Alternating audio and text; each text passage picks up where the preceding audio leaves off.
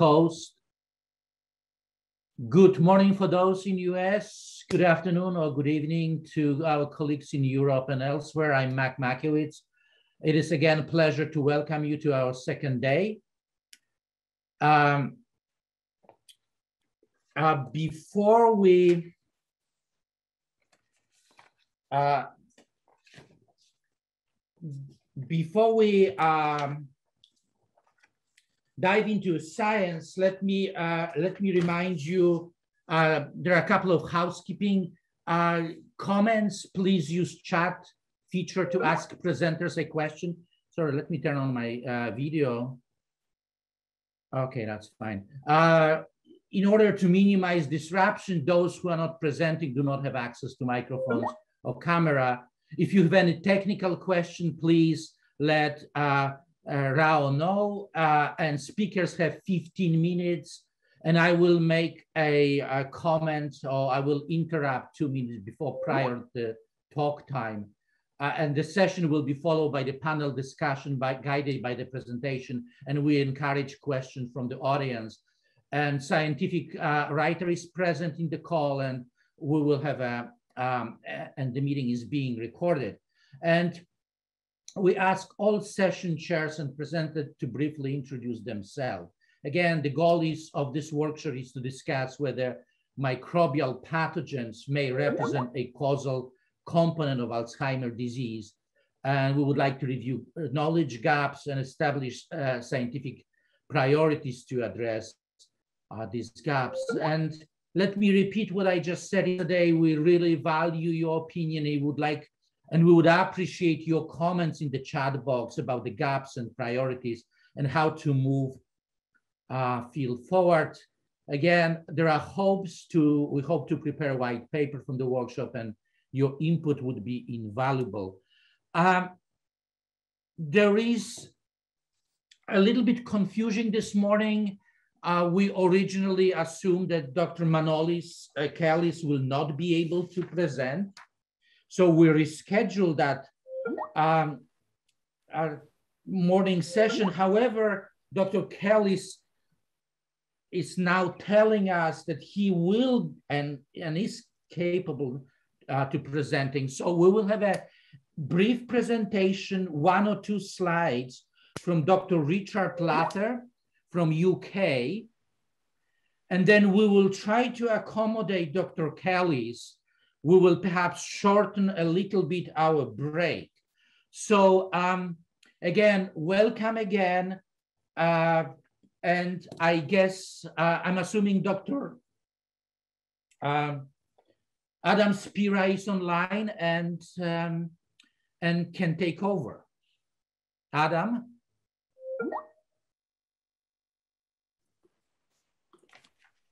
I am here. I am just getting organized. Hold on a sec. okay, Adam. So uh, since we again, since we have a little bit um, um, complication this morning, why don't we start with Dr. Latte? Dr. Latte, are you online? Yes, I'm, I'm here. Okay, it's 10 o'clock or one minute before 10. Please go ahead with your brief presentation. Okay, do you want me to connect to video? I I assuming we have your slide and we can Rao, can we show Dr. Latte's slide? Just as a note, um, I'm unable to connect to video as well. I don't know if you want the panelists to have that ability. I cannot commit, connect to video either, but uh, so at this point right. we will try to do without video. Okay. Right, well, let's let's get started then. Um, yes, go ahead. Yeah. Okay. Good morning, everyone. Um, I'm Richard Lathe. I'm, I'm professor in the Division of Infection Medicine at the University of Edinburgh. I only found out yesterday that I would be presenting today and I'm only allowed two slides. So I'm going to summarize unpublished data representing three years of work. And the question we're trying to answer is what is the true extent of the brain microbiome in health and disease? Right, so looking at the first slide, we developed a tree of life approach. Now on the right, you see the tree of life ranging from archaea bacteria through to holozoa, including Animalia top right. And our approach was to devise 64 probes based on ribosomal RNA. And I should say this is, this is, this is incredibly computation intensive. And this work has involved more than 500 hours of computer time, which is a lot, but it's highly accurate. And then on the left, we've got a summary of, of four data banks, including 31 control and 47 AD. And if um, Ben Readhead's around, I'd like to thank him for helping reconstructing the, the key Mount Sinai files. And as you can see, all classes are represented, even Archaea at the top, right down to Holozoa at the bottom. Um, and at this level, you can't see any obvious differences between control and AD. Instead, we, we, we see rather consistent patterns in which specific bacteria, fungi, and chloroplastida, stroke algae, are represented.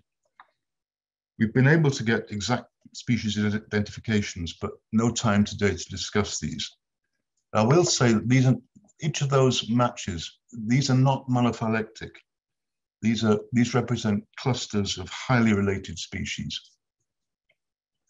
Um, at the bottom for viruses, we based our analysis on Readhead et al. in Neuron, whose method I think is possibly prone to false positives, but in our view is immune to false negatives. So we took the top 20 virus classes representing 99% of all reads and reanalyzed all the data sets. And we find that very few herpes viruses, although there are some, um, confirming yesterday's presentation by Steve uh, Jacobson, instead the major virus type is adenovirus C, which represents 83% of all reads.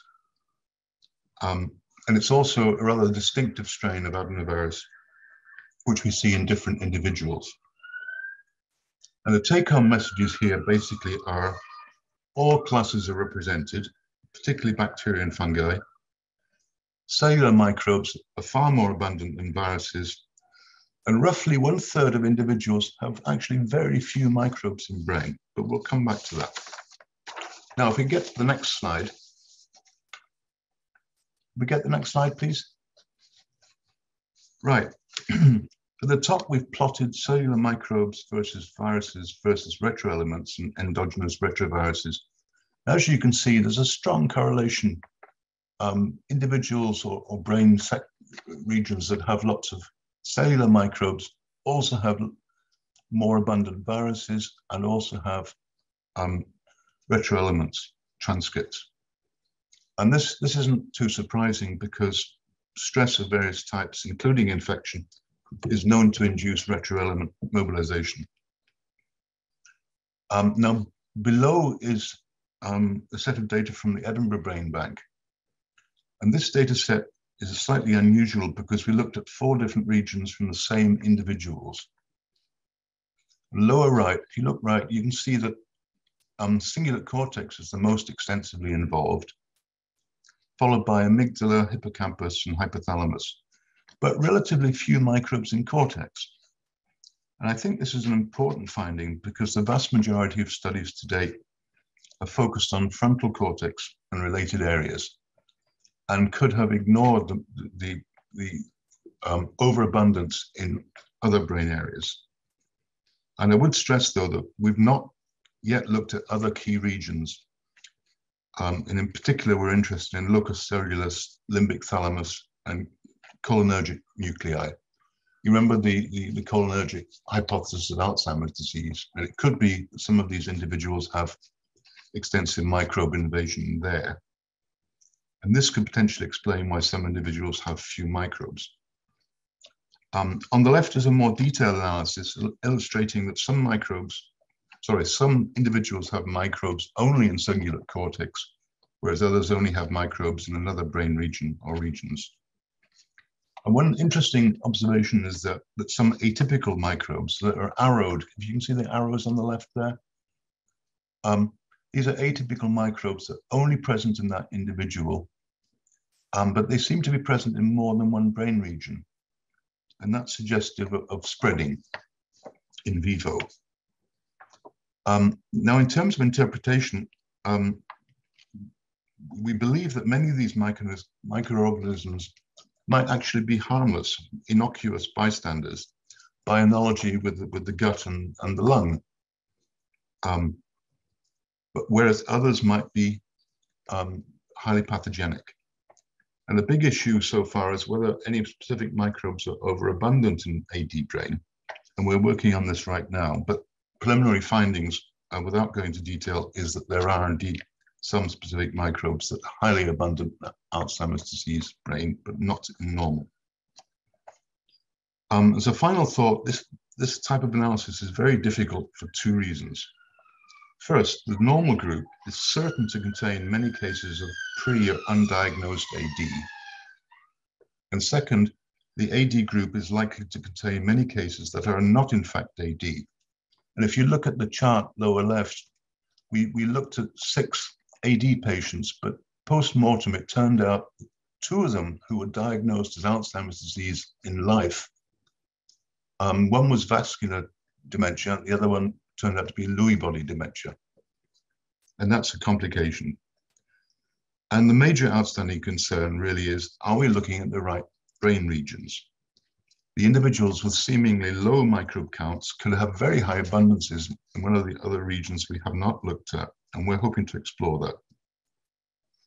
So to finish, I'd like to thank Alison Daniels and Sylvia Hugh, two students who've been working on the project for all their hard work and I'd like to thank the Benta Foundation for funding this research. So that's end of my presentation. Thank, thank you, you, so much, Richard. Um, Adam, let me let me just interject here.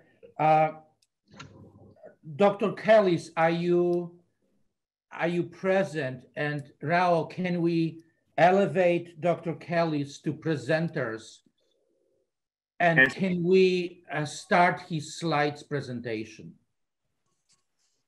Uh, so again, I'm sorry for for, uh, uh, for, for confusing this morning. Um, we will shorten our 15 minutes break later. Uh, I will try to accommodate accommodate uh, accommodate Dr. Kellis. Um, Dr. Kellis, I will. Um, um two minutes before the your time, I will I will I will I will tell you that. So please go ahead. Uh, Mac, I don't see anyone with that name. I may be wrong. Uh, Gene, can you take a look into it? No, I yep. see. I see. He's here. Dr. Manolis Kellis. Oh. yeah. By the way, you can start. Uh, yeah, you can start. Everyone can start their videos, so it should be good to go. Okay, great. Thank you so much. Okay. Wonderful. So thank you so much for the opportunity and thank you for the organizers for putting together this wonderful meeting. And I really apologize for the confusion. Um, my email somehow did not come through. So what I would like to tell you about today is our single cell dissection of pathogen associated changes in Alzheimer's disease. So as you know, both HSV1 that we've heard a lot about, as well as CMV infections have been associated with Alzheimer's disease. There's been a lot of biology surrounding HSV1, and also CMV has actually been shown to be increasingly associated with Alzheimer's disease by work of, of many, including David Bennett in the ROS-MAP cohort. So we have been collaborating with David Bennett very closely to link genetic variation across common and rare variants with single cell profiling of the postmortem brains from the ROS-MAP cohort at the epigenomic level, at the transcriptional level, in both healthy and in disease samples in this longitudinal cohort of aging that he has assembled at Rush University. We then integrate all the data to predict driver genes, regions, and cell types associated with diverse phenotypes, and of course, validate our predictions. And in this particular case, we exploited the ROS-MAP cohort and the CMV and HSV1 annotations to ask several questions that we can using single cell profiling. In particular, what are the cell types implicated? What are the brain regions implicated? Are there roles for microglia and vasculature specifically? What are the cell-cell communications associated with pathogen response? What genes show the strongest changes and in what cell type are they acting? What are the differences and similarities between the different pathogens of CMV and HSV1? And do pathogens lead to a distinct Alzheimer's associated transcriptional state that non-pathogen associated uh, changes uh, uh, show?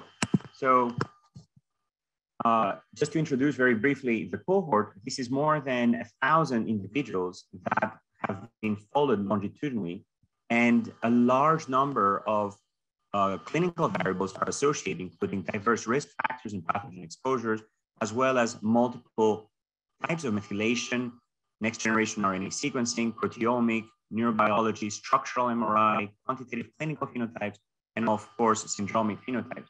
We ourselves have contributed a large number of single cell profiles and uh, also methylation profiling, uh, histone modification profiling, collaboration with Phil de Jager over the years.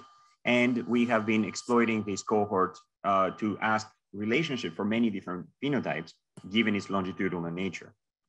In particular, we basically focused on CMV and HSV1 and selected individuals that have both AD diagnosis and non-AD diagnosis. And you can see the numbers here. These are among the individuals that we have already obtained single cell profiling for. And there are additional individuals in the cohort that we will continue uh, profiling uh, as uh, funding allows. So in particular, our group has profiled more than 1,500 post-mortem human brain samples across this cohort and several other cohorts related to neurodegeneration, as well as psychiatric symptoms, enabling us to start asking about questions of similarities and differences between these cohorts. We have categorized multiple subtypes of neurons, subtypes of uh, oligodendrocyte, microglia, astrocytes, as well as vascular cells. And we have profiled up to seven different regions of the brain and both single cell RNA as well as single cell DNA accessibility that gives us some view of the regulatory regions of the different cell types. So we have then used that to start asking about questions of what are the cells that show the highest vulnerability in Alzheimer's disease. In a paper that we published two years ago in collaboration with Li-Huei we've looked at non-AD, early AD, and severe AD individuals along with their clinical and pathological variable changes.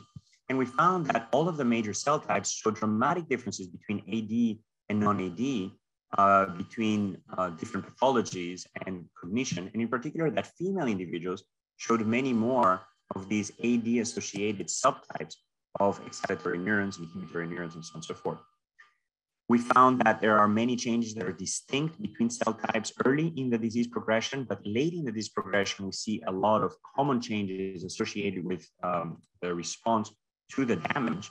And we also found dramatic sex-specific differences with 3,000 genes, for example, differentially expressed between men and women prior to AD, and 6,000, even more, during AD, suggesting that we should be really thinking about sex-specific and cell type-specific therapeutics. In particular, we found that myelin pathways were activating in men but not in women, uh, postulating that perhaps white matter loss would be higher in women, something that we confirmed uh, pathologically using the MRI scan.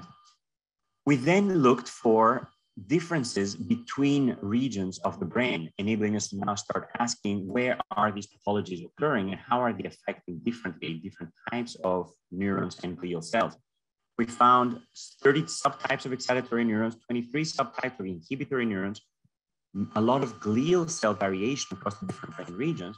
And most importantly, we're able to paint a time course of AD progression using the single cell transcription profiles of all of the cells to start asking when are the different genes associated with Alzheimer's acting during that progression. So we can now start asking temporally, how are these changes occurring? We also looked at anatomically associated differences in transcriptional profiles, enabling us to paint different subregions of the hippocampal structure here, as well as the entorhinal cortex layers, and have developed a lot of methods for augmenting single cell data with spatial information and for deconvolving mini bulk spatial data into single cell spatial data. We've also profiled a lot of non-coding uh, activity using single cell ATAC-seq looking at how genetic variants associated with AD and various AD-related phenotypes are localizing into microglia, specifically suggesting an immune component, again, consistent with the pathogen association infectious disease uh, etiology, as well as the differences between the localization of genetic variants associated instead with psychiatric disorders. So it is in this context that we started asking about HSV1 and CMV uh, individuals to, start asking, are there global differences in the layout of astrocytes, inhibitory neurons, oligodendrocytes, vascular cells, excitatory neurons, microglia that don't be seen, associated with AD and CMV, or either of the two, or neither of the two, and the same thing for HSV1. So we started asking what are the cell fraction differences, for example, that are occurring in our single cell data. And we found an increase in uh, several uh, subtypes uh, of cells. In particular, if you look at control individuals here in green versus CMV and AD individuals in red, you see an increase in oligodendrocytes, and you see also a decrease in excitatory neurons.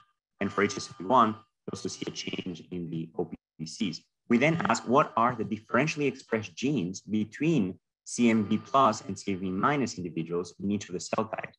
Again, we found very interesting uh, enrichments for both astrocytes and microglia within these cells.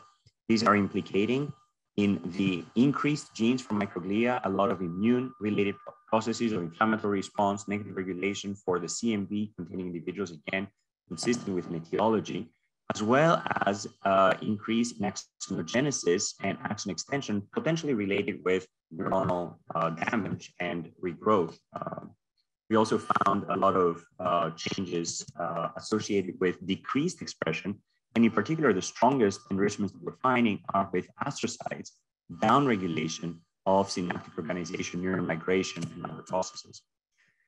We then specifically focused on the combination of the two pathogens. We found that a large number of the HSV individuals also showed CMV, enabling us to now start carrying out a different set of responses that are asking of comparisons that are asking for CMV versus non-infected, and also HSV1 in the context of CMV versus non-infected, given the number of individuals here.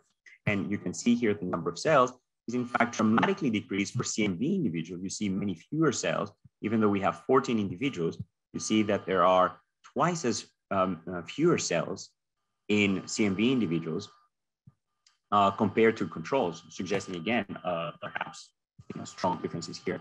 So we're now starting to carry out these comparisons here to start asking about CMV versus controls in the context of non-AD and in the context of AD, and same for HSV1 in the context of AD and in the context of non-AD. This actually starts leading to a lot of very interesting insights.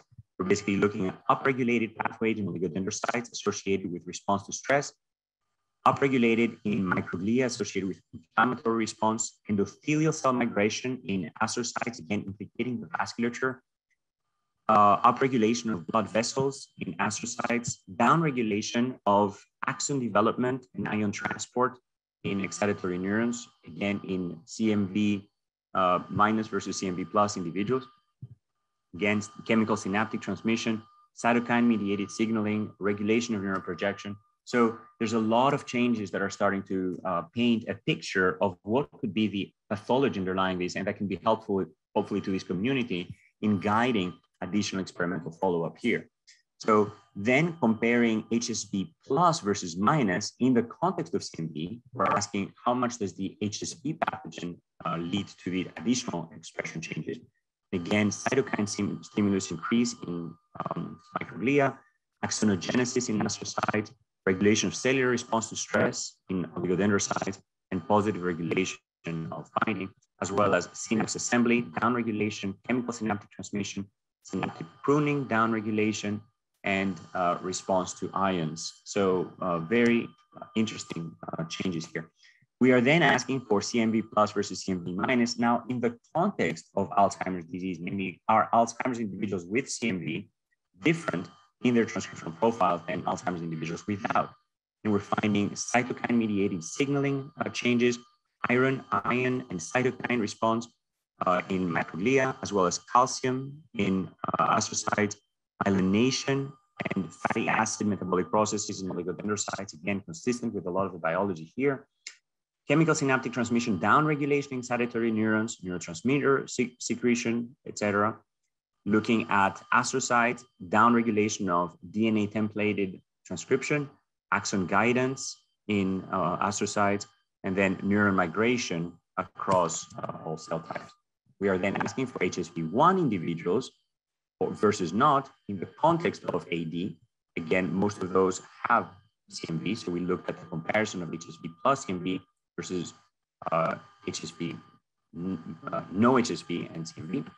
And again, we're finding protein stabilization in microglia, endothelial cell migration in microglia, protein localization to plasma membrane in oligodendrocytes, regulation of focal adhesion assembly across multiple cell types, and axon extension upregulation in astrocytes, synapse organization downregulation across multiple cell types, cell junction disassembly in microglia, response to cadmium, and myelination downregulation in oligodendrocytes.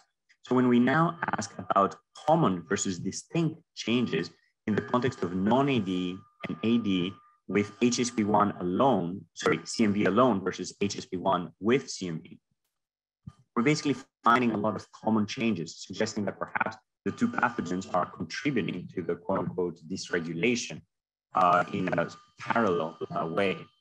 And the next thing that we asked, actually asked is looking at these pairwise comparisons of how are the changes that are happening in the context of AD different between CMV versus non-CMV individuals versus AD versus non-HSV1 um, versus non-HSV1 individuals, again implicating a large number of pathways that uh, we hope will be of interest to the community. So in the interest of time, I don't want to uh, speak uh, a lot longer, uh, except to highlight uh, you know, a few of these uh, conclusions that are starting to come up, and then point to a collaboration that we have with Bill Eimer and with uh, Rudy Tanzi over at MGH to start validating some of those key transcription factors that we are uh, finding as prioritized from our computational analysis as potential drivers in each of the cell types in microglia and astrocytes and excitatory neurocells dendrocytes that are both upregulated as well as downregulated. So these are transcription factors that are predicted to be upstream of many of these changes that are happening and that could form, again, a helpful uh, resource for this community to start thinking about manipulating many of these uh, processes. So we're super excited to be collaborating with both Rudy Tanzi and Will Eimer, as well as, of course, David Bennett in the ROS-MAP cohort, Li-Huei Tsai at the Picower Institute, and a lot of this work is led by Na Sun in my group, uh, who's carrying out the computational analysis. All of the single cell profiling have been, has been done by Kiki Galani, Julio Montero, Li Lu Ho, and uh, Xin Wang. And uh, the computational analysis that I showed is shared across many members of the team. So that's where I will stop and uh, see if there are any questions. Well, I think that we are planning to save the questions for the moderated discussion. Uh, Mac, you can feel free to interrupt me and correct me. Uh, Adam, yes, I, you are right. Let me just uh, thank thank you, Dr. Kellis. Uh, I'm sorry to interrupt, Adam. Uh, there, there, was a colleague from Dr. Itzhaki group who was supposed to uh, briefly present uh, this morning. We will try to accommodate that person around the lunch break. So if, if that person is listening, I'm was that Dana Cairns? Because yes. Okay, because there was a note asking about this. Uh, yeah, so I'm sorry. There was uh, uh, trying to accommodate Dr. Kellis. Uh, we Thank you so much. To, Thank you. We, we need to re reshuffle a little bit. I'm so sorry for the delay. Uh, take over, Adam, please. Okay, no problem. Thank you, Mac. And uh, I, I'm not going to say anything except introduce Dr. James Noble uh, from Columbia University. Dr. Noble, please. Can you guys uh, hear me and see my screen? Yeah? Okay. Yes. Okay, great. Thank you. So uh, thanks everybody and thanks to the organizing group for putting this together. And I really uh, want to acknowledge Dr. Tanzi's wonderful job at framing the whole discussion for us, especially around the tough road it's been to get to this point.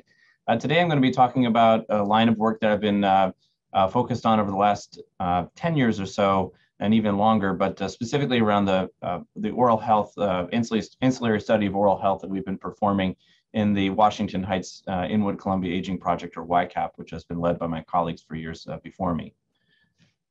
Uh, let's see. Okay, so just to acknowledge the grant support here, I want to acknowledge Dr. Mackiewicz and, and their group for supporting a, a forthcoming R01 that's just getting off the ground now. I have no relevant conflicts of interest, but must uh, disclose I come from a family of dentists, and that's how I got into this uh, line of work. So I'm going to briefly review periodontal disease and um, associations that we've identified epidemiologically, and that's really my forte is in clinical and epidemiological work, uh, focused on periodontal disease and cognitive aging and decline. and discuss the overall um, findings that we've had so far in the project and what we're up to next. Uh, we haven't really talked much about periodontal disease other than some of the microbes that have been identified. So I think it's worthwhile just discussing uh, briefly what the clinical picture is. And just to reiterate, it is a chronic biofilm infection. It's distinct from other um, uh, microbiomes that we've talked about, whether they be um, even others in the mouth or in the gut. This is really uh, something specifically at the gingival margin here. Um, so in normal periodontal conditions, we have a bone which supports a healthy gum tissue above it and really embraces the tooth uh, and its root.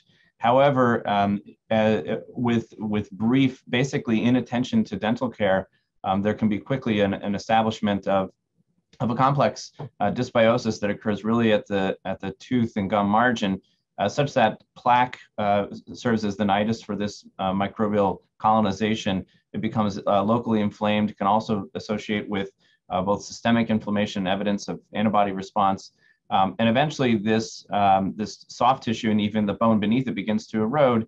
A pocket forms, which uh, leads to even more uh, microbial establishment and dysbiosis. And eventually this inflammation uh, continues kind of on a cycle.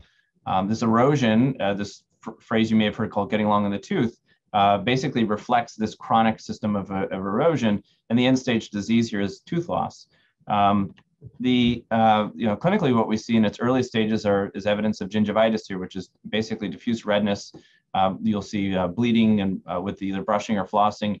The good news is it's actually treatable and reversible, but it is something that many people experience with recurring episodes.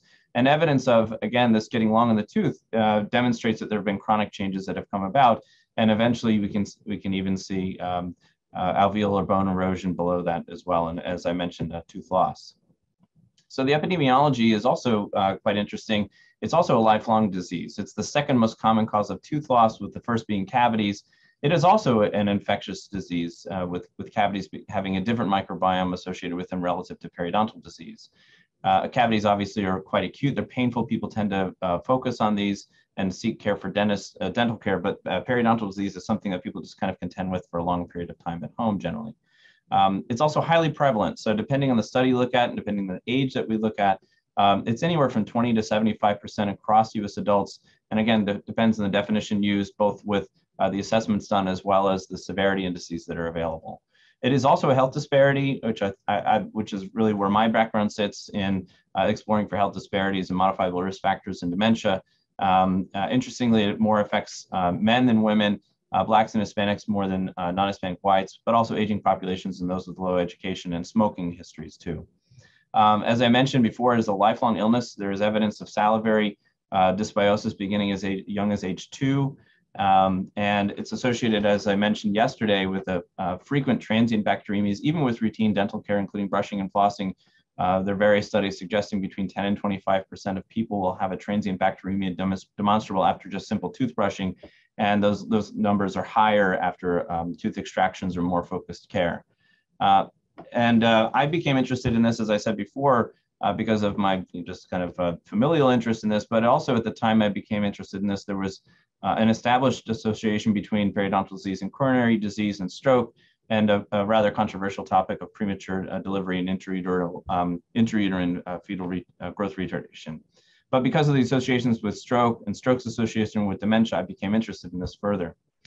I want to also uh, comment on kind of the prevailing ideas about what is the microbiome established in periodontal disease. And this, this has been dogma for many years, and that there are these different complexes of organisms um, that were cultivable and suggested that in order to get to this most uh, virulent strain, uh, virulent complex of, of organisms, one had to basically set up this milieu where these less, uh, uh, less pathogenic organisms were established first.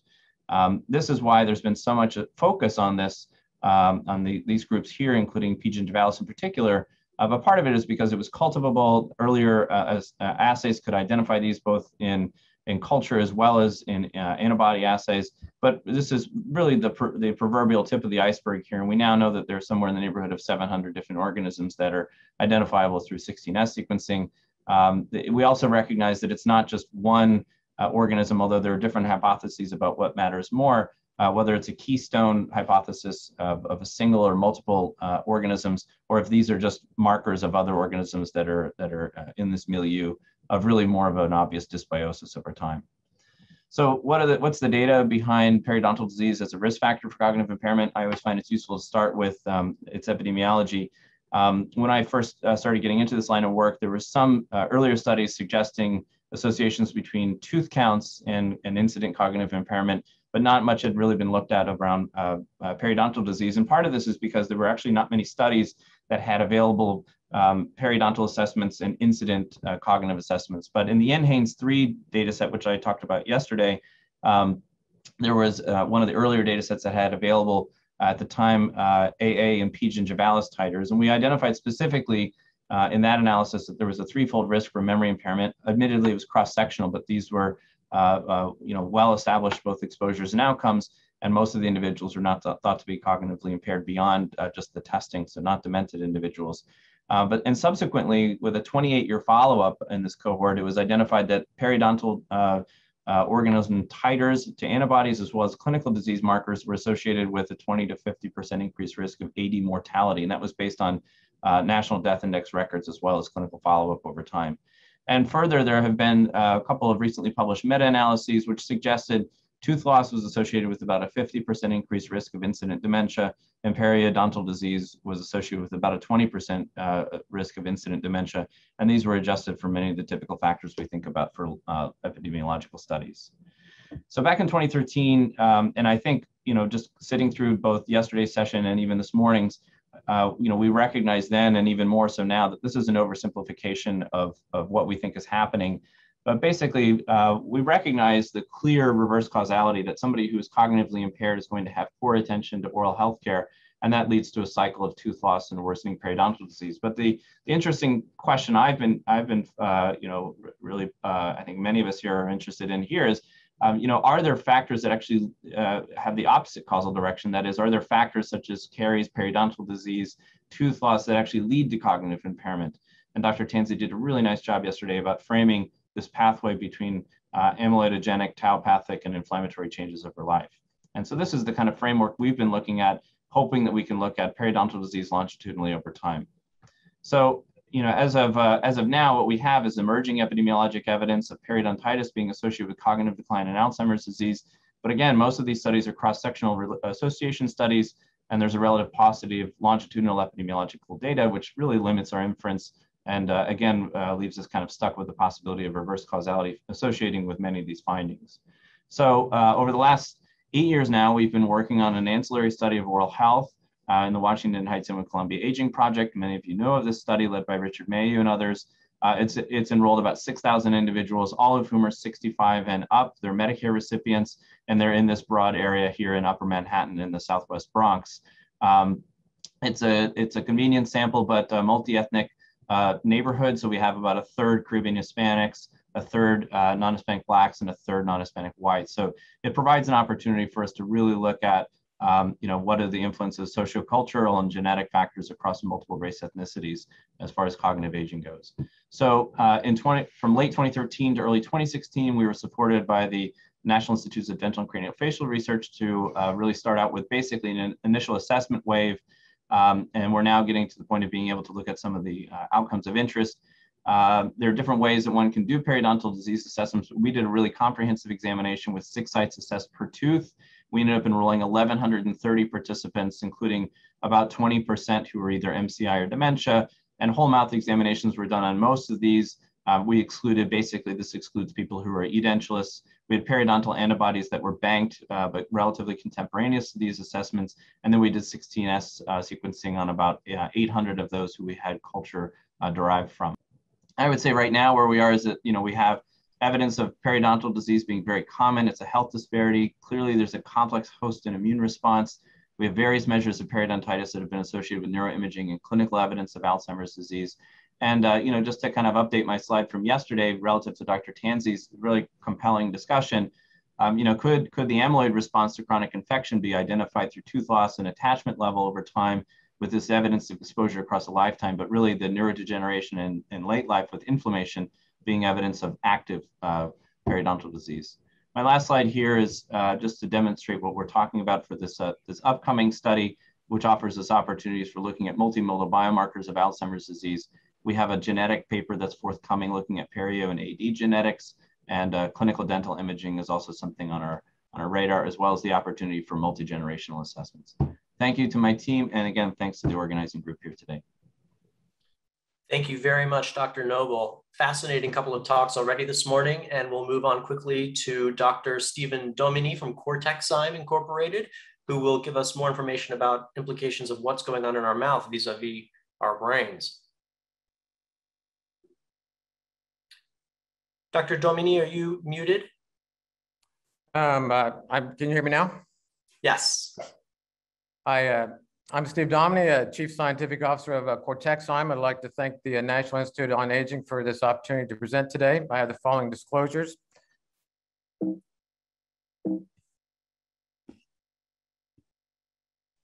So you are sharing your screen. I think uh, our IT is sharing their slide deck. You want to share your deck? Yeah.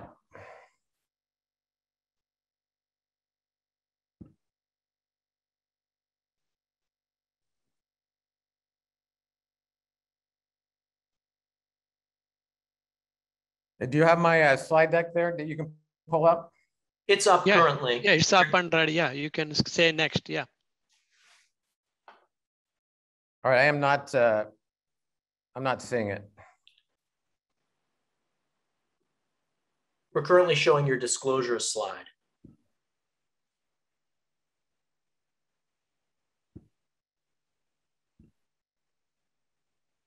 Okay, I have the following disclosures. I'm the co-founder of Cortexime and an employee of the company. I own Cortexime stock and I'm a co-inventor on ginger pain inhibitor patents. Next slide, please.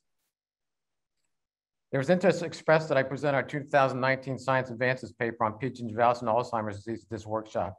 Though I can't do an in-depth presentation of the paper in 15 minutes, I have attempted to use some of the figures from the paper to highlight important findings and concepts, while at the same time introducing supporting research and clinical trial data that have arisen since the publication of the paper in January 2019.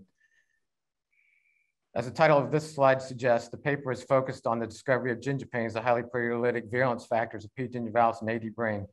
Gingipains are present for P. gingivalis survival and pathogenicity, playing critical roles in host colonization, inactivation of host defenses, iron and nutrient acquisition, and tissue destruction. P. gingivalis is best known for its role as a keystone pathogen in chronic periodontitis. Here I have summarized the important findings from the paper.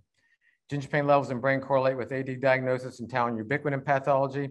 Gingipains are directly neurotoxic and fragment tau. Oral infection of wild-type mice with PG results in PG brain invasion. Induction of A beta 1 to 42 can be blocked with small molecule gingipain inhibitors. Next slide, please. I highlight this paper from Keiko Watanabe's lab for the background section because it is very important. However, it did not make it into our science advances introduction section because it was published while our manuscript was in the final stage of review. In the paper, they show that oral P. gingivalis infection of wild-type mice induces AD pathology after 22 weeks, and that PG and gingipains were detected in the hippocampus by PCR and IHC, but not in sham infected controls. Gingipain localized intranuclearly and perinuclear in microglia, astrocytes, and neurons, and there was a significant increased expression of IL-6, TNF-alpha, and IL-1 beta.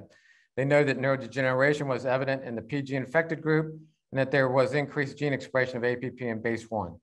Extracellular A beta 1 to 42 was detected in brain parenchyma, and phospho-tau was detected and NFTs were evident and infected, but not in the control group. Next slide, please.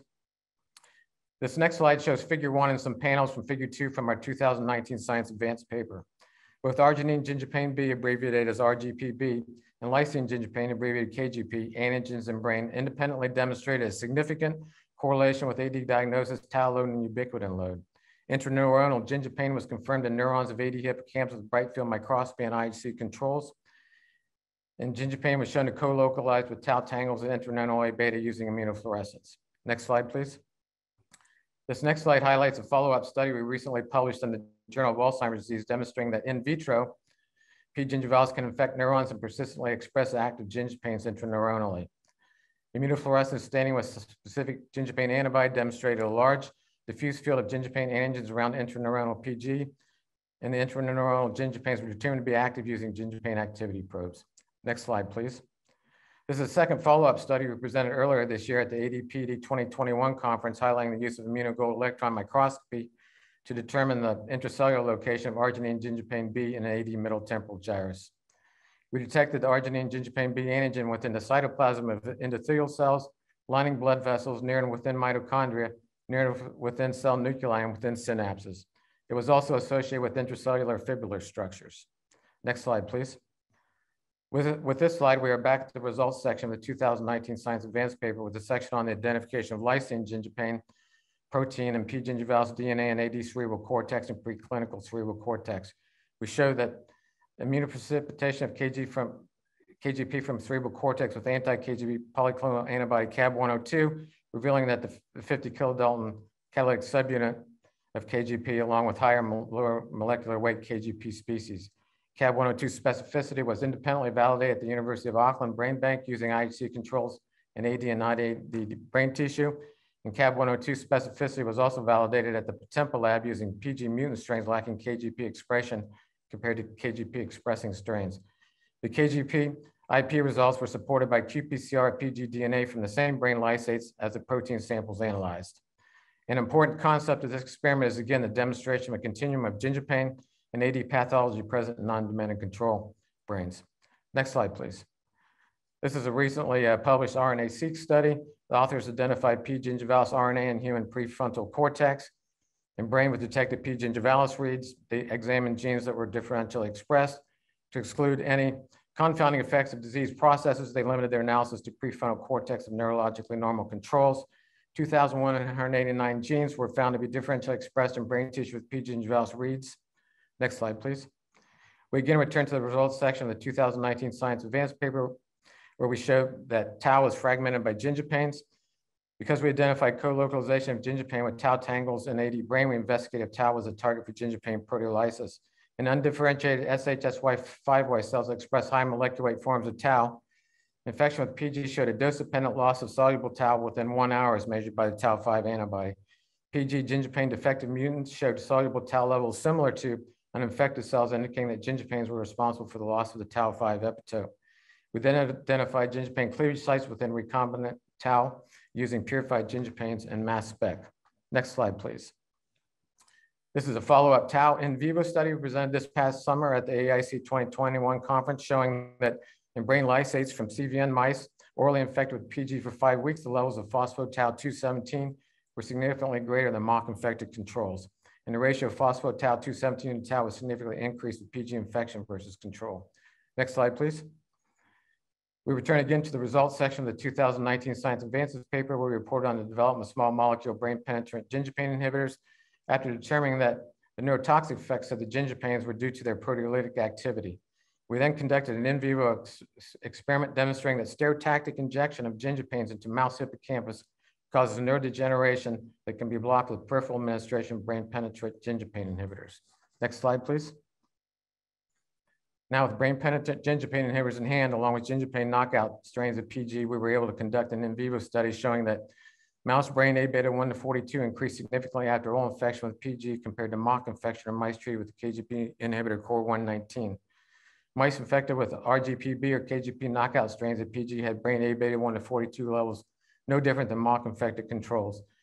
In addition, we showed that in vitro, soluble A beta 1 to 42 bound to the surface of PG and significantly, significantly increased PG death compared to A beta 1 to 40, A beta 1 to 42 scramble, and PBS vehicle control. Further, in vivo studies demonstrated that oral administration of a KGP inhibitor effectively treated PG brain infection and prevented loss of hippocampal GAD67 interneurons in vivo. Next slide, please. Next, through medicinal chemistry efforts, a lead KGP inhibitor was identified that was potent, brain penetrant, and orally bioavailable, known as COR388. In figure H, we show that KGP inhibition by COR388 inhibits the growth of PG in defined growth medium in vitro. In figure I, we show that PG develops complete resistance to moxifloxacin with a minimum inhibitory concentration increasing over 1,000 fold in 12 passages, whereas no resistance to COR388 developed in two independent assays. In figures J, K, and L, we show that in an established PG brain infection of wild-type mice, oral dosing with COR388 twice daily resulted in dose-dependent efficacy in reducing PG load in the brain and decreasing levels of ABA1 to 42 and TNF alpha. Subsequently, investigational new drug enabling studies were completed for CORE388, And this figure concluded the findings of our 2019 Science Advanced paper. Next slide, please.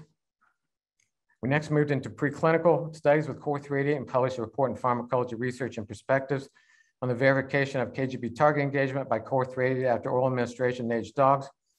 Porphyromonas goulet found in oral cavity of dogs associated with periodontal disease is the only other bacterial species known to produce gingipains. In a 28-day dose response study, COR380 was shown to inhibit the KGP target in gingival clavicular fluid and subgingival plaque using an activity-based probe. In a separate histology study, older dogs showed evidence of increased P. goulet DNA and neuronal KGP in the hippocampus compared to young dogs, similar to recent observations of gingipain in human AD brains. Next slide, please.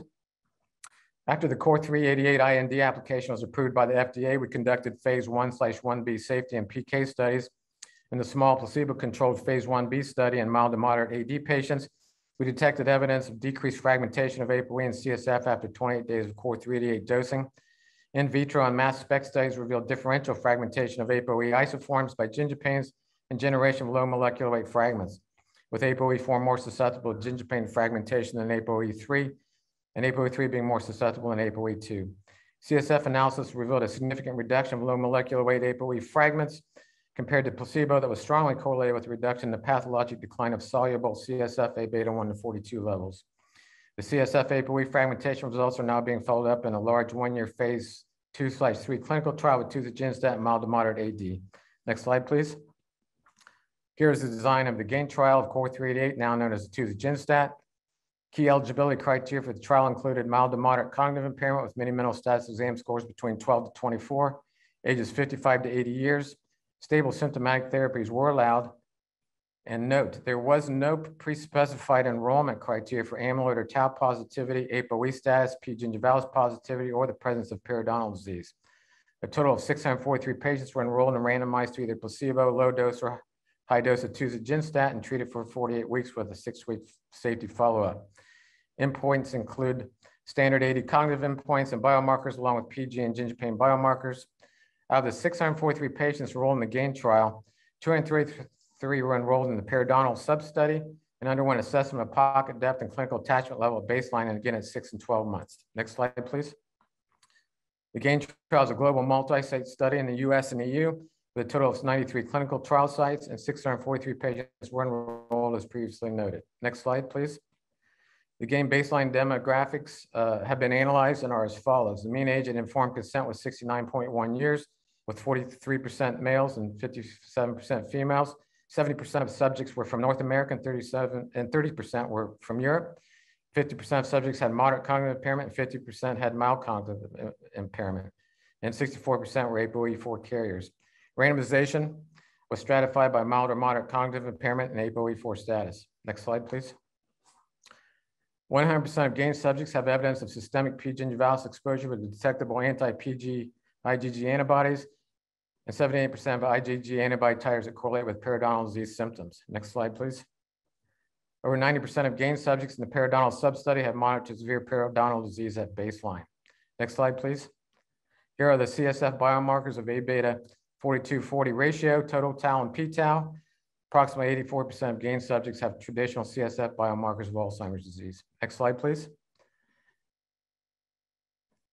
The anti-PG antibody concentration in CSF is largely independent of the albumin index, indicating intrathecal production of the anti-PG antibodies. Over 470 baseline samples have been analyzed and 99% are positive for anti-PG antibodies. Only 2% of GAIN subjects have evidence of loss of blood-brain barrier integrity as measured by albumin index greater than nine. The presence of these anti-PG antibodies in CSF further supports a direct P. gingivalis infection in the central nervous system. Next slide, please. In summary, P. gingivalis appears to satisfy modern day Koch postulates for disease causation in AD. That is emerging that gingipains differentially fragment ApoE proteins, with ApoE4 being more susceptible to gingipain fragmentation to ApoE3 or ApoE2, with evidence in a phase 1b trial that CORE 388 or tuziginstat decreased low molecular weight ApoE fragments in CSF. And the large phase two slash three GAIN trial was rigorously designed and implemented to be a key pivotal trial establishing efficacy of tuziginstat mild to moderate AD and testing the ginger pain hypothesis. Baseline data of subjects in the GAIN trial support that an appropriate population was enrolled for testing of tuziginstat for AD. The GAIN trial top-line data for disease modification Alzheimer's will be presented next month at the CTAD 2021 uh, conference in Boston on Thursday, November 11th at 11.35 a.m. Next slide, please. I'd like to acknowledge the uh, Cortexime research, biomarker and clinical development teams, advisory and other academic collaborators, development partners, clinical trial site personnel, and study participants and caregivers. Next slide, please. Thank you. Terrific. Thank you very much, Dr. Dominy. And now, Mac, um, we have a 15 minute break planned. Is that changing? Uh, no, yes, actually it does. We will take five minutes or six minutes break and we will start on time at, at 11. And we will try to accommodate our colleague from UK uh, after uh, David Gates talk. Um, okay. Terrific. All so right. We'll Thank you. Um, break, five minutes, six minutes break until uh, 11 o'clock Eastern, and we will start exactly at, at um, 11 a.m. Thank you so much, all. But um, let's move on to hear from Dr. Elizabeth Bradshaw from Columbia University, please.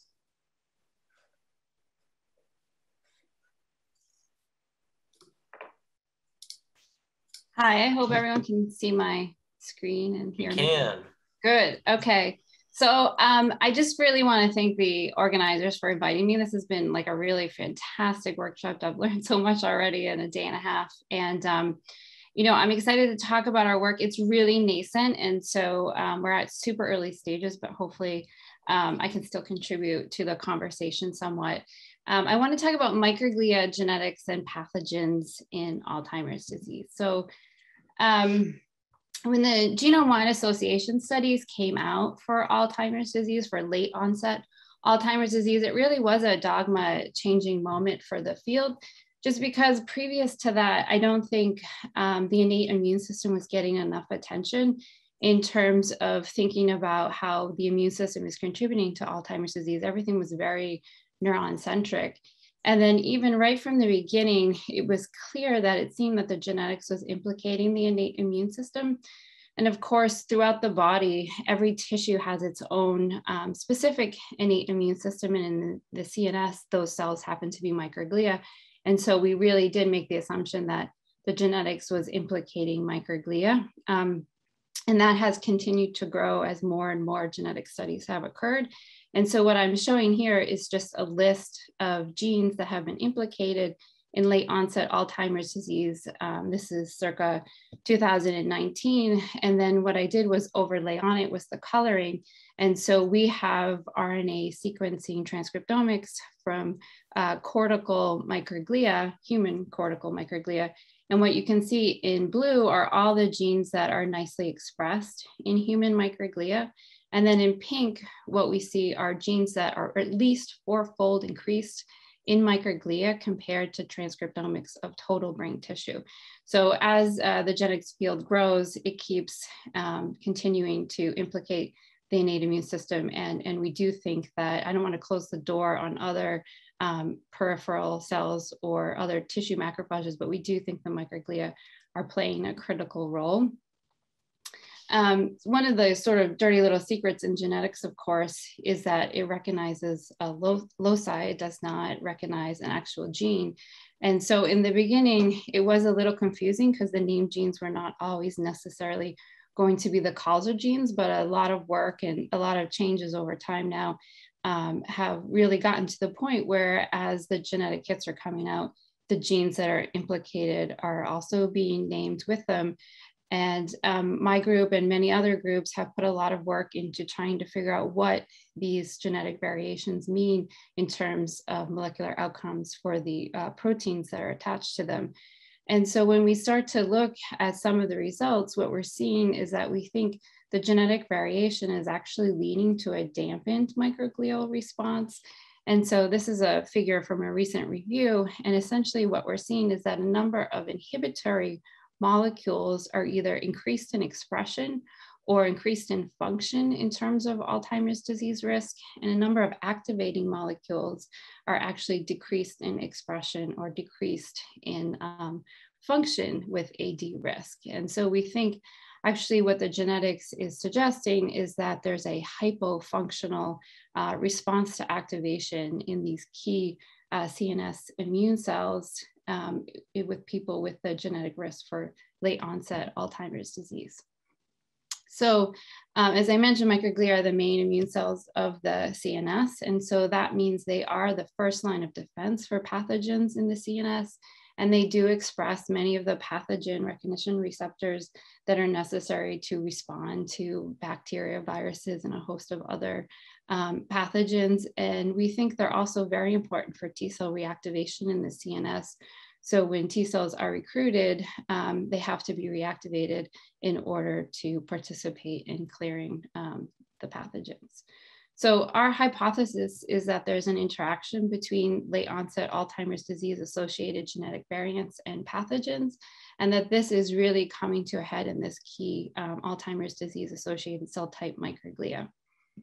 Um, so in order to kind of examine this in detail, we needed to come up with a model and we decided to really focus in with HSV1 as our, our first um, pathogen, but I think, you know, there's lots of other pathogens and I'd love to hear everyone's um, thoughts on other uh, pathogens that would work in this model.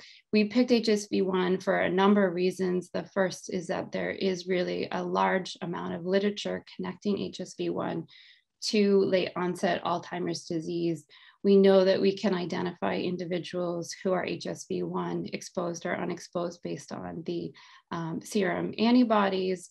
And there's already been a number of um, connections between genetic hits and um, HSV1's interaction with late onset Alzheimer's disease. So I think it was Hugo who mentioned yesterday about ApoE4 carriers. So ApoE is a microglia gene. Um, however, in the CNS, we do think it's predominantly produced by astrocytes. So it is an interesting one in that it is produced by microglia. It may also act on microglia um, a really um, interesting paper that came out of a group from Genentech who was focused on pillar A. So they really did a deep dive um, analysis of a particular uh, locus that's associated with Alzheimer's disease. They determined that pillar A was the key gene that's involved in that locus's association to late onset Alzheimer's disease, and that there's actually a point mutation between people with the risk allele and the protective allele. And the risk allele changes the um, sialic acid binding domain in pillar A and allows for a higher binding to glycoprotein B from HSV1 and it allows for more entry of HSV1 into um, innate immune cells. And so that's another reason why we wanted to focus on HSV1 because it keeps our model very simple because HSV1 can directly enter into innate immune cells. We don't have to have a complicated co-culture system with multiple cell types um, for the microglia to respond to. So our goal is to um, be able to look at more genetic associations and see, and Hugo, I think also sort of alluded to um, some other genetic variants that may be involved in HSV1 and late onset Alzheimer's disease. Um, and then really get into more of like the mechanistic questions of this interaction between the genetics and the um, pathogen. So really understand how do microglia of different genotypes respond to pathogen associated molecular patterns or PAMs, particularly in this case, the ones that are associated with HSV1. Um, do these AD associated genetic variants modulate microglia viral infections and do microglia genetic variants influence T cell responses to pathogens? I think T cells in AD could probably be its own um, workshop, but we think they're very important, obviously, um, in dealing with pathogens. So in order to do this, we really need a robust uh, microglia model to study the genetic variation. Um, mouse microglia are great for studying microglia in vivo. They're really not ideal for studying human genetic variation. iPSC derived uh, microglia cell lines are an excellent model. Um, they're really uh, critical when you have rare variants and they're not widely distributed in the population. But in order to use them, you really need to know the causal um, genetic variation so that you can use CRISPR-Cas9 to, um, to create both the disease state and the corrected version. Um, so we've taken a different approach and our approach is to use, is to look at microglia from large numbers of people and look at their natural genetic variation.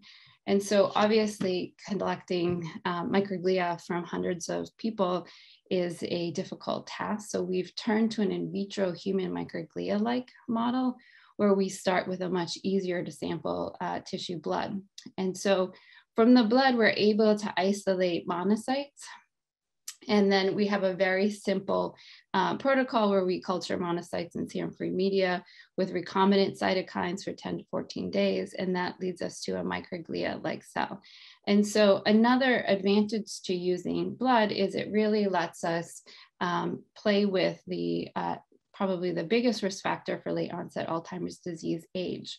So if we really want to focus in just on the genetic associations, we can stay with young to middle-aged healthy adults and, and not have the confound of disease.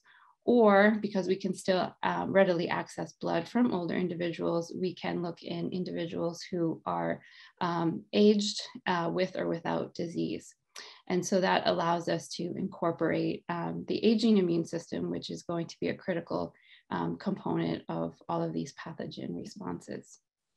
So to validate our um, microglia model, our MDMI, um, what we did was we really looked at gene expression changes between um, the monocytes that they came from and then uh, their final polarized state. So microglia really have been um, uh, characterized using RNA sequencing. So that's where we're most confident in how to define them. And we found that our model upregulates um, many, but not all of the microglia specific genes that have been associated with them. Um, we also did some in vitro experiments looking to see if our, our model um, recapitulated some of the functions of ex vivo human microglia that have been cultured. And we found they were more similar to the human microglia than to the human macrophages. Another really interesting um, phenotype of our model is that they're actually quite stable in culture for many weeks. And this is a phenotype that is definitely not shared with the monocytes that they're derived from, nor is it um, shared with actually cultured macrophages. So it's much more reminiscent of true microglia. Um, so with our model, what we've been really focused on is really taking um, uh, genetic variation or SNPs um, that we know are associated with disease risk and looking to see how they influence differential RNA or protein expression um, in hopes that we can get to some molecular basis of how the genetic variation could be leading to disease risk. And here's just one example of some of the work we've done. So this is uh, an experiment where we took 96 healthy individuals and we looked at their MDMI um, and then we measured a number of genes using uh. And so this is just uh, two different isoforms of CD33. So CD33 is a genetically associated protein that we're very interested in. We know that it has two main isoforms, big M and little m. Big M is the main form that mostly has been studied in the literature and it contains the sialic acid binding domain, whereas CD33 little m has it spliced out. And what you can see is that when we start to group people based on their genetic background, we see an increase of the big isoform in individuals with the risk allele and a decrease of the little isoform, um, um, suggesting that, you know, this is a, a reasonable technique to use to look at genetic variation. And these cells are viable and healthy in, in cells. So we can now use this differential gene protein expression to try to fill in this dotted line to complete the triangle to really get to an understanding of how these genetic variations are leading to disease risk. And here is a really a key point for interactions with the environment. Um, in particular, we think pathogens are going to be really important here. Um, so our microglia-like cells express pathogen response receptors as well as other signaling molecules. So this is just a random selection of some of the genes that um, we think are important for responding to pathogens. And we had RNA sequencing data from monocytes, macrophages, as well as our MDMI model. And you can see that most of these um, molecules, at least at the RNA level, are expressed in all three, but there are some variations in the level of some of them um, between the different cell types. And we think this is going to be um, seen in, in the responses of these different cell types to different pathogens, uh, suggesting that it's really important that we look in the right type of um, innate immune cell. So maybe, you know, using monocytes as an example for microglia is maybe not going to give us the best uh, distribution of of the response that we're expecting to see in, in real microglia. So here's just an example of an experiment, very preliminary that we've set up where we have our MDMI model and then we have monocyte derived macrophages from the same individuals, and they've been treated with LPS from P. gingivalis. And so we looked at differential expression of your sort of generic uh, pro-inflammatory cytokines. And you can see that it looks like the macrophages are going to have a much stronger um, induction of IL-1 beta and IL-6 compared to our, our monocyte uh, derived microglia-like model. And um, within that, hopefully we're going to see uh, variation based on individuals' uh, genetic background. Obviously, this is only three people, so it's too early um, to make any um, conclusions about that. So um, I'd like to thank the team at Columbia. So this is work that is going to be undertaken with Wasim Aliman and Badri Badrjan. Um, we were very inspired by Dev Devand and all his work on HSV1 um, and clinical trials, as well as the team that's going to be working on it. Um, I didn't have a chance to talk about some of our work looking at microglia as antigen presenting cells and T cells in Alzheimer's disease, but that's collaborations with Larry Stern at UMass as well as Jenny Jane at UPenn. And um, we're really interested in how um, pathogens are presented by microglia to T cells in the CNS. So hopefully um, we'll be able to get some data on that front. So that is all. Thank you. And um, we're now going to transition to a presentation by uh, Dr. Dana Cairns, who is collaborating with uh, Dr. Um, Ruth Itzaki at the University of Oxford. Uh, Dana, are you ready to present? Um, yes, so I'll just share my screen. Can everybody see? Oh. On its way. Sorry. Let's see. It says you've started screen sharing, but it's not here yet. Oh, oh. oh it's here. Perfect, perfect. Um, yes, I'll, I'll, be presenting a very brief uh, presentation on, on some ongoing work I have with Ruth. Um, and thank you to the organizers for the, the opportunity to very briefly discuss this unpublished work, um, as well as to Ruth, who's been just a tremendous mentor, and I'm very grateful for, for her um, tutelage and, and mentorship. Um, so what we're going to just kind of go over today is the, um, I should preface by saying last year we published a paper uh, proposing a causal role for HSV1 in inducing an Alzheimer's disease-like phenotype in human-induced neural stem cells. Um, and this was in the absence of any other exogenous mediators.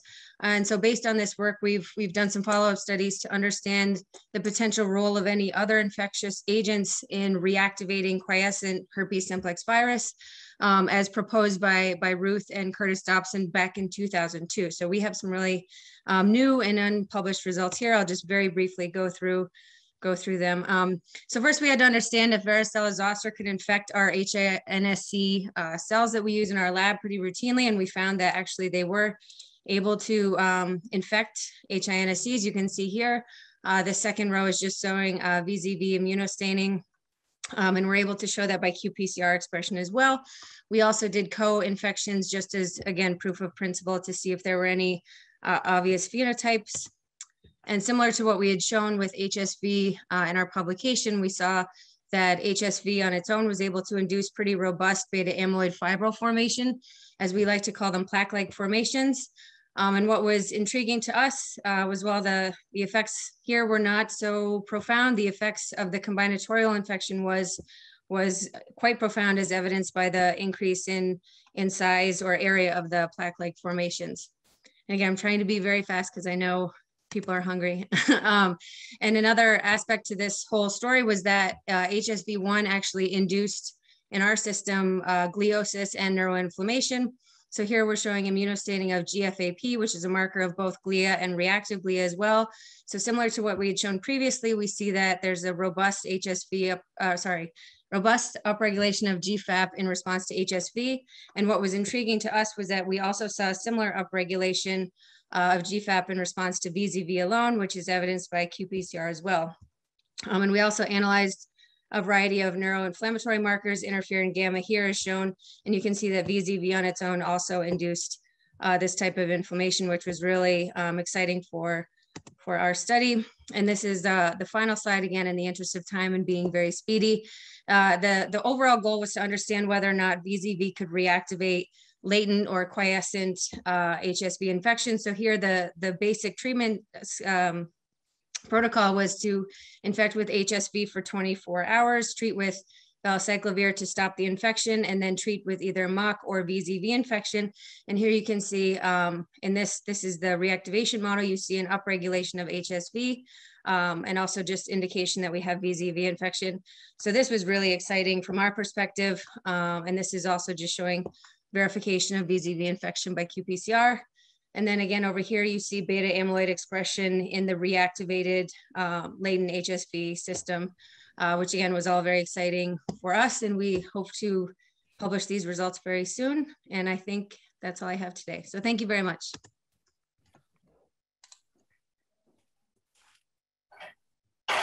Well, that was indeed speedy. Uh, thank you. Appreciate your efficiency. Your efficiency. So um, now we are moving to a moderated discussion. Should we uh, plan for 30 minutes, uh, Mac? Um, yes, we should plan for 30 minutes a moderated discussion uh, and we will shorten by five minutes or, uh, our, our, or 10 minutes our lunch break. Um, so obviously this is uh, our colleagues are moderating uh, chat room and have questions. Uh, all presenters have access. They can unmute themselves. So please go ahead. Terrific. Uh, I believe that uh, some of the, Rachel, were you and your colleagues going to um, ask some of those questions? Yeah, we have some specific questions for um, some of the speakers, so I can kind of start. I guess um, one of the old questions for Dr. Noble was, have you looked at the microbiome of the oral cavity as part of the, the study? Yeah, I can answer that. Yeah, so in the original wave, um, we sampled the most posterior uh, quadrant in each each of the four quadrants in all participants and we did uh, 16S sequencing um, on a pooled sample. We have a, a, metagenomic analysis ongoing for those older samples. And then for the forthcoming, basically a reassessment wave of about 900 of those individuals will be doing the same. Yeah. So we, we, uh, we, we worked with the Forsyth Institute on the initial wave. They did all of our analyses uh, using a library uh, kind of tailored to periodontal organisms. And uh, since then, we've had a microbiome center um, develop here, and we're working closely with them on the next wave.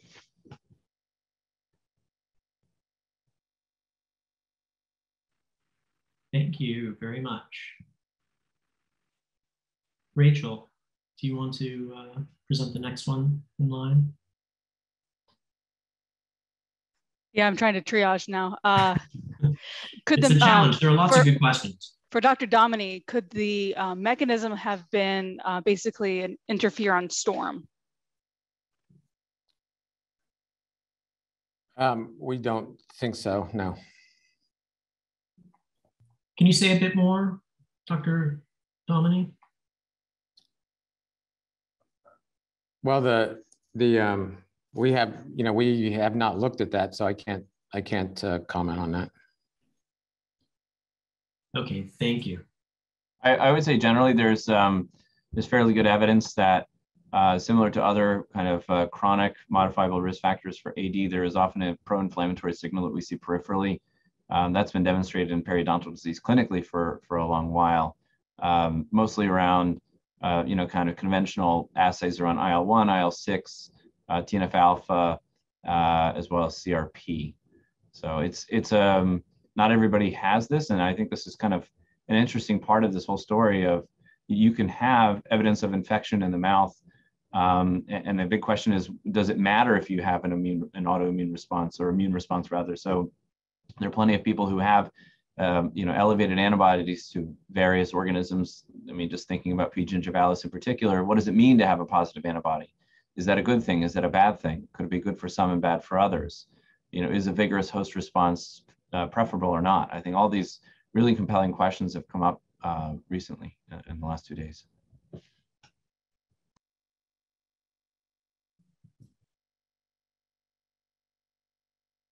Okay. Uh, I believe Dr. Tanzi had a um, question.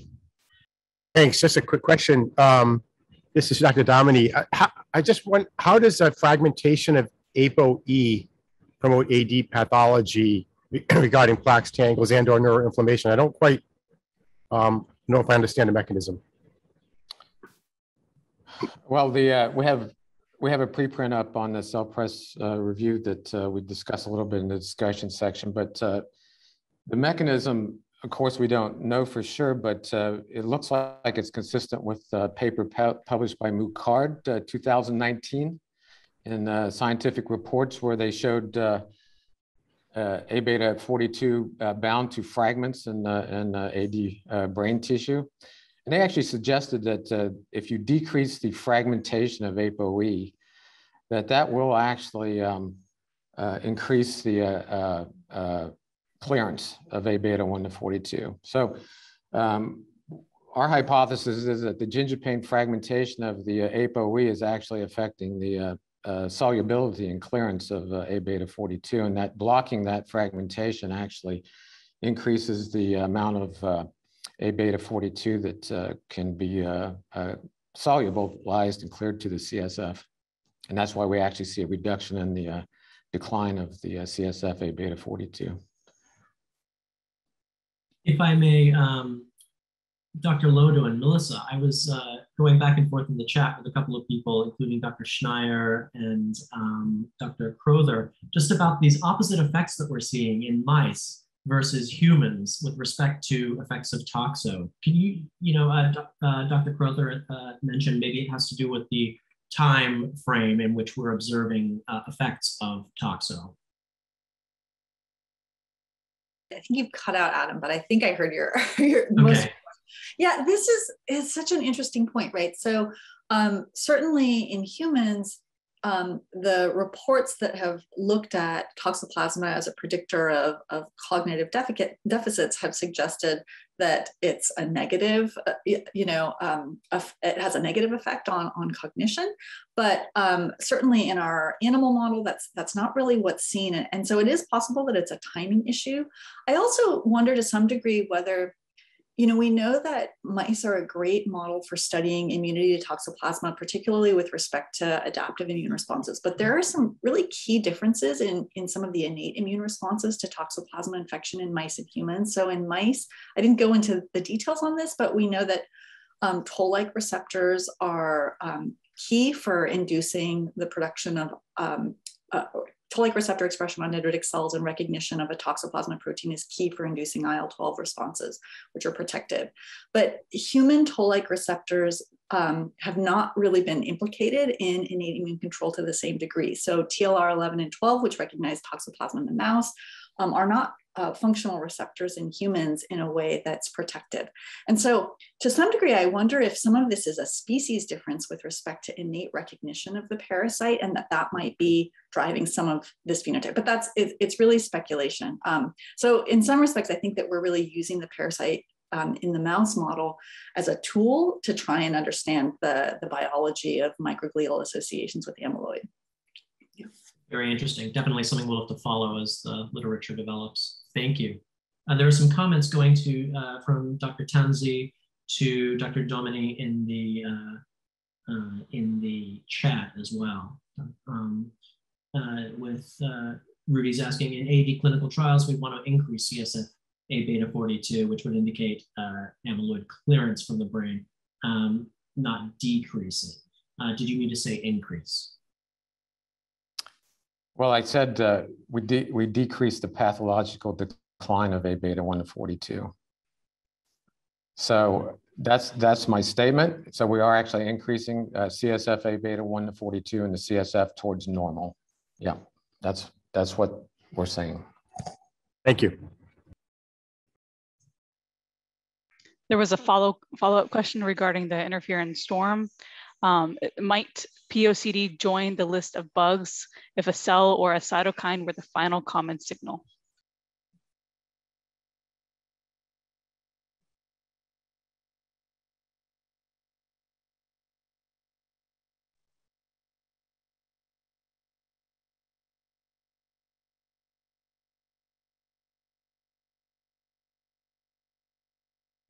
I think that was a question for Dr. Dominic.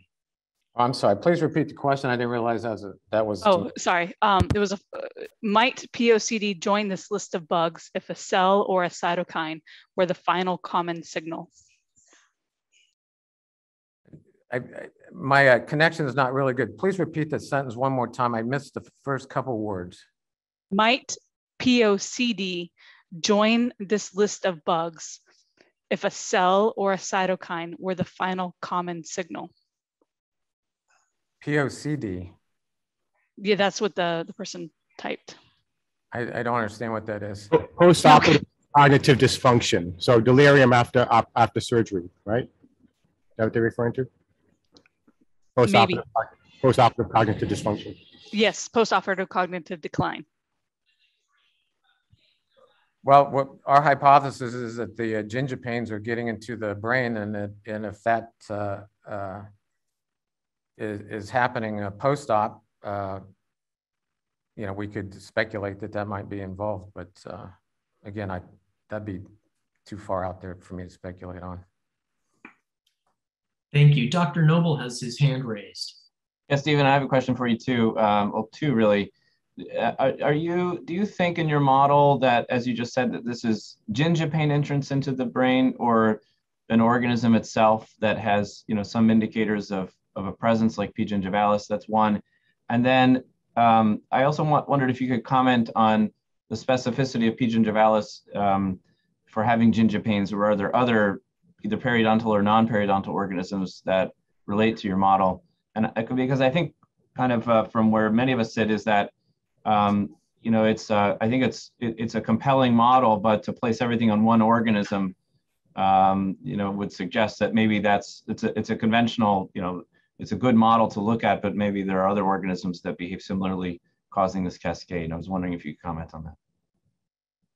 Well, first of all, our, you know, to test our hypothesis, we needed to develop this really highly specific uh, molecule that, that actually is very potent and specific for gingipains, right? And, and the trial is over now. We're going to present our results at CTAD, and, uh, and uh, we'll know uh, in about four weeks if you can hit one bug, actually one virulence factor, and actually you know modify the, the disease.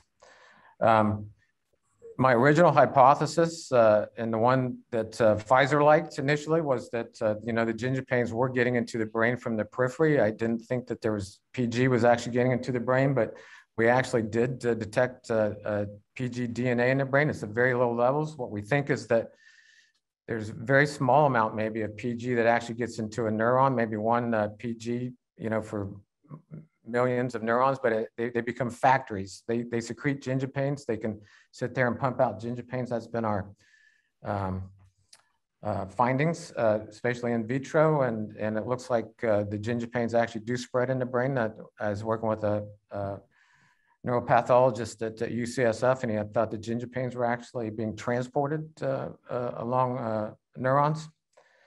Um, but the the gingipains can't get into the brain without PG getting into the brain. They can uh, uh, track with, uh, you know, PG, one bacterium produces thousands of outer membrane vesicles. They're just packed with gingipains. Those outer membrane vesicles have no problem crossing uh, barriers like the blood-brain barrier, for example. And they, they've been shown to infect cells. We've done in vitro experiments and they can infect neurons, just, just outer membrane vesicles. They contain DNA, RNA fragments, um, LPS, uh, et cetera. Um, so it's probably a combination of, of the two that uh, there is some PG bacterium actually getting into the brain, but there can also be a, a significant component um, uh, like an algae bloom almost, where you actually have you know an active PG infection in the oral cavity, but not even may not even be in the oral cavity. We found a lot of the PG in the in the liver, cardiovascular system, and even in the pancreas. So, so the uh, niche of infection might not even be the oral cavity. Um, the only other, and the second part of your question is um, the um, other microbes as far as gingipains go. So I mentioned uh, Porphyromonas gule. It's, uh, it, it's normally found in uh, companion animals like uh, dogs and cats, and it, it is involved with periodontal disease in those uh, animals. And um, uh, but Porphyromonas gule is the only other known bacterial species that, uh, that, that produces gingipains. And uh, like I said in the talk, we, we did do a study in aged dogs, and this was a you know target engagement study. We were only looking at the oral cavity, but as I mentioned, we did do a, a, a brain analysis in, in, older dogs that weren't treated, but uh, we wanted to look and see if, similar to humans, that uh, the uh, uh, especially our target, which is lysine ginger gingipain, was getting into the brain. Sure enough, we could see it in the uh, neurons in the CA1 part of the hippocampus, and, and we could see P. gule DNA. Now, in the discussion section of the Science Advances paper, we actually mentioned a study done in Japan showing that Japanese dog owners that, that uh, they studied the uh, Porphyromonas gule in the dogs and, and, the, and the genetic sequences in the owners, and they could see the transmission of Porphyromonas gule from the dogs to the owners. So that'd be another source of gingipains besides P. gingivalis is actually Porphyromonas gule from uh, pet uh, animals. But yes, yeah, so, yeah, look, there's all kinds of other microbes. Uh, you know, I, I grew up during the HIV era at San Francisco General Hospital and HIV causes dementia. We know that uh, Treponema pallidum causes dementia. So I think there's room for all kinds of bugs to uh, cause dementia. But we're specifically going after Porphyromonas gingivalis because we've been able to develop a highly specific inhibitor of it and uh, to test this hypothesis.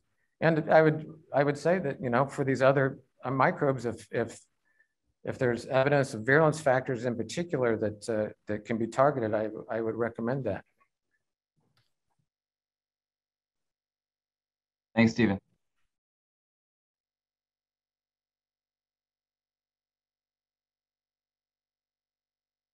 Rachel, any other questions in line? Or uh, I see Maya Corono. Corono, sorry. Hi, I have a hi. hi. I have a question for Stephen again. Um, do you have any evidence for uh, you know finding this uh, microbe or any similar uh, you know pathology in the retina? Or the eye, any ocular tissue? Well, that's a great question. Uh, we uh, uh, have thought about uh, looking at the eye. We've actually had people ask us about uh, about it, especially related to age-related macular degeneration. We we haven't published this uh, yet, and but you know some of our immunohistochemistry in the brains, we can see a lot of gingipains uh, or antigens in the lateral geniculate nucleus, which is, is, as you know, one of the first uh, synapses running back from the uh, retina that, that, then goes on to the occipital cortex. And, and uh, so there, it looks like there's gingipains in that system, in the, in the, in the, uh, in the visual system. Um, but we have, we have other indications actually stacked up in front of us, but we've actually been asked to, you know, take a look at at, at what you're talking about. I mean, the right. there's there's actually been some groups showing that Porphyromonas gingivalis can uh, infect some of the retinal cells, right? Yeah. Thank, Thank you. you. And uh, we have a question from Dr. Tansey and then uh, Dr. Bradshaw. Yeah, yes, thank you. Um, I have a question for Dr. Loden. And uh, first of all, that was a really fascinating talk. I really enjoyed it. And I'm just wondering, what, there's this timeline for when you see amyloid clearance. And given what we, we saw with the protection of interleukin 12 interferon gamma increase in plasma, for, especially for patients who had amyloid in their brain, they had a better cognitive trajectory. Did you see a correlation between when amyloid started to get cleared uh, uh, with, with when you saw the most elevation in IL-12 interferon gamma? Any, any correlation there? Yeah, so we've looked at um, IL-12 and interferon gamma early during acute infection, which is really when it spikes. It persists out during chronic infection, but we haven't yet looked um, at a correlation between the clearance of the amyloid and whether or not you're getting an increase in IL-12 and interferon gamma again at that later stage. It's just something we haven't had a chance to do yet. That's a really good suggestion. That'd be cool to look at. Yeah, let me know if you do that. That's great. Thank okay, we'll do. So my question um, is for David Gate. So um, I just wanted to know if you could maybe expand a little bit about on narrowing down to EBV versus other potential viruses. I know, you know, if I remember correctly from the paper, you use publicly available databases to identify the TCR sequences connection to the um, to the viruses. And so, um, do you feel that you were limited in your ability to identify all of the potential viruses that could have been seen through the TCR in the CSF due to what's publicly available? Or do you really feel that EBV um, was a winner on multiple fronts? Yeah, that's a good question. Of course, um, we're certainly limited based on what's publicly available. And even then, it's biased towards infectious diseases because that's just where the most is known about TCR specificities. Um, I will correct you though, we, we did identify a PCR that was um, identified in public databases, but we also identified them in a non-biased way through um, using a, a, glyph algorithm that was developed by Mark Davis at Stanford that um, we used a, a, sort of peptide library approach where we incubated our PCR that kind of popped out from this glyph analysis and found that it was specific for one of these peptides from this, from this broad library. Um, so there were two ways we, we identified EBV specific TCRs. One was sort of this networking approach and the other was in this un, unbiased way. Um, that's not to say that we don't see other virus specific TCRs in the CSF. There's certainly viruses for other, there's certainly receptors for other viruses like influenza, uh, other herpes viruses as well. We just found that these patients shared identical receptors for EBV and found that that was the most interesting finding to report.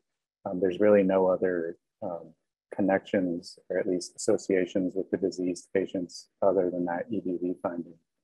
Um, we're looking now at, at sort of a spectrum of age, age with healthy individuals CSF to hone in on more of these uh, virus specific TCRs and if they increase with age and if their transcriptome becomes more pro-inflammatory, perhaps possibly um, predisposing people to neuroinflammation and, and, neurodegeneration.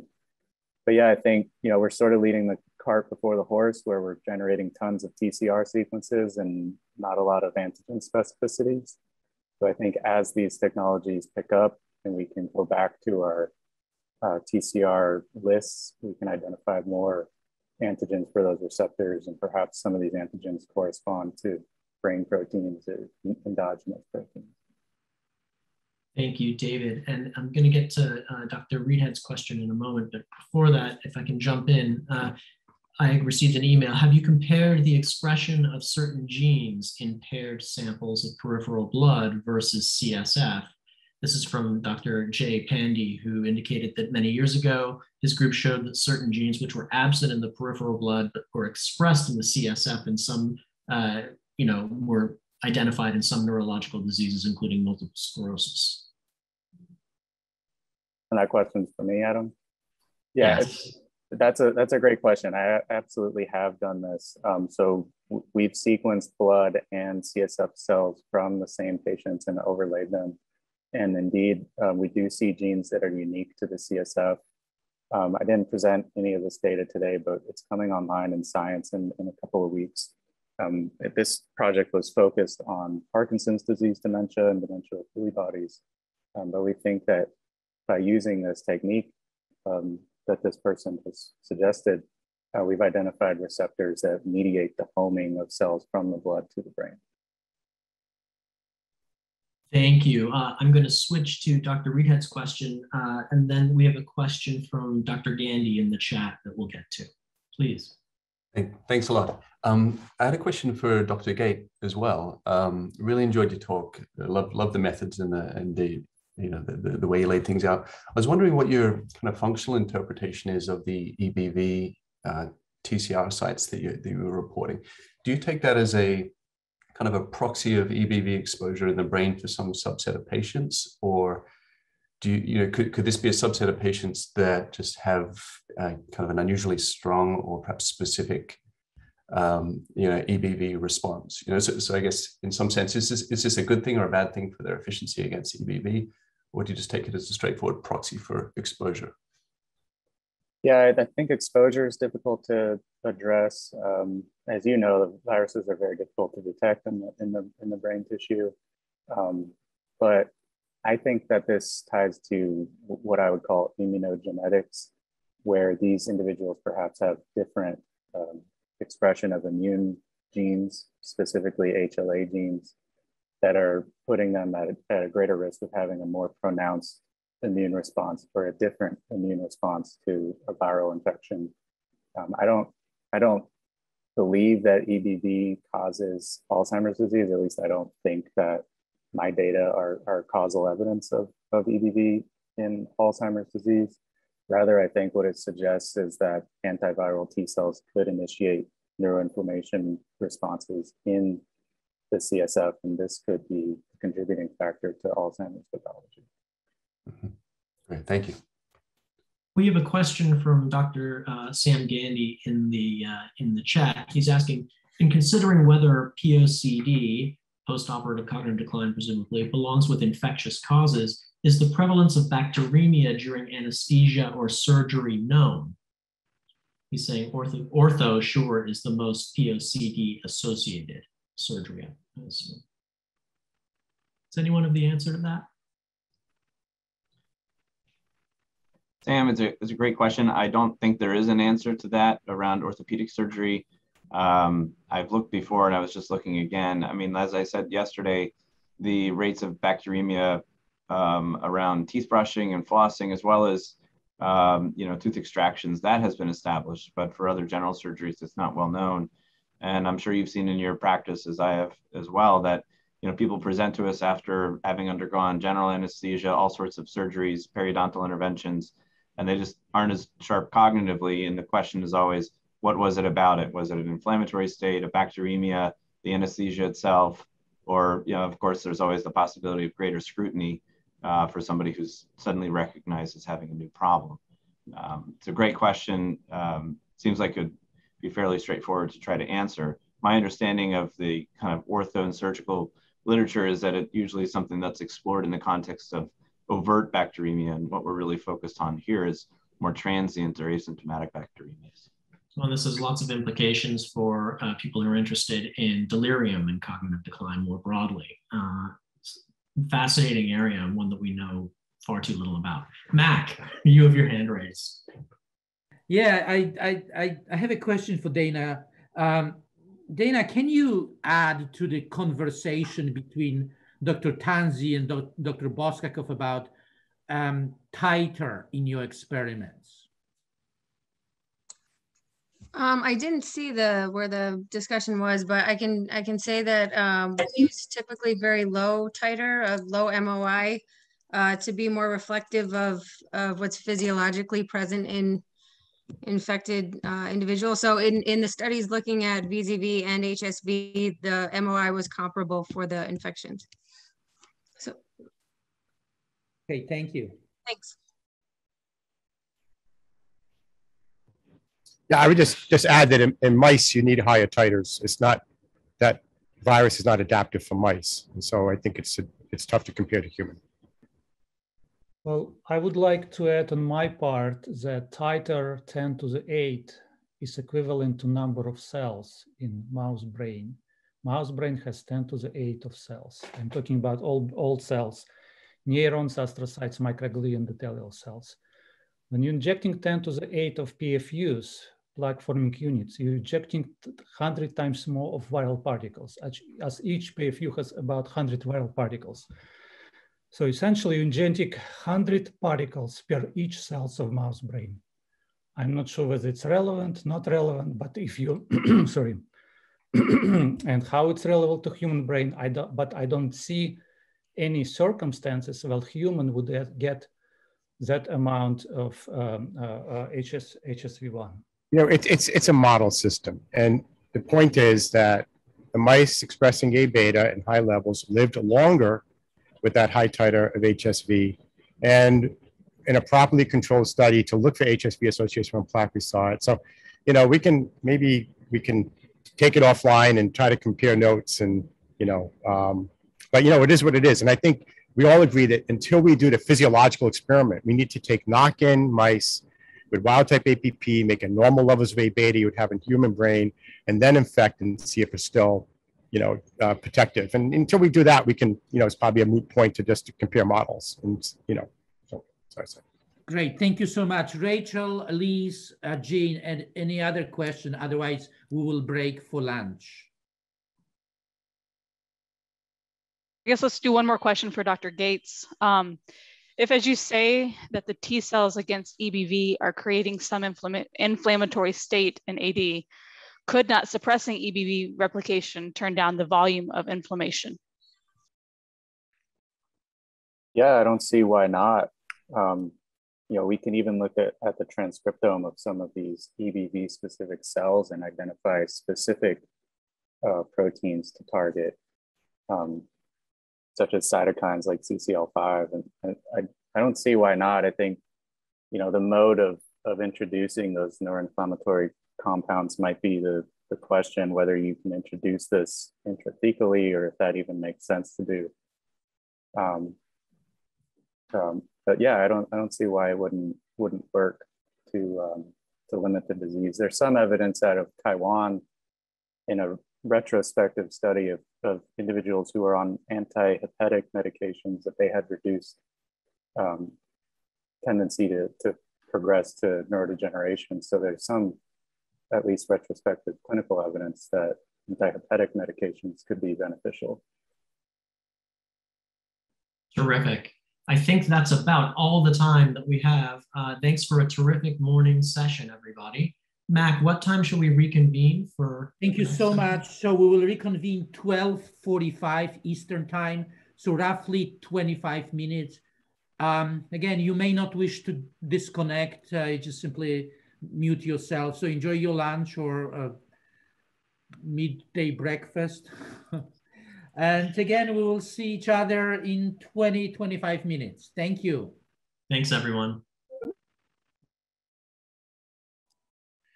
All right, it's 12.45. Uh, it is time for our next session. Welcome back. Um, we'll continue our conversation. Is there evidence for causation? Um, Dr. Nath, please.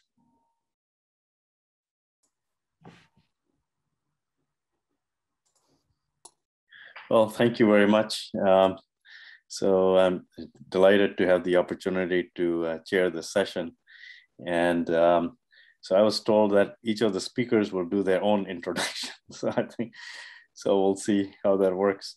So uh, the first speaker is Dr. Maslia, and he's going to talk about HIV and Alzheimer's disease. So uh, Eliezer, I'll hand over the uh, uh, podium to you now. Thank you, Abby, and uh, thank you everybody for uh, being here today. I'm actually gonna share my screen. All right, can you see that okay? Yeah. Yes, we can see it. You can All just put right. it in presentation mode. Yep. All right, thank you very much. So what I'm gonna do today is just to give you more of an overview of the status in, terms of the question if there is a relationship between HIV in the brain, aging, and Alzheimer's disease, and some of the pros and cons. So as uh, you all know, uh, HIV infects uh, macrophages early in the stage of the disease, as well as a number of other immune cells and uh, they penetrate through the blood-brain barrier, disrupting uh, tight junctions and um, activating these HIV-infected macrophages could activate uh, microglia and also by themselves they, they produce uh, cytokines and chemokines that also activate glial cells and uh, trigger neurodegeneration. We know also as Dr not have shown that, that TAT and a number of other secreted HIV proteins could um, cause neurodegeneration uh, and a lot of these pathologies. And this is typical of uh, what you see here, which is what we call HIV encephalitis, which is a typical disorder that we used to see in the old days before heart, uh, which was characterized by the presence of microglial nodules, these HIV, P24 positive microglial cells, multinucleated giant cells, brain atrophy, and uh, myelin loss. And um, so we can see that this is a classical subacute HIV encephalitis, neuroinflammatory pathology that we see in the pre-heart era. Now, uh, following the successful development of uh, highly active uh, antiretroviral therapies, what we have seen is that uh, HIV in the brain is a lot less um, abundant or non-existent.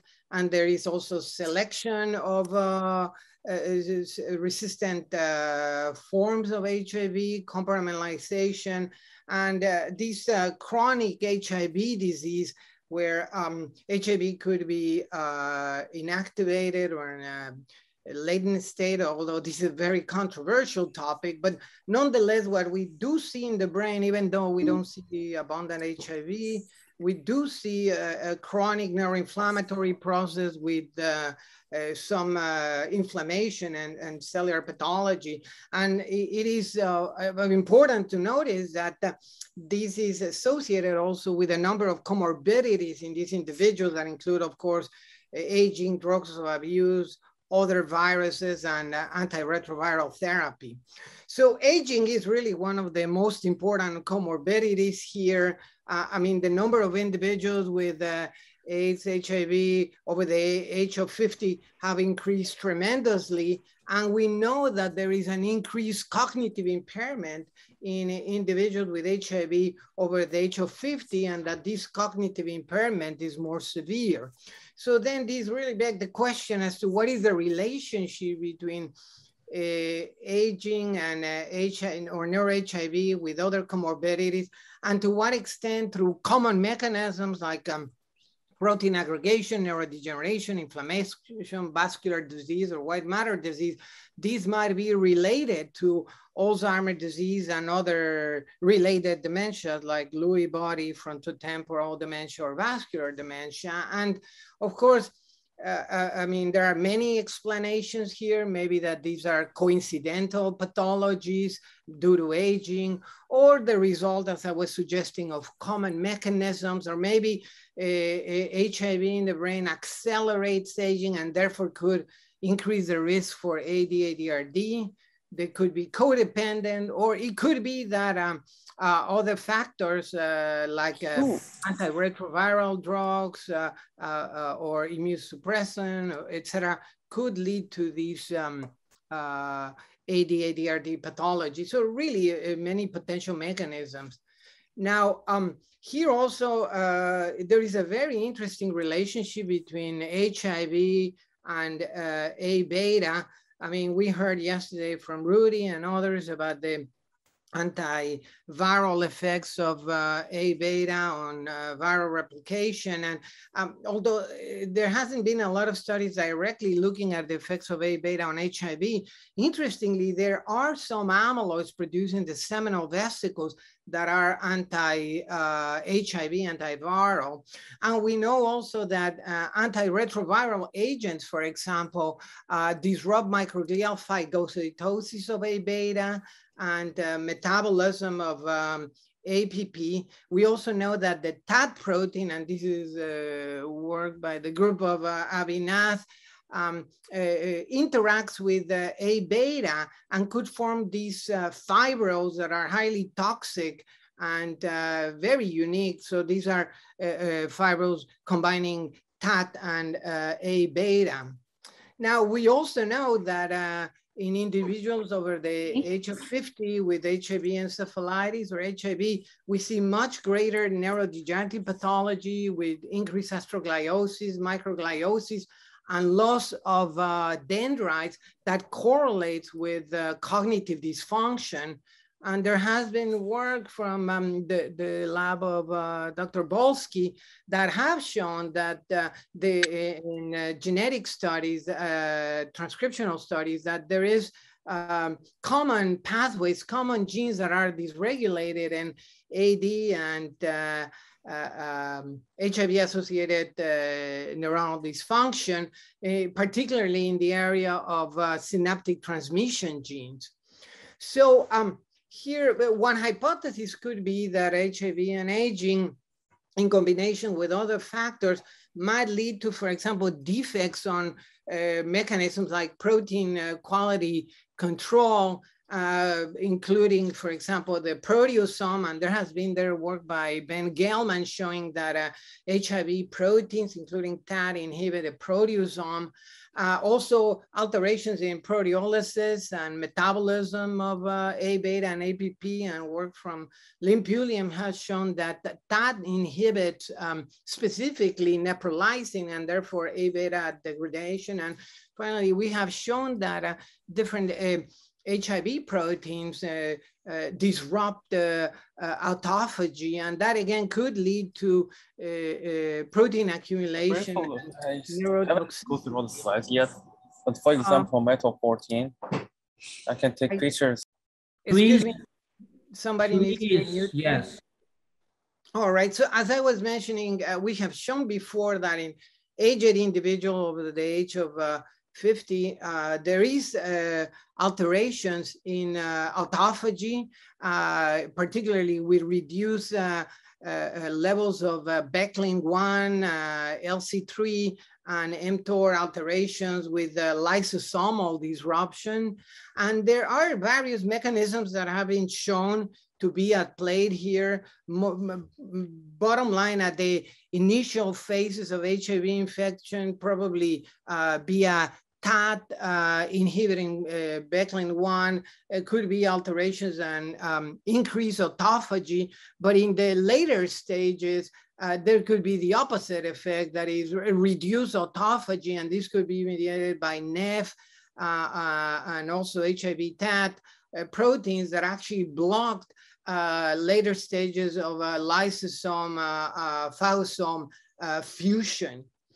And uh, so, as I mentioned, this could lead to accumulation of proteins like what we see in Alzheimer's disease. And we've done some studies of A beta, tau, and other proteins in the brains of uh, uh, individuals with HIV over the age of 50. And we have seen is, uh, this increase A beta immunoreactivity in the axons and in the neurons, and also these uh, diffuse plaques forming in, in uh, multiple brain regions. Um, by double labeling, we see colocalization uh, in neurons of these uh, A beta immunoreactivity, as well as these diffuse plaques And ultrastructurally, we can see some fibrils forming both uh, intraneuronally and uh, extraneuronally. And uh, by immunoblots in these uh, individuals older than the age of 50 uh, with HIV, we could see increased uh, uh, A beta dimers. Now, uh, there has been some studies by Chris Hakim, for example, that have shown that HIV individuals with the ApoE4 have accelerated accumulation of A beta with um, a correlation with some behavioral changes and also there has been an association shown between A beta, TREM2 in uh, individuals with HIV, particularly of a Hispanic um, background.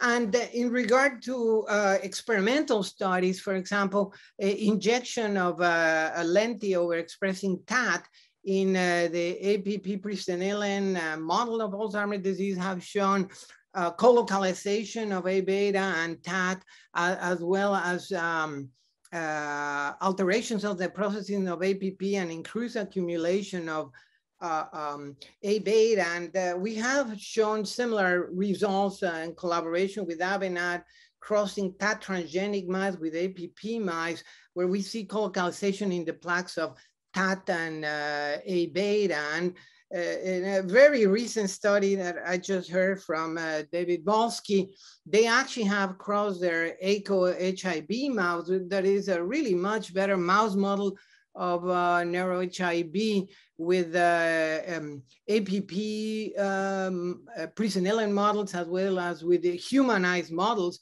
and uh, have shown significant alterations in synaptic transmission. And maybe we could hear a little bit more from David later on in the discussion uh, portion.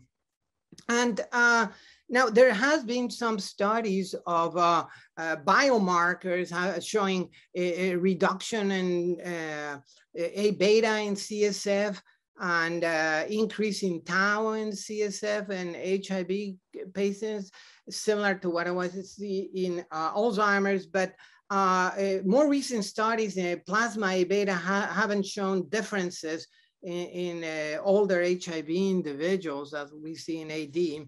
And in terms of uh, um, PET imaging, there have been a, a, few studies on PET imaging, some of them like the one from the group of Boans haven't shown any differences in A beta in HIV individuals. There is this single case that was uh, uh, reported by the group of Turner, Georgetown, that actually showed uh, a beta accumulation in the brain. And we have done some studies at the time when I was at UCSD with Chris Okim with a, a special PET uh, ligand showing some uh, uh, A beta accumulation in HIV patients.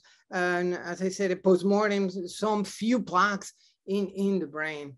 Now, in terms of tau, uh, there has been some studies that have shown accumulation of tau positive uh, tangles in uh, older HIV individuals. We have seen increased tau phosphorylation and uh, p-tau positive neurons, but not exactly forming the tangles that we see in Alzheimer's disease. And by biomarkers, there are really uh, all kinds of uh, studies, some of them so showing changes in different phospho-tau epitopes, others doesn't uh, show any changes in the phospho-tau epitope. So really a variety of results. And more recently, there was this study doing uh, tau PET imaging uh, comparing various HIV patients with Alzheimer uh, compared to Alzheimer and not showing the increase in tau by, by PET. So uh, th that's that. Uh, as I mentioned, another important factor here is um, aging. And um, we know that during aging, in addition of the proteinopathy that I have talked about, we also have other alterations like uh, DNA damage, uh, increasing transposable elements and cell senescence that we see in Alzheimer's disease. And there has been uh, now some studies in uh, older individuals with HIV. We, we looked at um, uh, epigenomic changes and found in the brains of HIV patients increased methylation and um, accelerated epigenetic changes in the brain. There has also been studies shown in HIV TAT mice that there is impaired neurogenesis. And it is known that, for example, the BPR of HIV interferes with the DNA repair after um, uh, formation double strand breaks. Uh, uh, HIV BPR binds to the repair complex and forms supercoiled um, DNA fragments, uh, increasing DNA fragmentation. And also there has been uh, studies showing that um, uh, BPR uh, induces cell senescence, uh, probably by a mechanism involving um, DNA damage, DNA fragmentation, but also oxidative stress. So these are uh, hallmarks of uh, aging that, that we see in, in HIV brains. So um, in summary, there is evidence that in older individuals with HIV, and oh, that's my signal to stop talking, uh, there is evidence that um, there are uh, multiple of these pathologies associated with Alzheimer's disease like A beta, phosphorylated tau. I didn't talk about vascular synuclein, but also uh, DNA repair alterations, and essence. But I, I think that um, we really are missing uh, better longitudinal studies with biomarkers for Alzheimer's disease, where we can really understand uh, better the the relationship between HIV uh, and Alzheimer's. We uh, a couple of years ago we funded this uh, RFA to, and hopefully we'll be able to report in the future about the findings this RFA, looking at this question of HIV and AD in the context of aging. And more recently, we have this other PAR on multidisciplinary studies on HIV, AIDS, and aging that also includes studies of uh, cognitive decline and um, uh, potentially Alzheimer disease. And as I said, we really need better, more uh, longitudinal studies. We're participating in charter as well and other longitudinal studies in collaboration with NIMH and NINDS. So uh, hopefully we'll see in the future more studies that uh, will more definitively answer the question about the association between HIV aging and Alzheimer's disease. Thank you very much. And I'll stop sharing. Thanks, Eliezer. That was a terrific uh, presentation, tour de force. Um, okay, so the next talk is by Maria Nagel. And um, so Maria, can you uh, briefly introduce yourself and then uh, the podium is yours.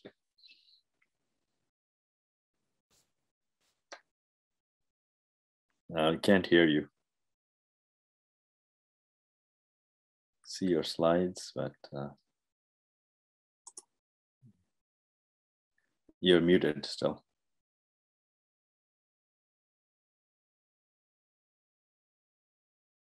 Unmute. Okay, can you hear me now? Yeah, we can hear you now. Okay, fantastic. So um, I'm Maria Nagel. I'm a professor of neurology and ophthalmology at the University of Colorado School of Medicine. I'm a neurovirologist. I see patients with neurological complications from alpha herpes virus infection. And I also have a, a lab actively looking at VZV pathogenesis. So um, let's see, let me share my screen. All right. Um, Avindra, can you see my screen? Yes, we can see it. Thank you. Okay, fantastic. Okay. Um, so, second.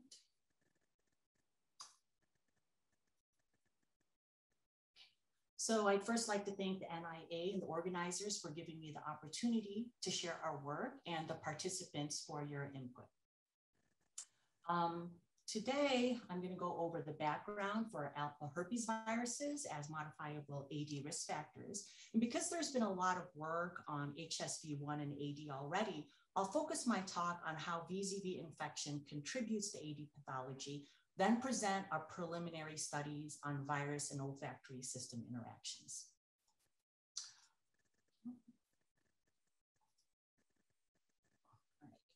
Um, so VZV, so pardon me, um, varicella zoster virus and HSV1 are both double-stranded DNA alpha herpes viruses. On primary infection, they produce uh, rash. VZV produces varicella or chickenpox. HSV1 produces herpes labialis or cold sores, or they can be asymptomatic on primary infection. Subsequently, these viruses establish lifelong latency in neurons within the cranial nerve, dorsal root and autonomic ganglia along the entire nerve axis, as well as in enteric neurons and adrenal glands. With immune suppression, such as seen in aging, with stress or trauma, these viruses can reactivate from one or more of these ganglionic neurons, travel outwards along neurites to the skin to produce a rash. So VZV reactivation typically produces herpes zoster or shingles, HSV1 reactivates typically from the trigeminal ganglia and will produce uh, uh, herpes labialis or cold sores. In addition, these viruses can travel along neurites to multiple organs to produce multi-organ disease with or without rash. Specifically, reactivation from the trigeminal ganglia or olfactory bulb, as well as the upper cervical ganglia, allows virus to travel along neurites to be deposited directly into the brain parenchyma and cerebral arteries. And this is what makes alpha herpes viruses unique amongst other pathogens because they have a direct immune privilege route to arteries in the brain. Uh, both VZV and HSV recapitulates many clinical histopathological features of Alzheimer's disease. And I just like to highlight that uh, like uh, Alzheimer's disease, VZV, is a, VZV reactivation is a disease of aging, and that it can produce uh, chronic progressive uh, dementias. Maria, this is Mac. We hear from some of the participants that they have trouble hearing you. Can you can you um, can you increase your volume uh, and speak a little bit louder? Um, yes, I can speak a little bit louder. Thank you. I don't want to. Okay. All right. So um, so uh, VZV and HSV1 recapitulates uh, clinical histopathological features of AD. And as I was saying, there's been several case reports of VZV presenting as a chronic progressive dementia. In addition, like Alzheimer's disease, uh, VZV can produce cerebrovascular disease, namely ischemia and hemorrhage of small, medium, and large vessels. Okay, so during our RNA-seq studies of VZV infected adventitial fibroblasts, which were the first cells infected during VZV vasculopathy, we were surprised to find that infection induced expression of amylin, which is islet amyloid polypeptide. And we also found that there was enrichment of pathways involved in Alzheimer's disease, namely amyloidosis, dementia, tauopathy, AD, and we had predicted upstream regulators, including APP, ApoE, MAPT, PSEN, and IAPP. We saw similar results when we examined MOC and VZV infected human sensory neurons. Uh, enriched pathways in the VZV infected sensory neurons included Alzheimer's disease, amyloidosis, and tauopathy. Upstream regulators were APP, PSEN1, and tau. Uh, and in addition, we saw enrichment of pathways suggestive of complement activation and synaptic pruning. We then did in vitro and in vivo studies to confirm these results using primary human cells and a rhesus macaque model. Using various cell types, we found that VZV infected cells, shown here in red, contained A beta 42, as well as amylin and amyloid by thioflavin T staining. Uh, A beta 42 amylin and thio T were not present in uninfected bystander cells or in the mock cultures. We also found that only VZV induced amylin expression, uh, HSV1 did not. When we knocked down amylin expression with siRNA shown here, we found that amylin knockdown decreased viral transcripts, suggesting that amylin has a proviral function. Okay, we then examined supernamed from VZV infected cells that were not infectious and did not contain elevated levels of A beta peptides or amylin.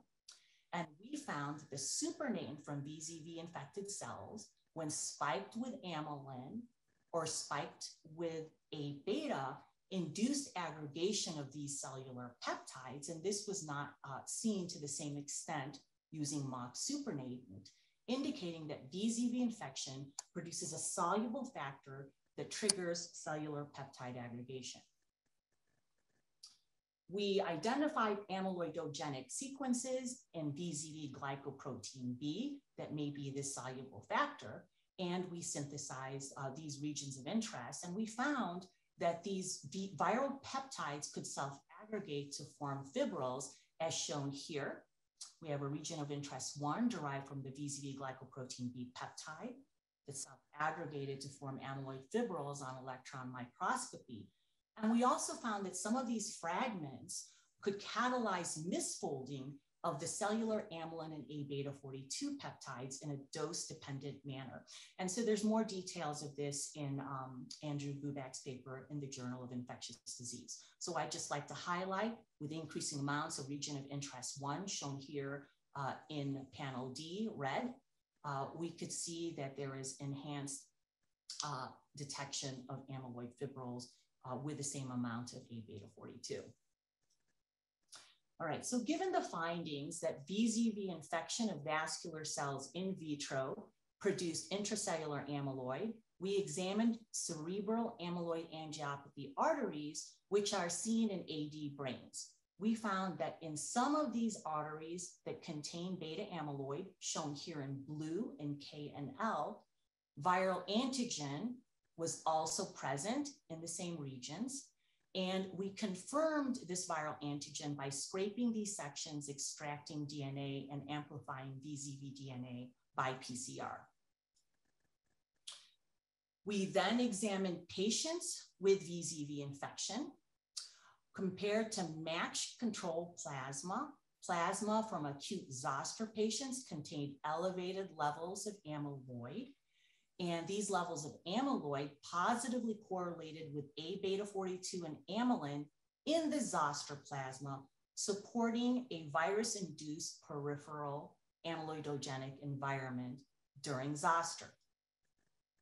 Similarly, we compared stroke control CSF and found that the CSF from VZV vasculopathy patients had elevated levels of amyloid shown here in panel A blue, elevated levels of amylin shown here, and the levels of amyloid in the VZV vasculopathy cerebrospinal fluid positively correlated with the amount of anti-VZV antibodies as well as the amount of amylin, again supporting a virus-induced amyloidogenic central nervous system environment.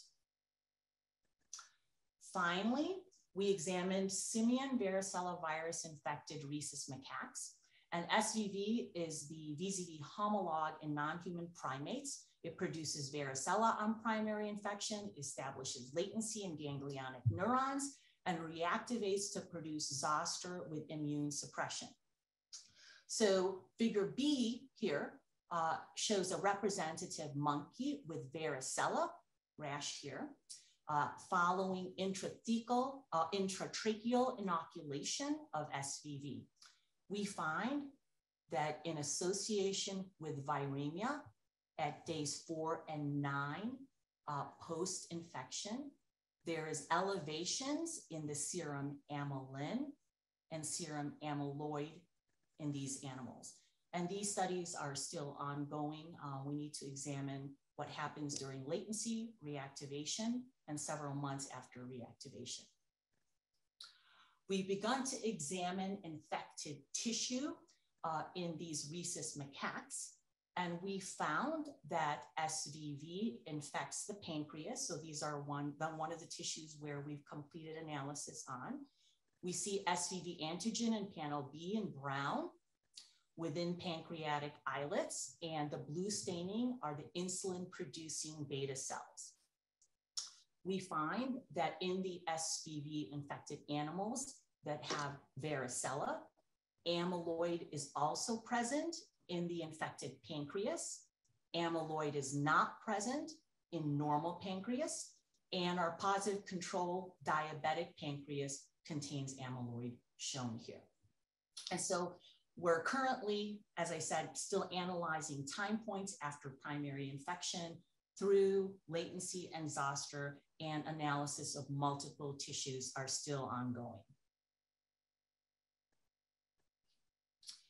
So with a recent NIA AD supplement, we collected paired serum and cerebrospinal fluid during the course of SVV infection to determine if a peripheral disease or um, a disease that manifests as a rash can affect the central nervous system. And so this is just data for prelim analysis of two animals. And we see throughout the course of infection, primary infection latency, zoster, and post-zoster, that in the cerebrospinal fluid, these animals have elevations in A beta 42 associated with primary infection, and then elevations in A beta 42 in the CSF a few weeks following zoster. Similarly, we see Just two more minutes. peripheral Okay. Similarly, we see in this uh, rash elevations in interleukin 6 and in zoster. So the summary for this portion of the talk is that HSV and VZV shares many features of AD. VZV infection produces amylin and amyloid and triggers an amyloidogenic environment. And in rhesus macaques, uh, we had these very fascinating findings. Okay, so finally, we wanted to look at the viral effects uh, in the olfactory system and this was done in collaboration with Dr. Diego Restrepo. In a parallel body of literature, early AD is characterized by smell loss, amyloid deposition, and OSN dysfunction. And because SNF-induced gamma oscillations generated in the bulb are coupled with hippocampus, smell loss results in decreased hippocampal gamma oscillations that's been postulated to lead to neurodegeneration and cognitive decline. So given that HSV and VZV can infect the olfactory epithelium via reactivation from trigeminal ganglion bulb, and that they can produce smell loss, we hypothesized that how alpha herpes virus infection, of the OE, triggers pathological processes characteristic of early AD. And so we first wanted to determine if there was evidence of viral infection in olfactory tissue of AD patients. And we obtained FAD tissue samples from our collaborators in Columbia from this group. We used a powerful targeted RNA sequencing technology, BioSpider Tempo C, that allowed us to scrape the bulb and tracks from FFPE slides and conduct RNA-seq in a three-day assay. And we found that compared to matched controls, we that the olfactory bulb of FAD patients had enrichment of pathways involved in viral infection, and the olfactory tract had enrichment of pathways involved in inflammation. And so this encouraged us to submit a grant and now resubmit a grant further exploring this hypothesis in which we'll uh, conduct targeted RNA-seq on a larger group of patients. We'll determine whether infection of the olfactory epithelium cultures uh, can produce amyloid and uh, odor lo uh, loss of odorant responsiveness. And finally, we'll test whether intranasal infection with HSV1 can worsen olfactory dysfunction, accelerating the AD phenotype, and whether uh, gamma entrainment can uh, decrease that hippocampal dysfunction. So uh, this is my summary of what I showed you. And you could see from my talk that we have multiple opportunities and challenges. There are multiple mechanisms where, where pathogens uh, can contribute to AD pathologies, yet this poses multiple challenges in integrating how these pathogens contribute to progression and where we would intervene therapeutically. So finally, I'd like to thank members of my lab, my collaborators, and the NIH for funding. Thank you. Thank you. That was a terrific talk. All right, it's 145 we have a set of last uh, three talks. Dr. Nav, please. All right, thank you. Okay, so we can go ahead and get started again. Um, the next talk is um, by two people together. Um, so we have Timothy Crowther and um, Maya Coroyo um.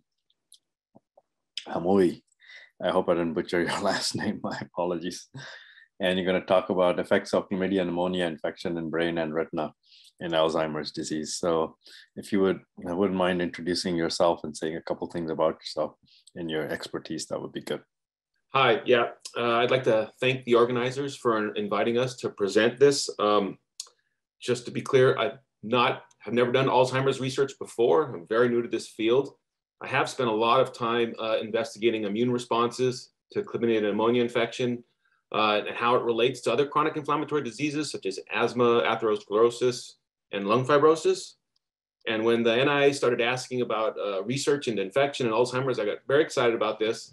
And so I reached out to uh, one of my colleagues, Dr. Coronio, who does know Alzheimer's very well and who has pioneered the um, non-invasive imaging of the retina as a window into Alzheimer's where you can uh, monitor uh, uh, A beta plaques. And we uh, submitted a R01 application with the recent RFA, and I'm happy to say we, we just got funded. So uh, I'm uh, very excited. Now, this talk's gonna be light on data because we haven't really started yet. I'm gonna tell you a little bit about, about chlamydia pneumonia and Alzheimer's. I'm gonna tell you what we plan to do in this grant and the tiny bit of preliminary data we generated uh, for this grant. So I don't really need to go over the slide. Really, I've decided everybody knows. Uh, I just wanna point out that Dr. Oscar Fischer one of the fathers of Alzheimer's, uh, firmly believed in an infectious ideology of Alzheimer's.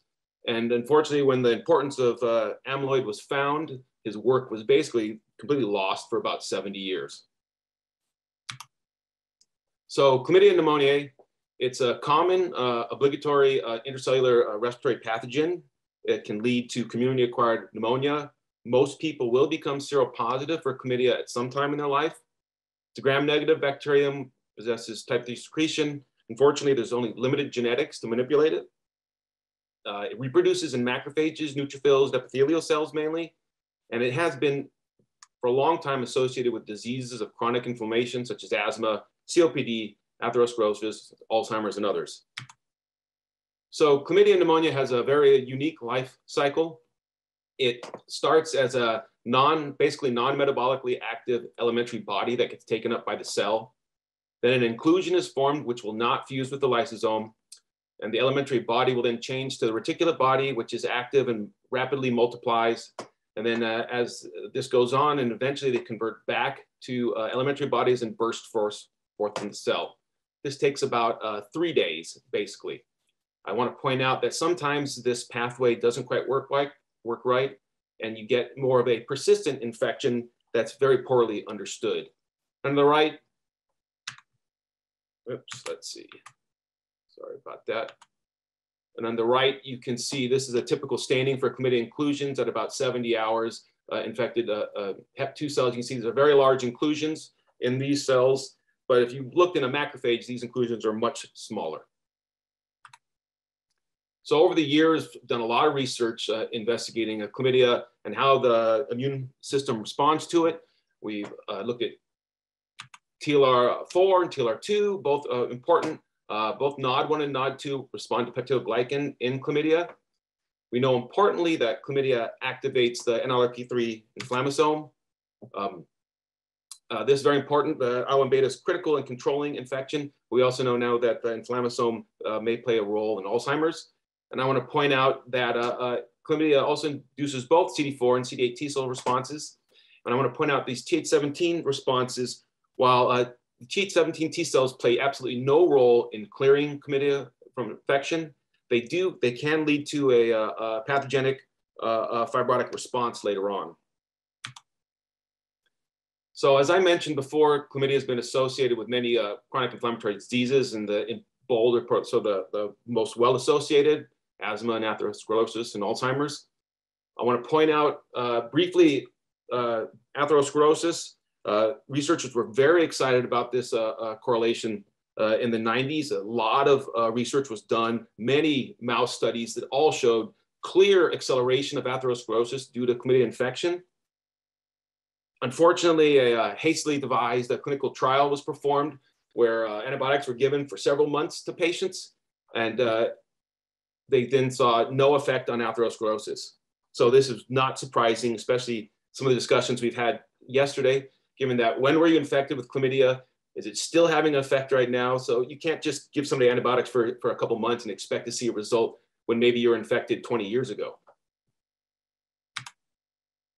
So uh, there is a bit of data out there uh, supporting chlamydia pneumonia and Alzheimer's disease. And I want to point out that a lot of this work was done by Brian Balin and Alan Hudson. I think Brian Balin is here today. Um, they have found uh, chlamydia DNA and RNA and proteins in human AD brains. Uh, chlamydia anti-CP titers are increased in Alzheimer patients. Chlamydia has actually been successfully cultured from uh, a couple different Alzheimer brains. Uh, the chlamydia load during infection is actually linked to the ApoE4 allele. It is higher if you have the ApoE4 allele. And uh, chlamydia infection complications have been linked to the prognosis of dementia.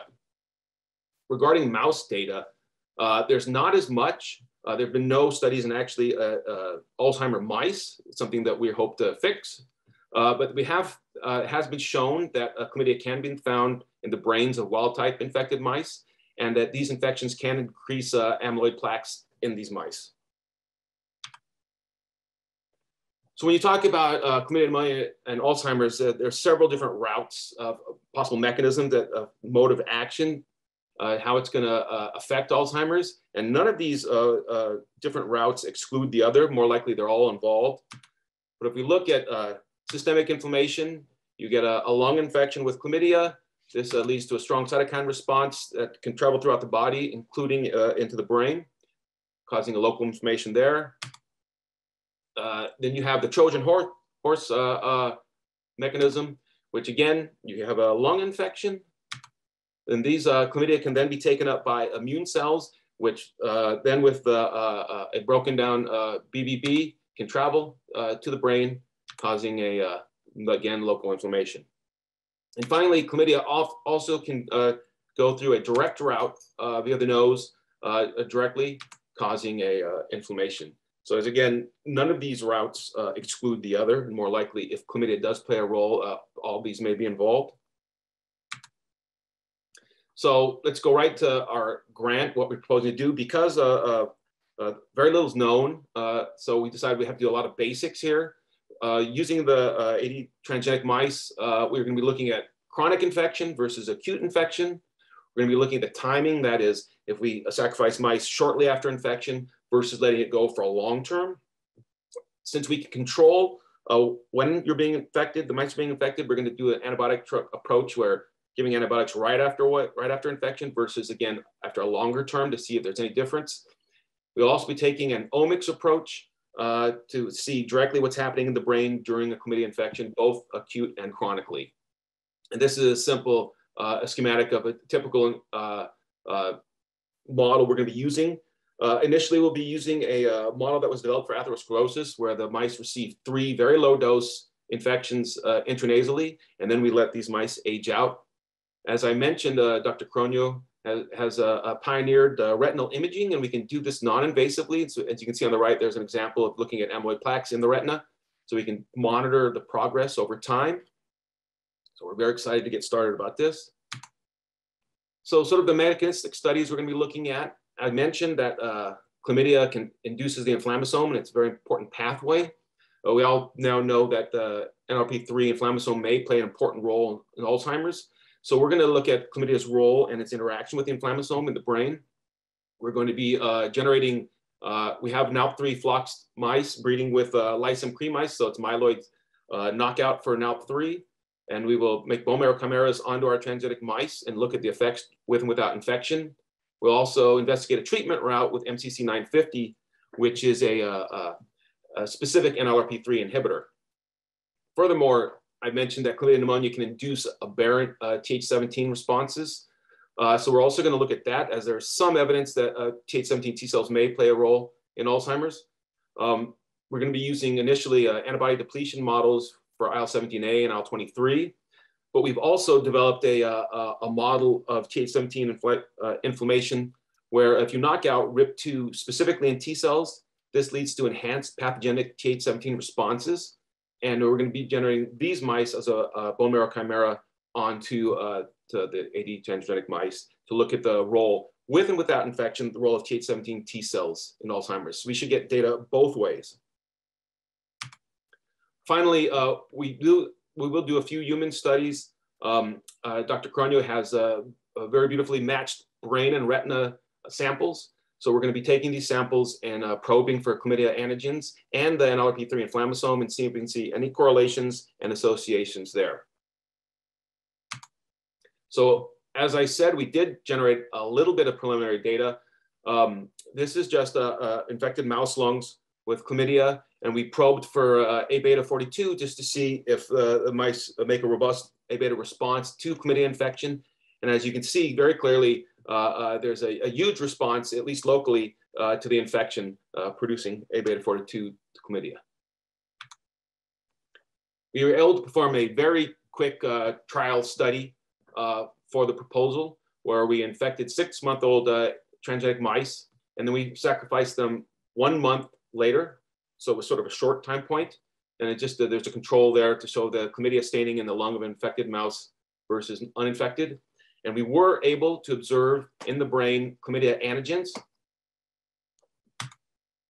And then uh, uh, we noticed they were in close proximity to uh, uh, microglia cells and in A beta deposition. So we're very excited about that. I do want to point out that in this study, we observed a uh, reduction in soluble A beta 42 and a trend in reduction in the insoluble A beta 42 in the brain.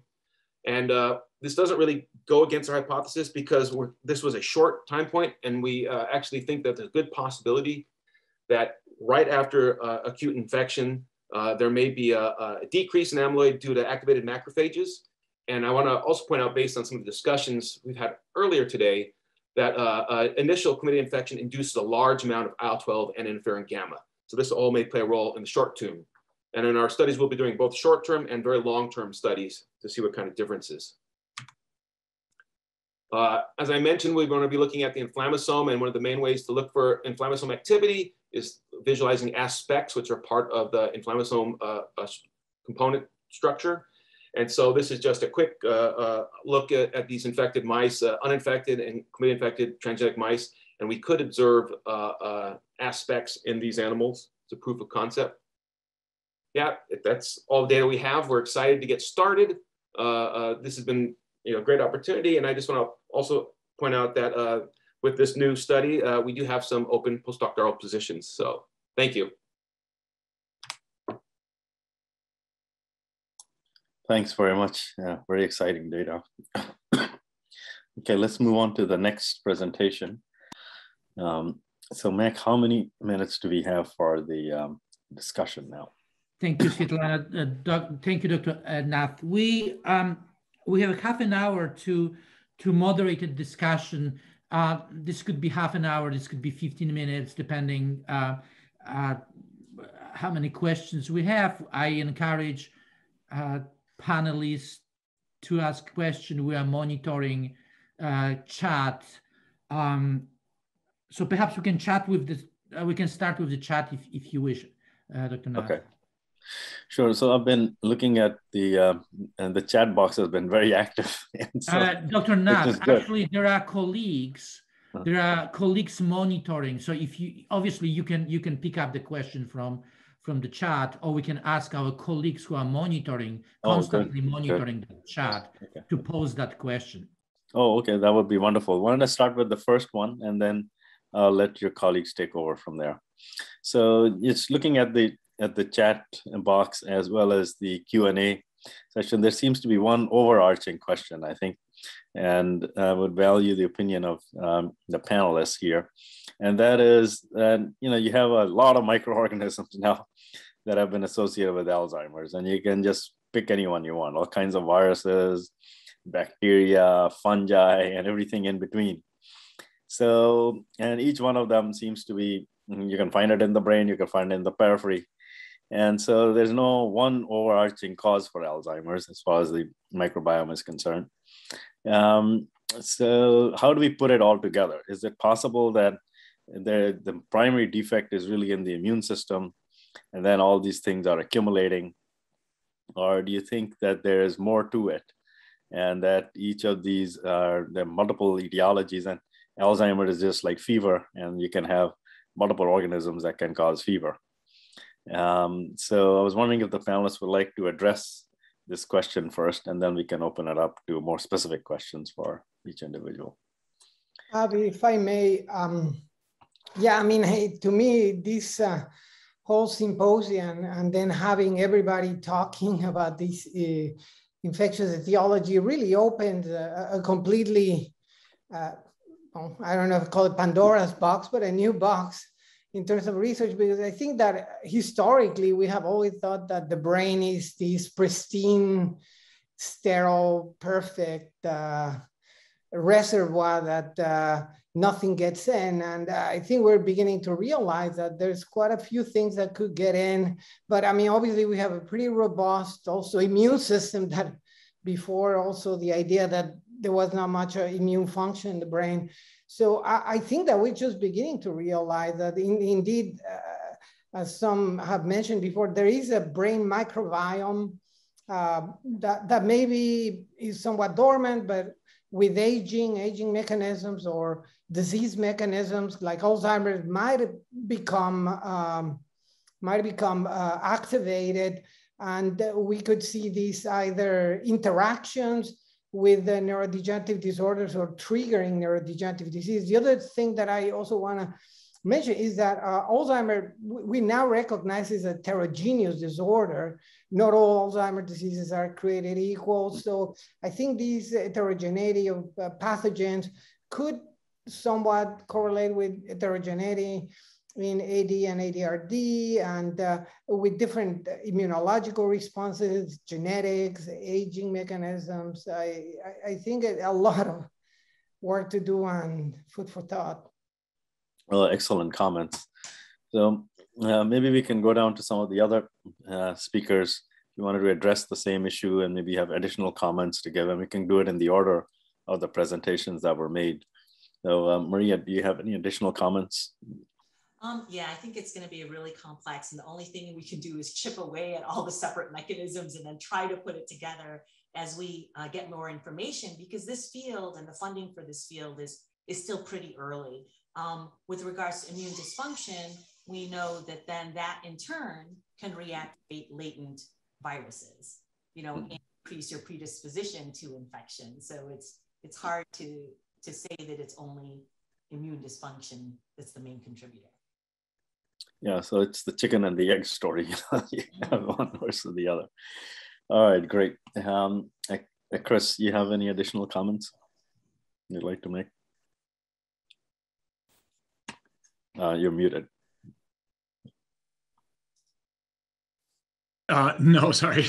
oh, okay. No, that's fine. Uh, and and uh, Timothy, do you want to say anything? Um, I guess you're. I don't see your video on, so probably not. Okay. And what about? Uh, yeah. Okay. And uh, David, did you want to make any additional comments? David Corey. Uh, so I think uh, just regarding my own presentation, so there, there, there is a, a comment that's, that's, coming back and it's highly predictable. It's worth, I think, addressing a little bit more detail. And the issue is if you're going to be culturing human brain and, and Lord knows what other tissue from autopsy, so you got to be worried about contamination. Yes. So I just want to maybe address that with a few points. Mm-hmm. The, the predominant organism that we're getting is an incredibly special sort of, I think it's unprecedented. It's, it's a biofilm uh, which has been noted with Canada, but it's never been shown to my knowledge from human brain. Um, it is you cannot create this infection in the laboratory. You cannot mix bacteria with fungi and get a lichenoid. Um, furthermore, you can break up a lichenoid so that the fungal and the bacterial elements are separate and now replate that. And you can never, you can get the bacterium to grow, but you can't get the fungus to grow. The Canada has, is now in a transcriptional state that it cannot grow without the without the bacterium as its companion in that matrix. So otherwise, you know, what else are you going to get in, in, a, in an autopsy sample? You're going to get translocation of bacteria and fungi coming from whatever proximal source that might be for the brain. Maybe it's from the sinus, maybe it's from uh, the oral cavity. But anyway, that microbiome is highly predictable. It's stochastic, so it's random, kind of what kind of bacteria and other contaminants you might get. We don't get any of that. This is not a stochastic finding that we are getting. It is a highly specific thing with a very unusual, possibly unprecedented type of infection that's almost impossible to be the result of contamination. Furthermore, these lichenoids do not exist in the environment. You can't swab a surface in, in an autopsy room and get this, this thing to grow out. So we do think it's, it, it is the real deal. Um, but you know, but there's always going to be room for doubt, and, and I, I certainly understand that. And we'll continue to work to, to try to understand just exactly how specific uh, this kind of thing is. So, yeah, yeah, I mean that's very reassuring. I mean, the issue about contamination crossed my mind as well. I mean, if you ever visited an autopsy suite, I mean, it's uh, terrible. You have one body after another. The DNA yeah. cuts the You want you go in, and want the brain. You say, well, it's sitting in that bucket with all the intestines and everything in there. You know, you can exactly. pick out whatever you want. we work very carefully with our pathologists, so we're using sterile technique to obtain um, everything. Yeah, yeah. So I think that's the key part is the way you collect the tissue is everything, because the knives that you cut the and the the Diener uses and all the kind of the table that you use is just all full of microbiome. I bet the air circulation there, unless you're working in a level three autopsy suite, is probably you could culture almost anything out of the air. So, uh, so those uh, issues are certainly very important to keep in uh, consideration. That uh, you make a good point. Sure. Okay. Dr. Knight, there are several questions uh, for presenters from our colleagues monitoring chat. Okay. And there are also several requests from the audience to uh, join the panel discussion, ask the question, and perhaps mention their own data. So I don't know whether uh, we have time for this, but um, Rachel and, and Liz and Jean, please go ahead with question from audience. Uh, before we go to that, I see Dr. Tansey's and Dr. Noble's hands are up. Like, can, maybe we could go ahead and hear from them yes, first. Please.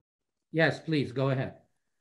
Oh, thank, yeah, I just wanted to um, say, you know, this has been an amazing conference. I think speaking for all of us, this is uh, clearly the most exciting and, and best conference I've been to all year. And just want to first thank you guys for putting this together because I think all of us are just kind of electrified with all these data and to have everyone together presenting such high quality data on what has otherwise been a controversial and fringe topic that usually gets, uh, you know, the uh, is on the bad end of a review, whether it's a grant or a paper. This is just great.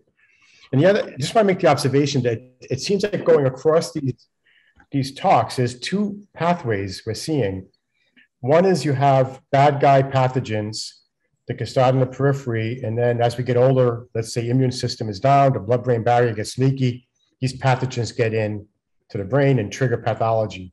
You know, we would say it triggers amyloid, uh, seeding amyloid deposition, Alzheimer's data seeds tangles, and clearly it's seeding neuroinflammation, causing uh, microglial activation neuroinflammation. So that's one side. But the other side is fascinating is on the vaccines being protective and um, seeing that a primed peripheral immune system is protective, seeing the, um, the, uh, um, the, the data on some pathogens that actually promote amyloid um, clearance, as Dr. Loden showed, it says that if, if we're priming the peripheral immune system in a more defensive manner, um, whether it's the innate immune system or adaptive immune system, that's good for the brain. And I think that's where the big gap is. We can understand how pathogens can cause problems when they get in the brain. But how does a, a primed, pumped up peripheral immune system from a vaccine or adjuvant, or even just from a parasite or, or, or, or microbe, actually make good things happen in the brain if it stays in the periphery? And I, I just wanted to make that comment that it looks like there's two pathways we have to explore. Um, and it, I, I'm trying not to convolute them as I think about this, and just wanted to share that.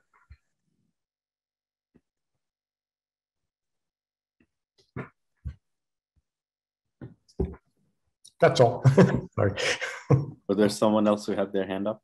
Yeah, uh, thank you. And uh, I echo Rudy's comments about this really being such an engaging and uh, and uh, exciting conference. And just having been, you know, trying to apply for grants for this almost 15 years and having troubles in getting traction, I, I echo those same concerns. I, I wanted to comment on the question that was posed a few minutes ago about, you know, is this something we should focus on one organism or another? I think we've seen some pretty compelling um, you know, presentations the last two days to suggest that it probably is not something we should dwell on one organism or another, but we're seeing fungi, we're seeing vir- and and uh, and bacterium, um, you know, all suggesting that there's some sort of uh, you know common pathway engaging amyloid and inflammation. And I want to make sure we don't lose sight of that. That you know we, we're here today because we're embracing you know these these uh, kind of outsider ideas, but coming together, they seem to make a lot of sense, even though they come from different um, you know uh, taxonomic uh, pathways.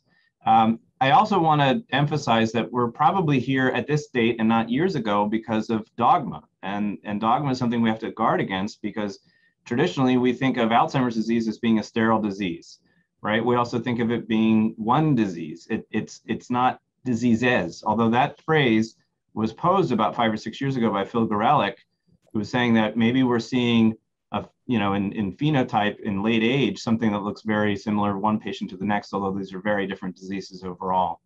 And I think the other dogma that we're trying to guard against or push back against is that in medical school, we're taught that people who have brain infections are hospitalized and we do lumbar punctures on them and we treat them when they're hospitalized. And we're not seeing that here. We're seeing a low grade chronic infection or, or at least a response to infection, maybe transient bacteremia, viremia, fungemia, or some sort of direct involvement that the brain is effective in, in protecting against. I just want to applaud all my colleagues here on the panel. It's been a wonderful two days, and thank you. Dr. Nath, uh, this is Mac again. Uh, just one quick housekeeping uh, note. Um, I think perhaps we should combine, if, if one looks at our agenda, moderated discussion, uh, synthesis by moderators and final discussion into that conversation, because I believe that that uh, final synthesis and final thoughts already started. So is it okay if we skip that 10 minutes break and continue our discussion about um, what we learn? Can we answer that questions? What are the knowledge gaps? priorities to address those gaps. Is that okay? Can we yeah, can we continue as uh, without the break with synthesis and, and the final discussion? If, it if sounds like a great idea to me. I'll be supportive. And if okay. anybody has any objections to that. So again, so let me remind you, we wanted to perhaps, uh, can we can we again ask the question, is there evidence or revisit the question, is there evidence for causation? Can we ask uh, uh, questions? What are the knowledge gaps? What, what, what are the scientific priorities? What are we missing? What, what needs goes first? So again, um, uh, I would appreciate comments from the moderators, from all presenters.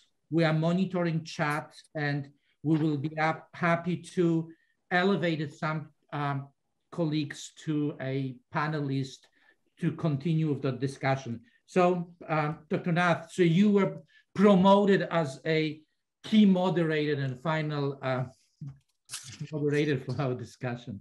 Thank you. Oh, thank, thanks for the promotion. My pleasure.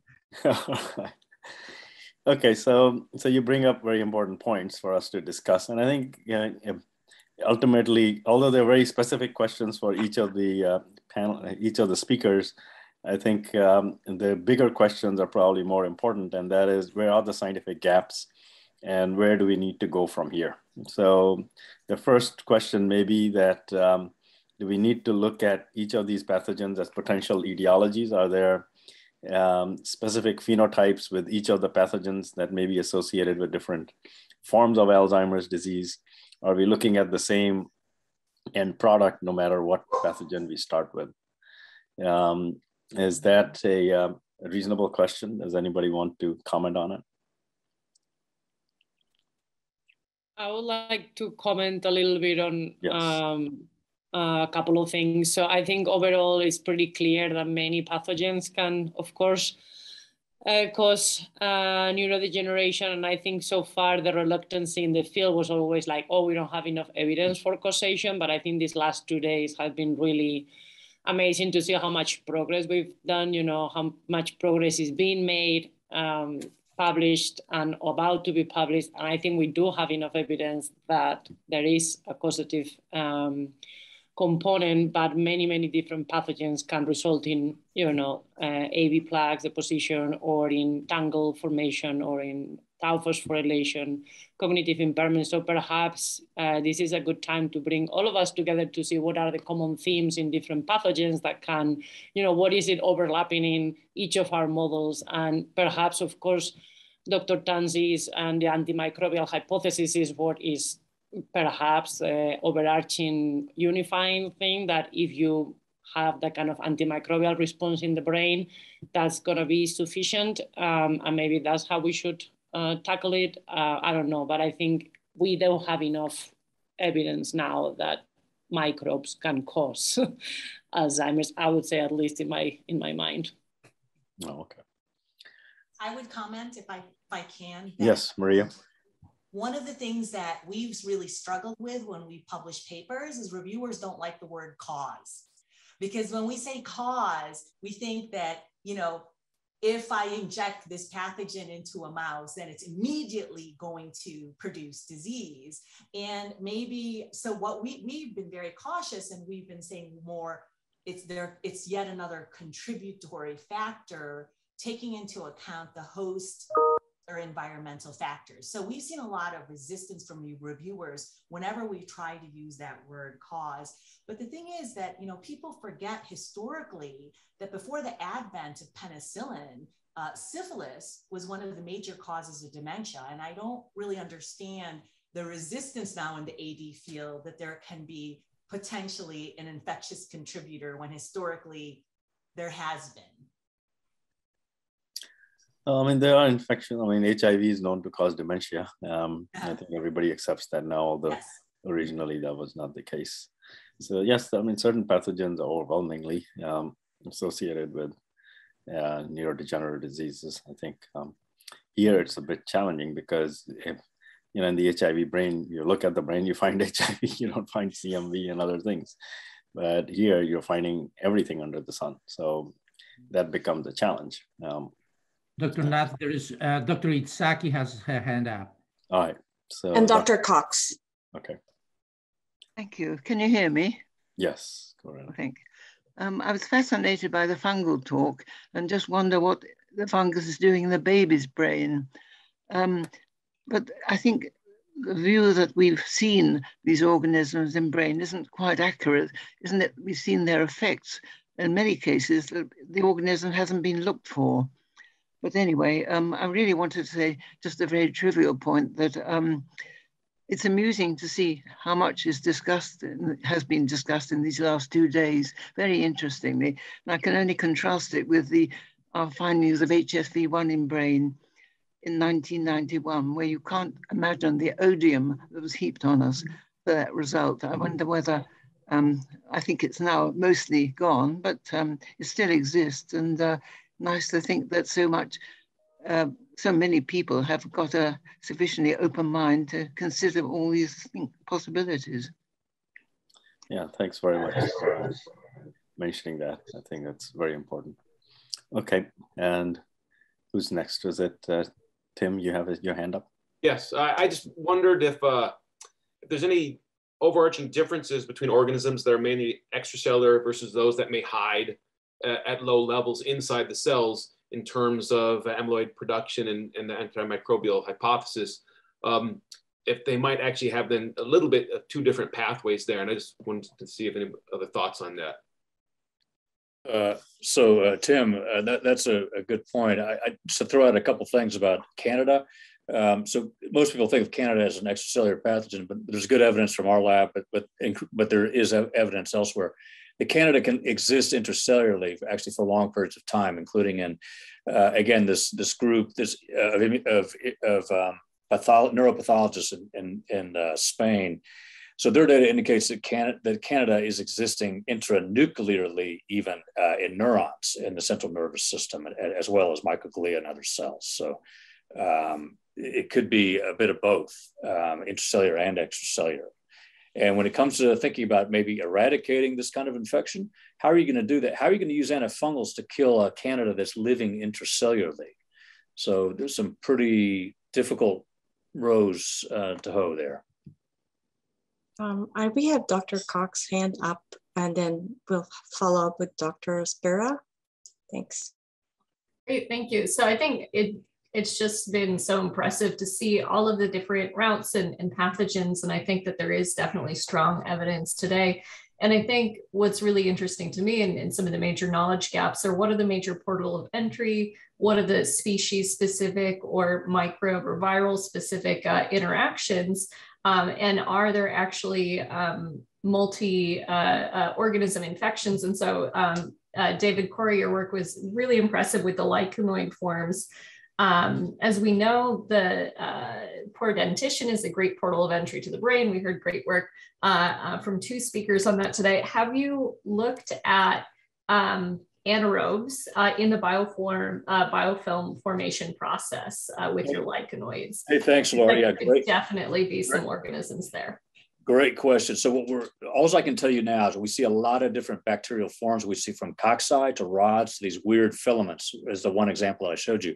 The bacteria uh, in association with the Candida are all over the place in the human brain, not the mouse, but in the human brain. We're just waiting for our metagenomics folks to give us our frickin' 16S data. I, I was desperate to have that data. Are you are you doing any of the cultivation anaerobically? And I'll also just quickly tag in there um, some of the really strange um, filamentous forms on, on the smaller scale, on the, the, the microbial level, uh, can be coming from uh, some of these fusobacteria that get into the brain. Fusobacterium nucleatum's the pointy ones, but uh, Necrophorum can form these very strange shapes. Uh, and they're great biofilm uh, uh, sort of nucleation factors completely agree with you. And so we we I can't tell you how desperate I am for that 16S. And I will I'll personally email you once we know.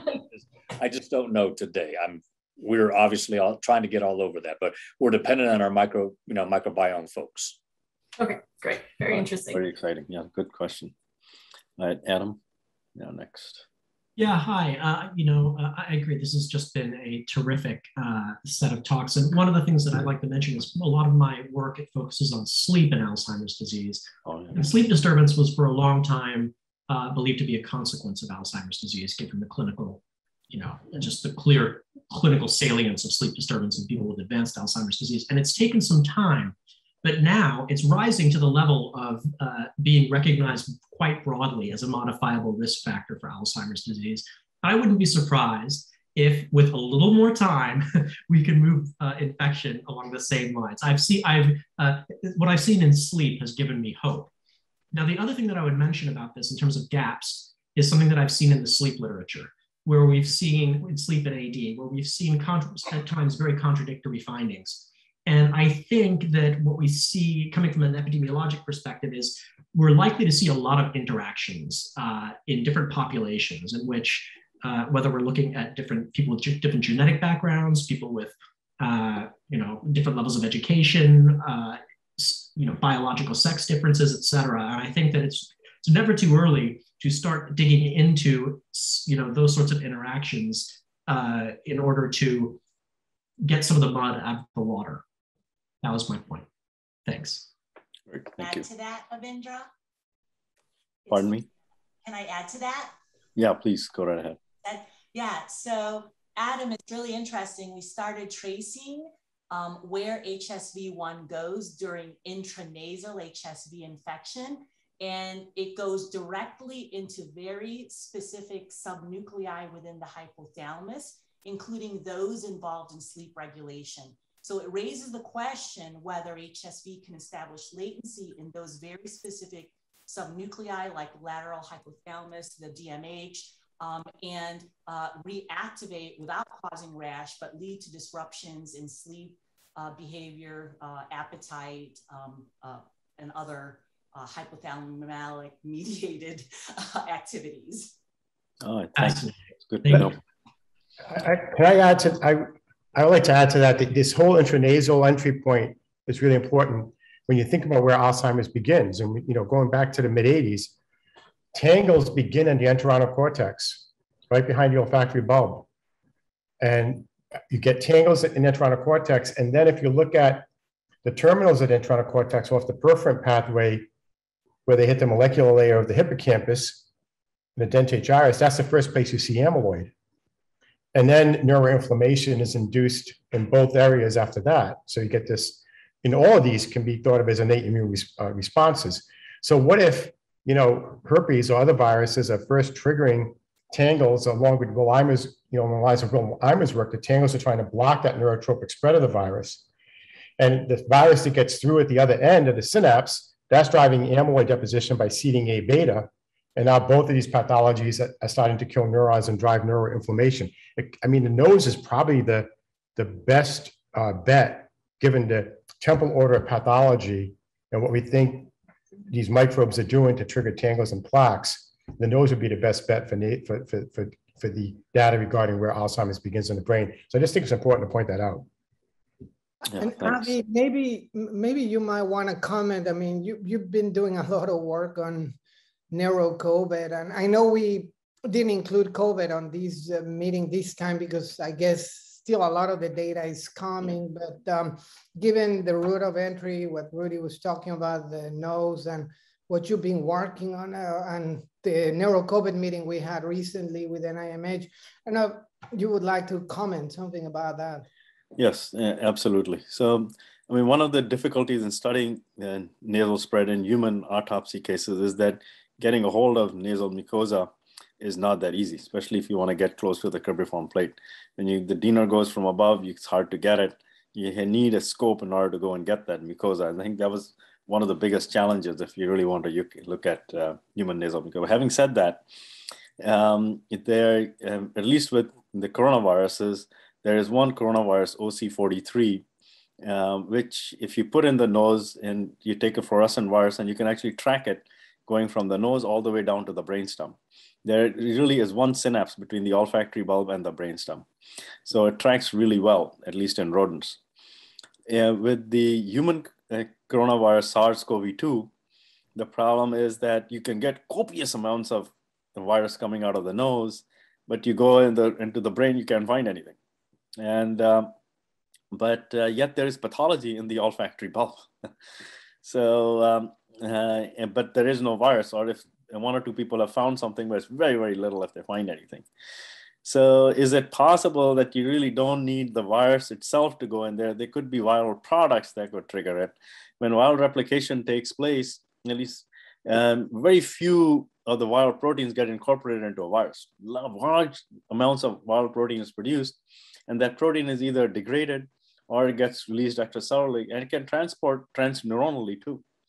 So one can possibility. I make, can I make a comment, a quick comment on that? Sorry to interrupt. Uh, most, I am a nasal, immunolo- uh, nasal immunity person, so I didn't talk about anything like that. But most of the work or my, a lot of the work that we do in my lab is basically uh, trying to show how peripheral detection of viruses and other pathogens in the olfactory epithelium actually shapes the brain, despite the fact that there's not an active viral invasion in the brain. So we've shown how detection of a virus in the olfactory epithelium triggers immune responses, for instance, in the olfactory bulb, as well as changes in neurons and neuronal circuits um, by single cell. We, we have all of the work about to be published at the single cell level, but we, we've published some of it. So I think in terms of COVID, it's clear that if, despite the fact that something or most of it can happen in the periphery, you're gonna have changes in neuronal circuits in the CNS just from signals sent from the neurons that are, you know, reaching to the to the CNS directly through the olfactory route. So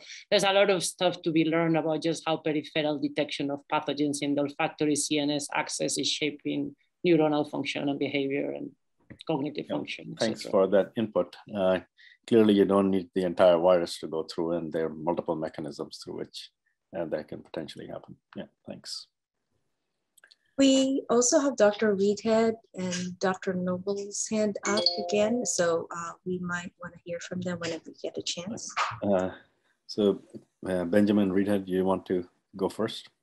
Uh, thanks, Avi. Yeah, um, I, I, I, just wanted to comment on you know what, what I think are one of the main data gaps. Um, you know, particularly uh, to the extent that I might be able to help inform these questions of causality. And, and one of the big gaps I think are present, there are many, um, is the relative paucity of micro-relevant phenotypes that we routinely capture in our longitudinal data sets. You know, so electronic health records, you know, really they're, they're, they're optimized for acute care and for billing considerations. And, you know, there's, I think there's very much an artifact of we capture what's capturable and, you know, we've got, you know, maybe some decent coverage of infections like HSV1 and, and others, but, you know, there's a big blank space in terms of other microbial perturbations that we'd love to have access to and um, you know could really inform uh, you know our hypothesis generation. Um, and I'm not saying this because I think it's a trivial problem to solve. I think there are some emerging technologies that I think could be helpful here. You know, things like antibody epitope repertoire analysis, particularly if it's done longitudinally and kind of earlier in the lifespan. Um, but to the extent that we can solve this as a problem or begin to solve it, um, I think we'll have access to a much broader set of data science approaches that we could use to generate hypotheses. And you know, we can begin thinking about integrating genetics with these sorts of phenotypes so we can then open the door to kind of causality testing and Mendelian randomization so we can kind of get at what's driving what. Um, you know, we can use it to help, um, you know, design our experiments, identify the right biomarkers that we should be tagging in, you know, when, when we go to the wet lab. Um, so I just wanted to mention that as you know one of the things I see as a major bottleneck at the moment. Yeah, that's a very important point. Thank you. Um, Dr. Knapp, there is a lot of questions in the audience, so and and perhaps we can um, we can let them uh, on the forum. Can, can we have Dr. Noble first and then? Yeah, I just uh, one, one comment to Ben, what you just said, uh, you know, most people don't have dental insurance. So administrative records around dental care is actually quite lacking too. I wanted to pose a question to the group. Uh, you know, Rudy commented about intranasal uh, introduction of, of uh, various germs, but, you know, should we be in, including this conversation, um, you know, this notion that uh, synucleinopathies may relate to, um, you know, a vagal transmission uh, from the gut. I mean, this is, there's a pretty compelling literature out there uh, associating with both uh, Parkinsonism and you know uh, uh, idiopathic Parkinson's disease and, and Lewy body disease uh, between appendectomies and um, and stomach um, vagotomies for for ulcers. and there are some basic pathophysiological linkages as well. I mean, is this is this a part of the argument we should be considering as well? It's not what I do, but I wondered if others are. If I can piggyback on that, one of the questions that I had that I didn't ask after your talk um, was actually, uh, Dr. Noble, was actually about this gut-brain axis communication that, pro- that could provide a, a mechanism uh, for communication between the gut microbiome and the brain.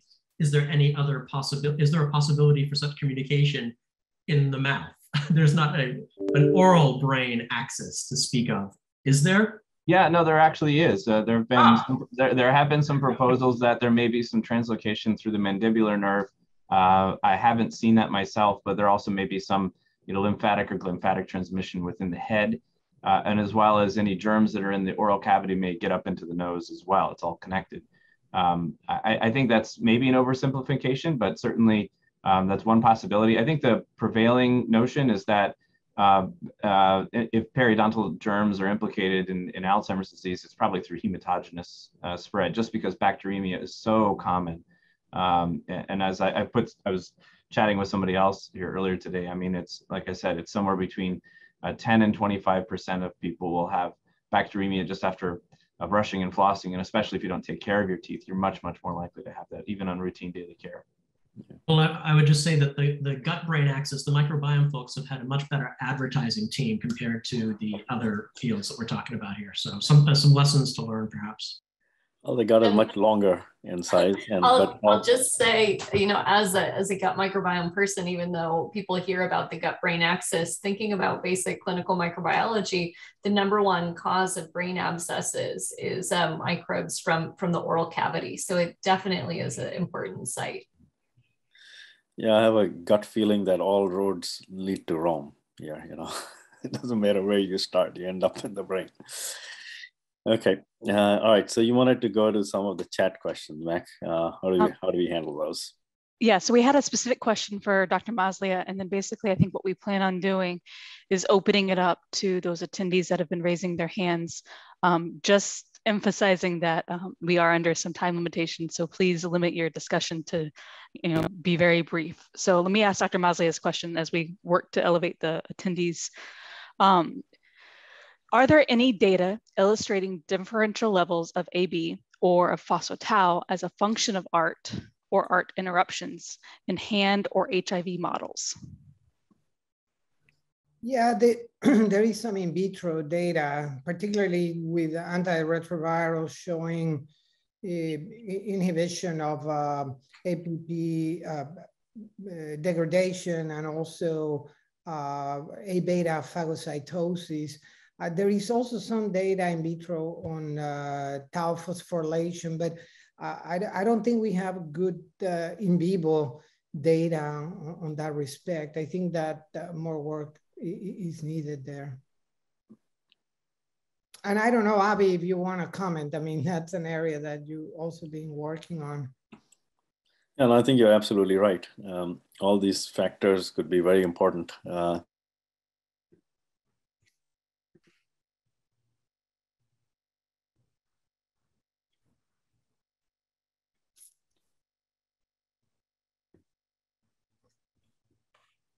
Okay, are there what's the next question? So I believe we've um, elevated now uh, Dr. Lapidus. Yes, uh, hold one second here. Um, I'm uh, Jeff Lapidus from Drexel University College of Medicine. I'd just like to take uh, a minute or less, hopefully, to tell you some new results that are um, consistent with a lot of what people have been saying. We've been studying the brain microbiomes of uh, about 30 Alzheimer's and control subjects. My colleague Yves Monet is also here with me, and we work in the lab of uh, Dr. Er Garth Ehrlich at, at Drexel. Um, I'll post my email address if anybody um, wishes to uh, ask us more. We're finishing an article that will report findings of a relationship between a particular polymicrobial ecosystem and Alzheimer's. We looked at bacteria only, not, not um, uh, fungi. Uh, in addition, using certain assumptions, we can piece together a bacterial etiology of the disease, uh, even though our samples were only taken at uh, one time from deceased subjects. Um, the polymicrobial system is present in almost all of the AD subjects and almost none of the controls. Um, uh, we would not get the results that we have gotten without advances in sequencing technology and bioinformatics. We use PacBio uh, long reach technology and a new um, microbial identification pipeline to provide high fidelity species level data. And we use some new bioinformatic techniques uh, appropriate to seeing ecosystems to analyze the data. So uh, we're very excited about this, and um, we think it's, it's, it's very consistent, for example, with Dr. Tansey's um, um, theories. Thank you very much. Yeah, thank you. All right, uh, who's next? I think we've also elevated, oh, Mac, you have your hand raised. No, I, I just wanted to, uh, I, I wonder whether Dr. Devanand is on, uh, is still at the audience. Because um, there is an ongoing clinical trials um, and we, we didn't ask Dr. Devanand to present because I believe that trial is still ongoing, but um, perhaps if he's still um, in the audience, perhaps he can comment on that ongoing trial. So if you are still in the, Uh, the audience, yeah, he's please not. rate. Okay. Yeah, he's not present. Yeah. Thank you so much. Um, I believe we now um, have Dr. Torch.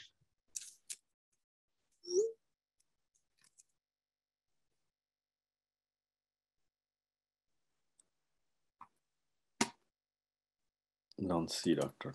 Torch here. Um, yeah. Uh, There we go. Okay. Yeah. There we go. Hi, uh, Dr. Torch here. Uh, am I on? Yes, we can hear you. Okay.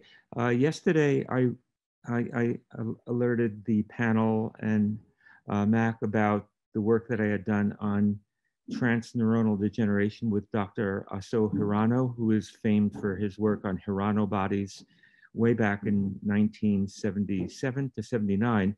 And since that time, I've continued on my work looking at the occurrence of transneuronal degeneration, not only following stroke, which was the focus of the original article, but on uh, encephalitis, uh, trauma uh, due to chronic traumatic encephal associated with chronic traumatic encephalopathy, uh, as well as toxic metabolic disorders in adults and children. I am an adult and pediatric neurologist and also a sleep doc. And um, in my original paper and all the subsequent work that I've been do doing, I've been mapping out the transneuronal degeneration process in focal uh, diseases where we have unilateral or bilateral strokes in the hippocampus in particular, with progressive transsynaptic degeneration throughout the entire PAPE system, into the mammillary body, mammillothalamic tract, all the way into the, the cingulate gyrus.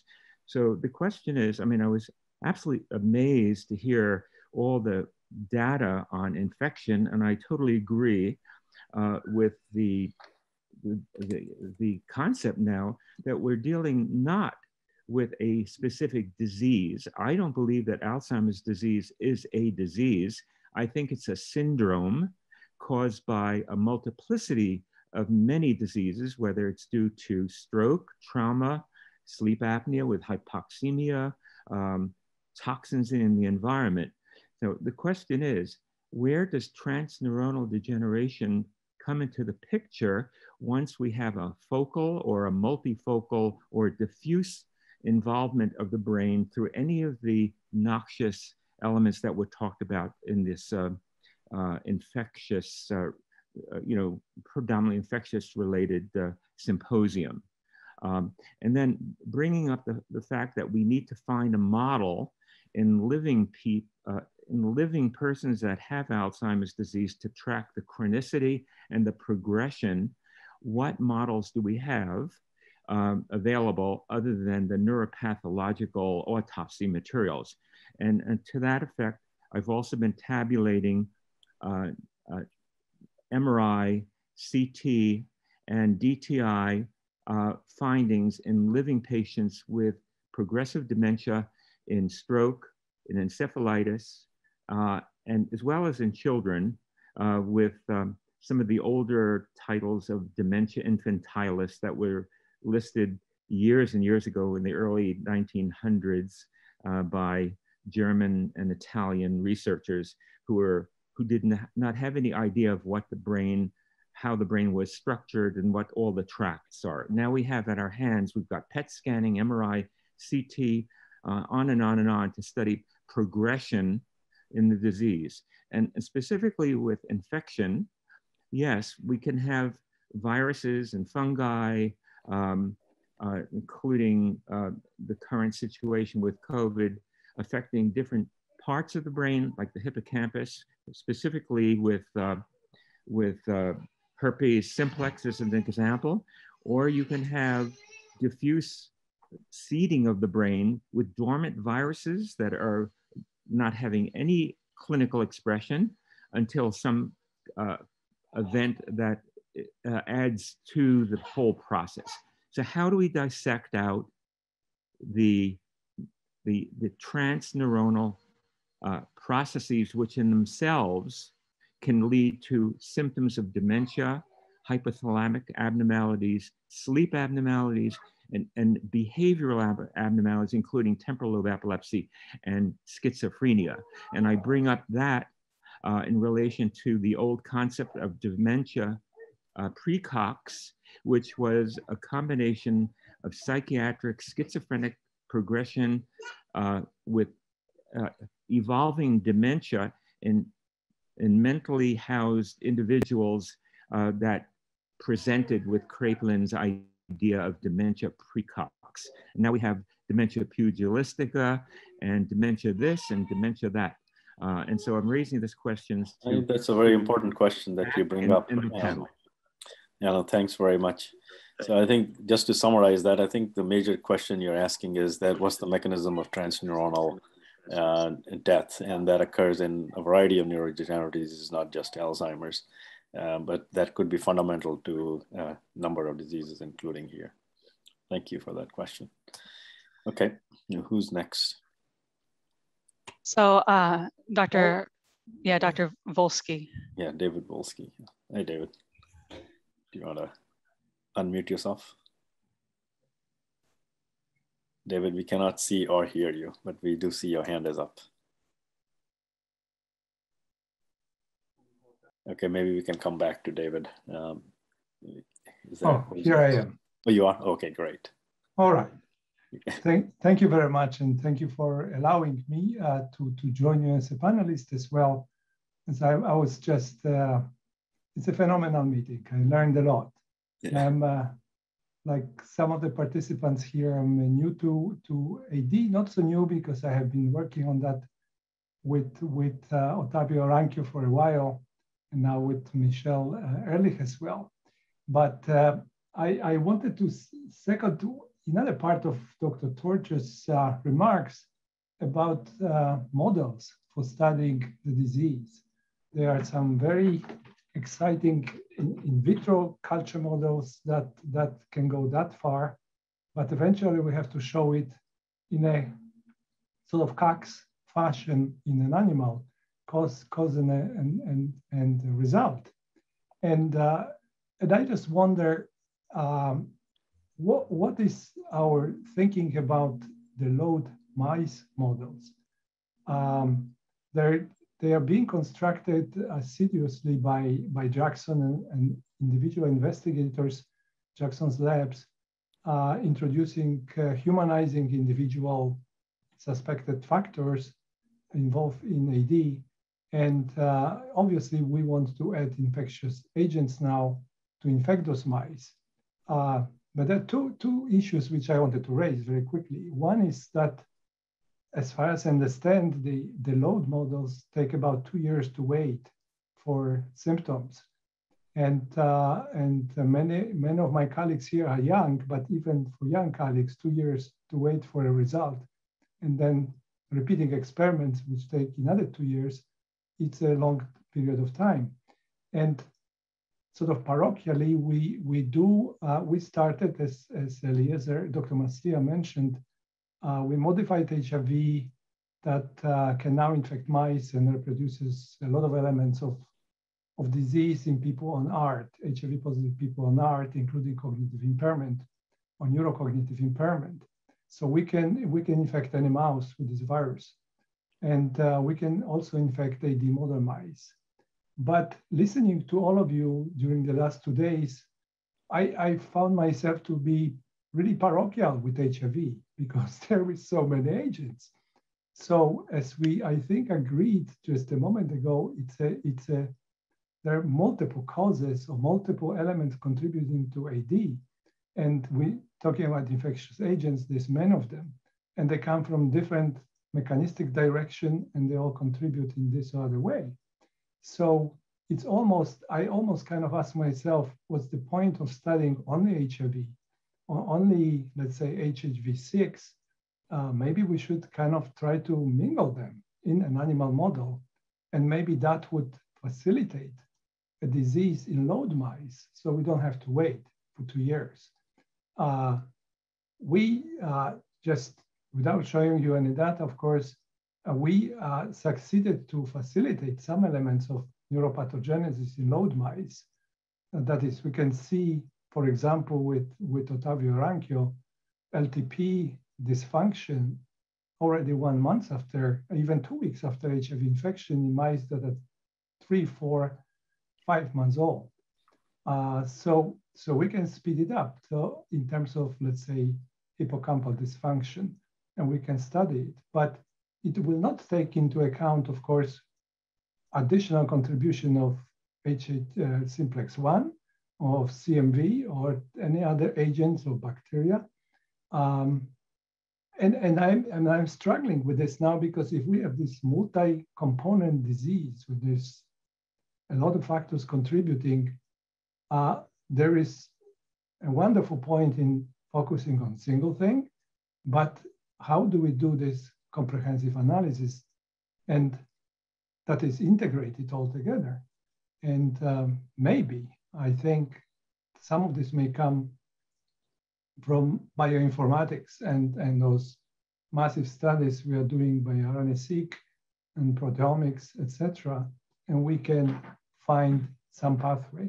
So that's so that's one way. But I, I'm you know personally very excited that we can do things with HIV in mice and in context of the AD and that's uh, I think is going to be interesting.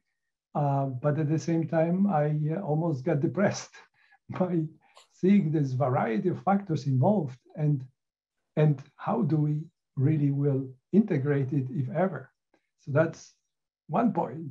And the second point, of course, is vaccines and and and the way of interventions that we can figure out. And I think that leads very strongly to a microglial cells and perhaps altering that uh, disease causing back to supportive role of microglia if, if possible.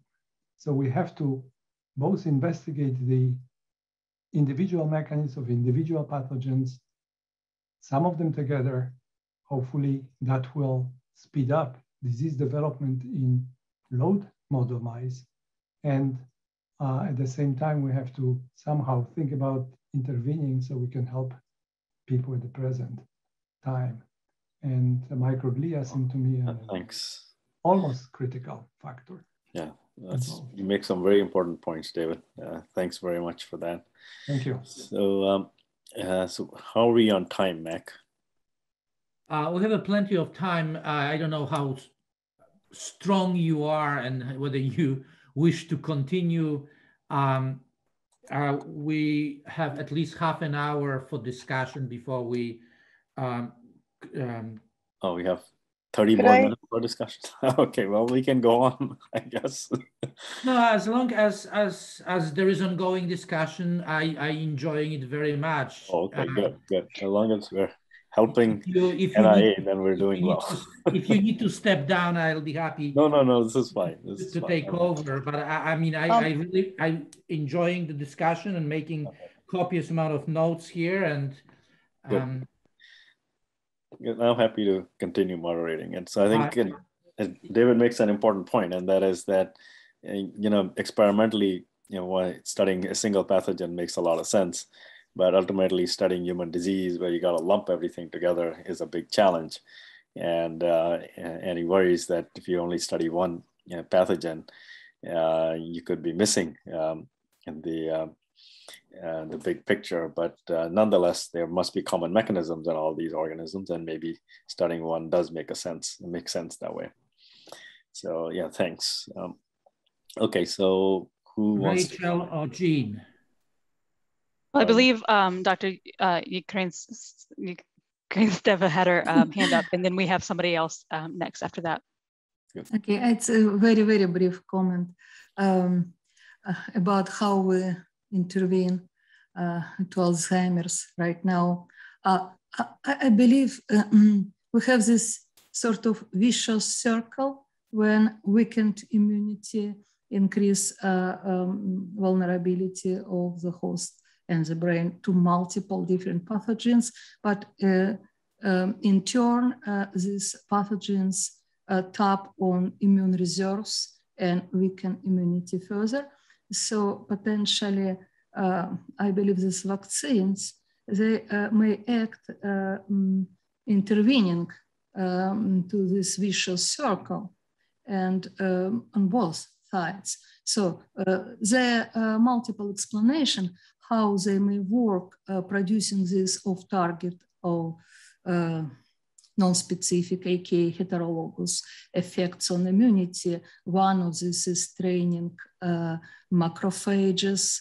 Uh, another is uh, mm, uh, uh, effects on lymphocytes, which are non-specific as well, etc. But all these effects, it's like help both sides and uh, supporting weakened immunity and attenuate these negative effects of infection on these immune reserves.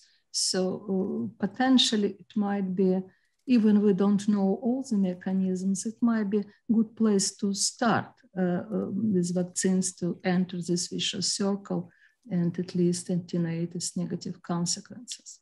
So that's it. That's it. It's just brief comment. All right, thank you. Okay. Annelise Barron, you have your hand up. Uh, yes, yeah, so I just want to talk a, a bit um, about antimicrobial peptides, also known as host defense peptides, because they're not only directly antimicrobial, but they're also strongly immunomodulatory and affect phenotypes of uh, a broad range of white blood cells, including macrophages, dendritic cells, and T cells. So you know we, we had the really nice uh, contributions going all the way back to 2011 and much earlier of course uh, talking about dr Itzhaki's work. But in, in terms of antimicrobial peptides dr Eimer's and dr tanzi and Moir's work uh, about a beta being an antimicrobial peptide similar to ll37 but just let me mention very quickly about ll37 it's one of a kind in the proteome it's antiviral antifungal antiparasitic and antibacterial prevents biofilm formation. Dr. Denise Faustman is running a clinical trial with BCG out of Harvard and seeing that it takes um, about two years after a BCG vaccine injection for uh, euglycemia to be reached in these type 1 diabetics, but you can then essentially, it looks like cure type 1 diabetes with a BCG but at, that she just lectured at Stanford in the spring and showed that that coincides with a rapid rise in LL37 expression. And she also extended then to looking at cognitive decline in these older uh, diabetic patients. And she was seeing that at the same time, you know, they, they were seeing cognitive benefit from the BCG injection. And then my lab and two other labs have shown that LL37 directly binds to and prevents fibril formation and neurotoxicity of the A beta uh, peptide, the IAPP or amylin peptide, and very recently a group out of Barcelona, uh, Salvador, uh, what's his last name? um, it'll come to me in a second, Ventura, I think, showed that LL37 is also a nanomolar inhibitor of the fibril formation of alpha synuclein and its neurotoxicity. So that makes three different amyloid forming peptides that LL37 can directly neutralize. And I just want to mention lastly, and then I'll go, is that you know, macrophages and microglia actually utilize LL37, as do natural killer cells that kill infected cells. They utilize LL37 as the weapon, especially natural killers, to kill these pathogens if they're able to internalize them.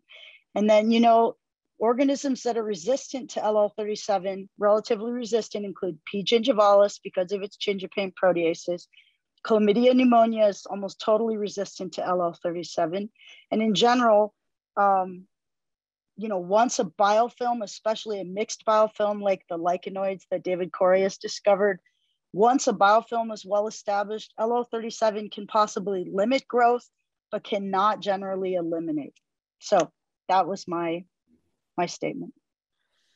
That's very interesting. So I have a question for you. Is this LL37 derived from the um, uh, BCG vaccine? Is it present in it? Is that what you Oh, that's a great question. No, in fact, um, LL37's expression is stimulated by the BCG vaccine oh. By the presence of the attenuated pathogen. And by the way, you know, BCG is used by intrathecal injection to treat prostate cancer and it's been proven that it upregulates cathelicidin. There's like at least four papers where they show that BCG upregulates LL37, which is cathelicidin. So I think this is a piece that's missing. Yes, A beta is antimicrobial. Yes, it is. Yes, so is IAPP. But I think there's this seesaw between the expression and, and body's utilization of LL37 and, and A beta and IAPP amylin that's not yet being appreciated. Well, that's what I'm doing. Oh, okay, so, I get it now. All right, thanks very much. Appreciate it. Is LL37 immunomodulatory as well, Annelise? Yeah, you know, a group, uh, I'll send you this paper, but they showed that if you have low LL37 expression, and this was identified in the NOD mouse, okay, low LL37 expression leads to pro-diabetogenic, pro-inflammatory phenotypes of macrophages, dendritic cells, B cells, and T cells, if you upregulate it, which you can do simply in mice with a butyrate injection, now all the phenotypes became anti-diabetogenic. And this also explains why females have a higher risk of diabetes and Alzheimer's because naturally and endogenously, females express lower levels of cathelicidin, so they would tend to have more pro-inflammatory hmm. phenotypes. One thing to add to this discussion, uh, thank you, Annelise, that's incredibly interesting.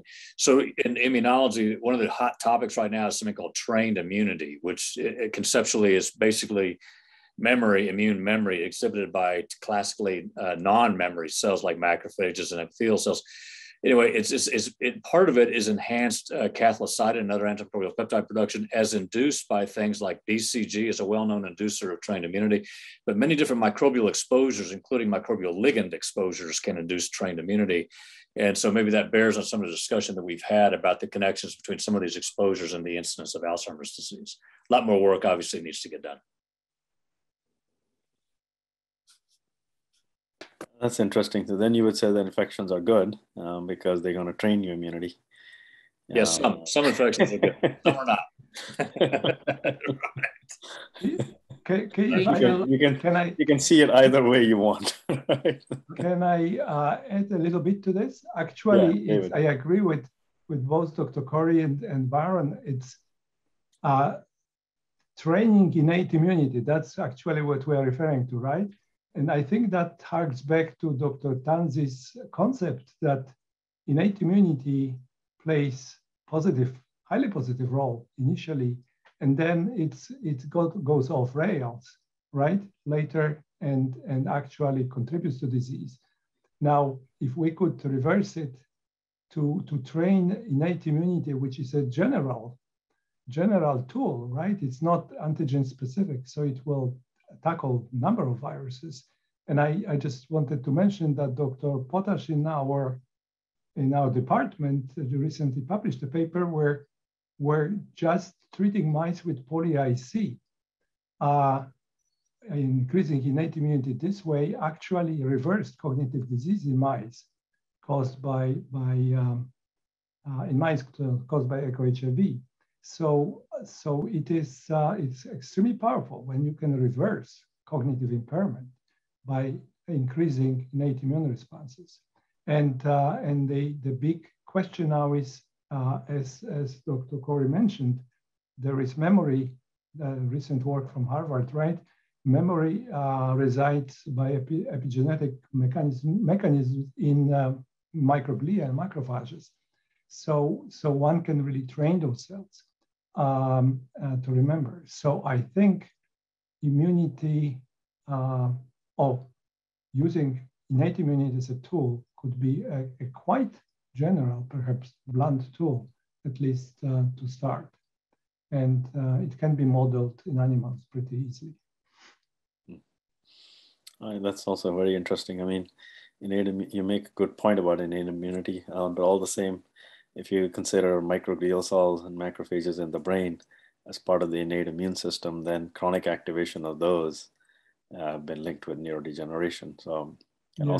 and we know that HIV turns it off, right? Yeah. But yeah. but you can overcome it actually by having more of it and training yeah. the, the, mic- the microglia to respond. Mm-hmm.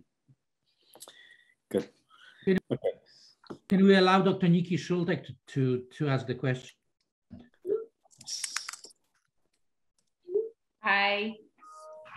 Can everyone hear me? Yes, we can hear you well. Wonderful. So first of all, I'm not a doctor, so I'll preface with that. Uh, but I am the founder of a global research consortium that's been looking at this exact issue for the last four years, also investigating the role of chronic infection in asthma. Um, so I wanted to make a comment, first of all, um, amazing presentations throughout the last two days. They literally have my mind racing and, you know, thinking up ideas as far as collaborations and ways that we can kind of really pull together these disparate puzzle pieces, which is what it really seems like, right? A thousand puzzle pieces scattered about. How do we address it? One of the things I wanted to mention um, was something that was raised, and it's just this issue of fulfilling Koch's postulates. And it seems that the pathogens themselves have really outsmarted us in many ways. You know, they can uh, employ various mechanisms to either hide, duck away from the immune system, uh, avoid antimicrobial therapy. Also, typically, some of the pathogens that we've been talking about the last few days um, they may wax and wane and change over a course of time. So, so really the thing that we have to think about is how do we go about um, resolving these issues? And one of the things that was raised yesterday was this concept of treatment. And I wanted to talk a little bit about another area of medicine and sort of piece together these silos. So if a patient has um, a pneumonia and it doesn't respond to typical course of macrolide antibiotics, and then the patient gets admitted to the hospital, continues to decline, infectious disease specialists and pulmonologists are going to, I'm going to borrow Ben's word from yesterday, they're going to interrogate what's going on in that patient. And as we know, with pneumonias, you can have viral drivers, bacterial, fungal pneumonia, particularly in immunocompromised patients. You can even have a chemical pneumonia from inhalation.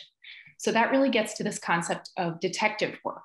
So, one thing that I want to suggest to the field to think about is interrogating uh, live patients that have various stages of Alzheimer's disease, or whether we would examine patients with mild cognitive impairment um, and then possibly begin to figure out what pathogens are on board in those patients. One example of a test that's leveraged if a patient has um, a refractory pneumonia in the hospital could be cell-free DNA next-gen sequencing, you know, where you would simply send some plasma out to a laboratory or it can be done in-house at certain academic centers, you know, to really find out what's going on in that individual patient. There is a possibility too, as was alluded, that, that this could be a polymicrobial situation. So I just wanted to posit that because a lot of the trials that have been done looking at anti-infective agents in Alzheimer's disease whether they're antibiotics or antivirals, typically have a rather narrow approach where you're including patients that either have evidence of uh, you know one single pathogen and then you're giving them all the same intervention. I just wanted to kind of posit that thought process of examining it a bit more like an infectious disease approach where we would be detectives.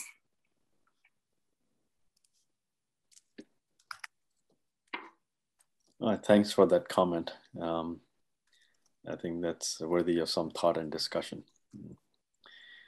Okay. Um, who do we have next? I believe that Dr. Waterhouse wanted to make a comment. Okay. And Mac, I'm going to have to excuse myself for a couple of minutes and I'll be right back. Okay, I'm sorry. Okay, great. All right, sorry. I mean, it is probably uh, a time for us to, to start wrapping up our conversation. Uh, uh, but but go ahead. I, I I'll take over. Oh, Yeah, can I Thank make you very much. Mac. All right, appreciate it. Yeah. okay. Um, I'm sorry.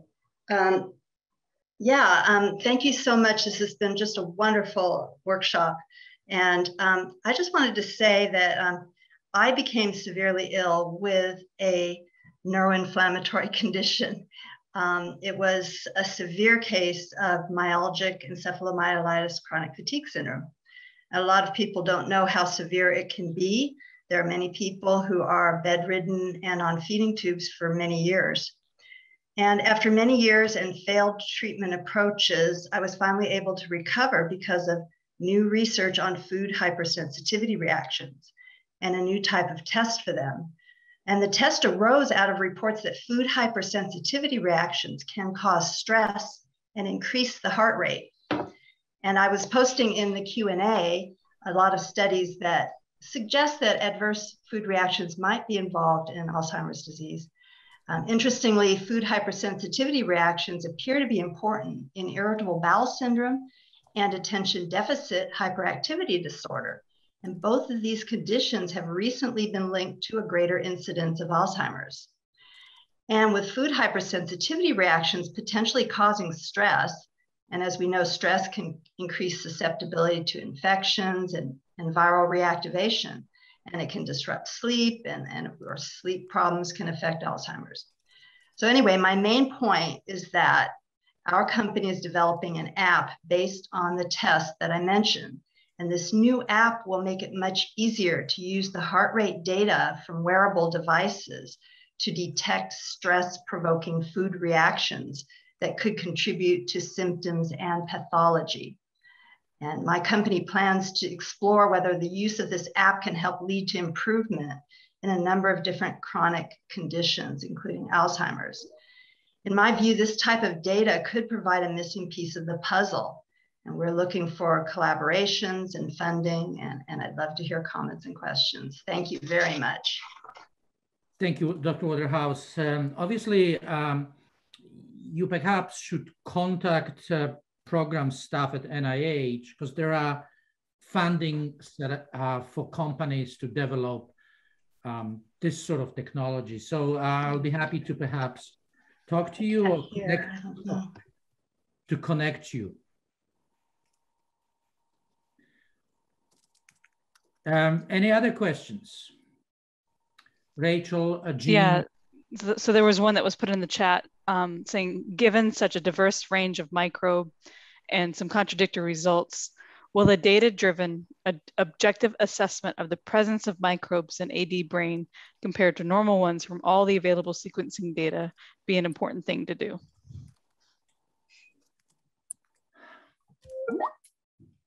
Who would like to take a stab at this question? Dr. Readhead, perhaps? I don't know. Can, can, you repeat, can you repeat the question? Uh, given such a diverse range of microbes and some contradictory results, will a data-driven objective assessment of the presence of microbes in AD brain compared to normal ones from all the available sequencing data be an important thing to do? Well, well, it is being done, Mac. This is Steve. Yeah, that's exactly what I think. I mean, eh, you know, eh, and we all, I mean, I showed you yesterday 6,000 brains that we've looked at, okay? And you could look at 50,000 brains. And again, I could tell you on um, doing kind of genome um, wide analysis for, again, a disease that I'm interested in, multiple sclerosis, you look at the first 100 patients, you don't find something. The first 10,000 patients, now you find actually genes when it pops up for 100,000 patients. So really numbers are an important driver of this, particularly, particularly if you're looking at heterogeneous disease, right? So yeah. if the clinicians could more or less bin these patients, whether you've been exposed to an agent or um, you have some reactivity to, uh, to some uh, bacteria, then you may be able to, you know, get data that's associated with those subsets.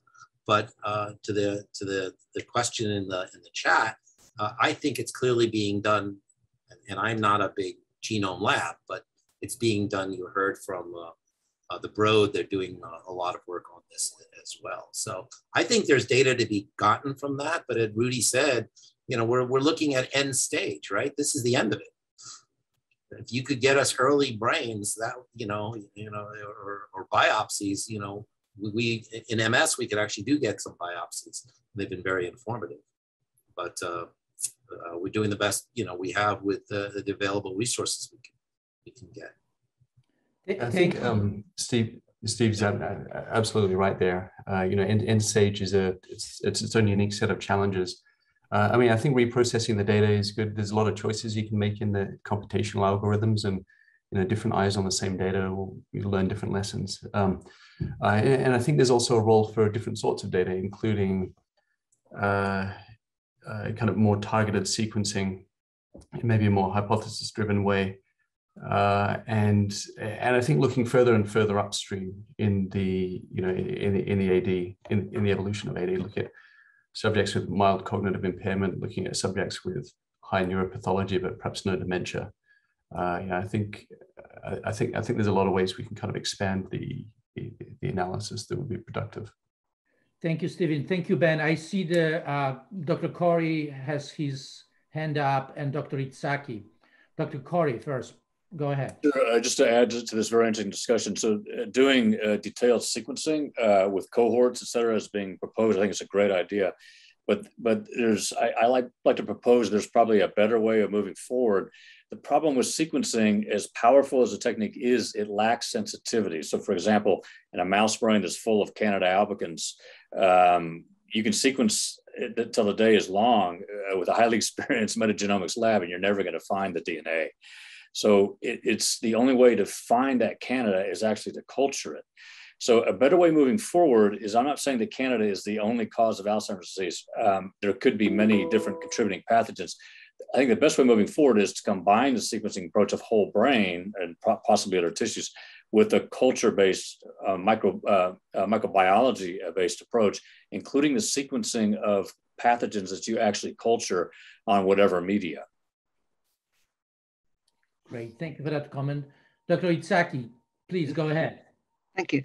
I think comparing the frequency, prevalence, or even the quantity of um, a, a, microbe in comparing normal and AD brains isn't necessarily that useful because in, in the case, for example, of tuberculosis, I think uh, about 10 times more people have the bacterium in their body but don't get TB I mean, about, in other words, putting it the other way, about only one tenth of those who harbor the uh, Mycobacter um, tuberculosis actually develop tuberculosis. So the presence of a microbe doesn't necessarily mean it has any action.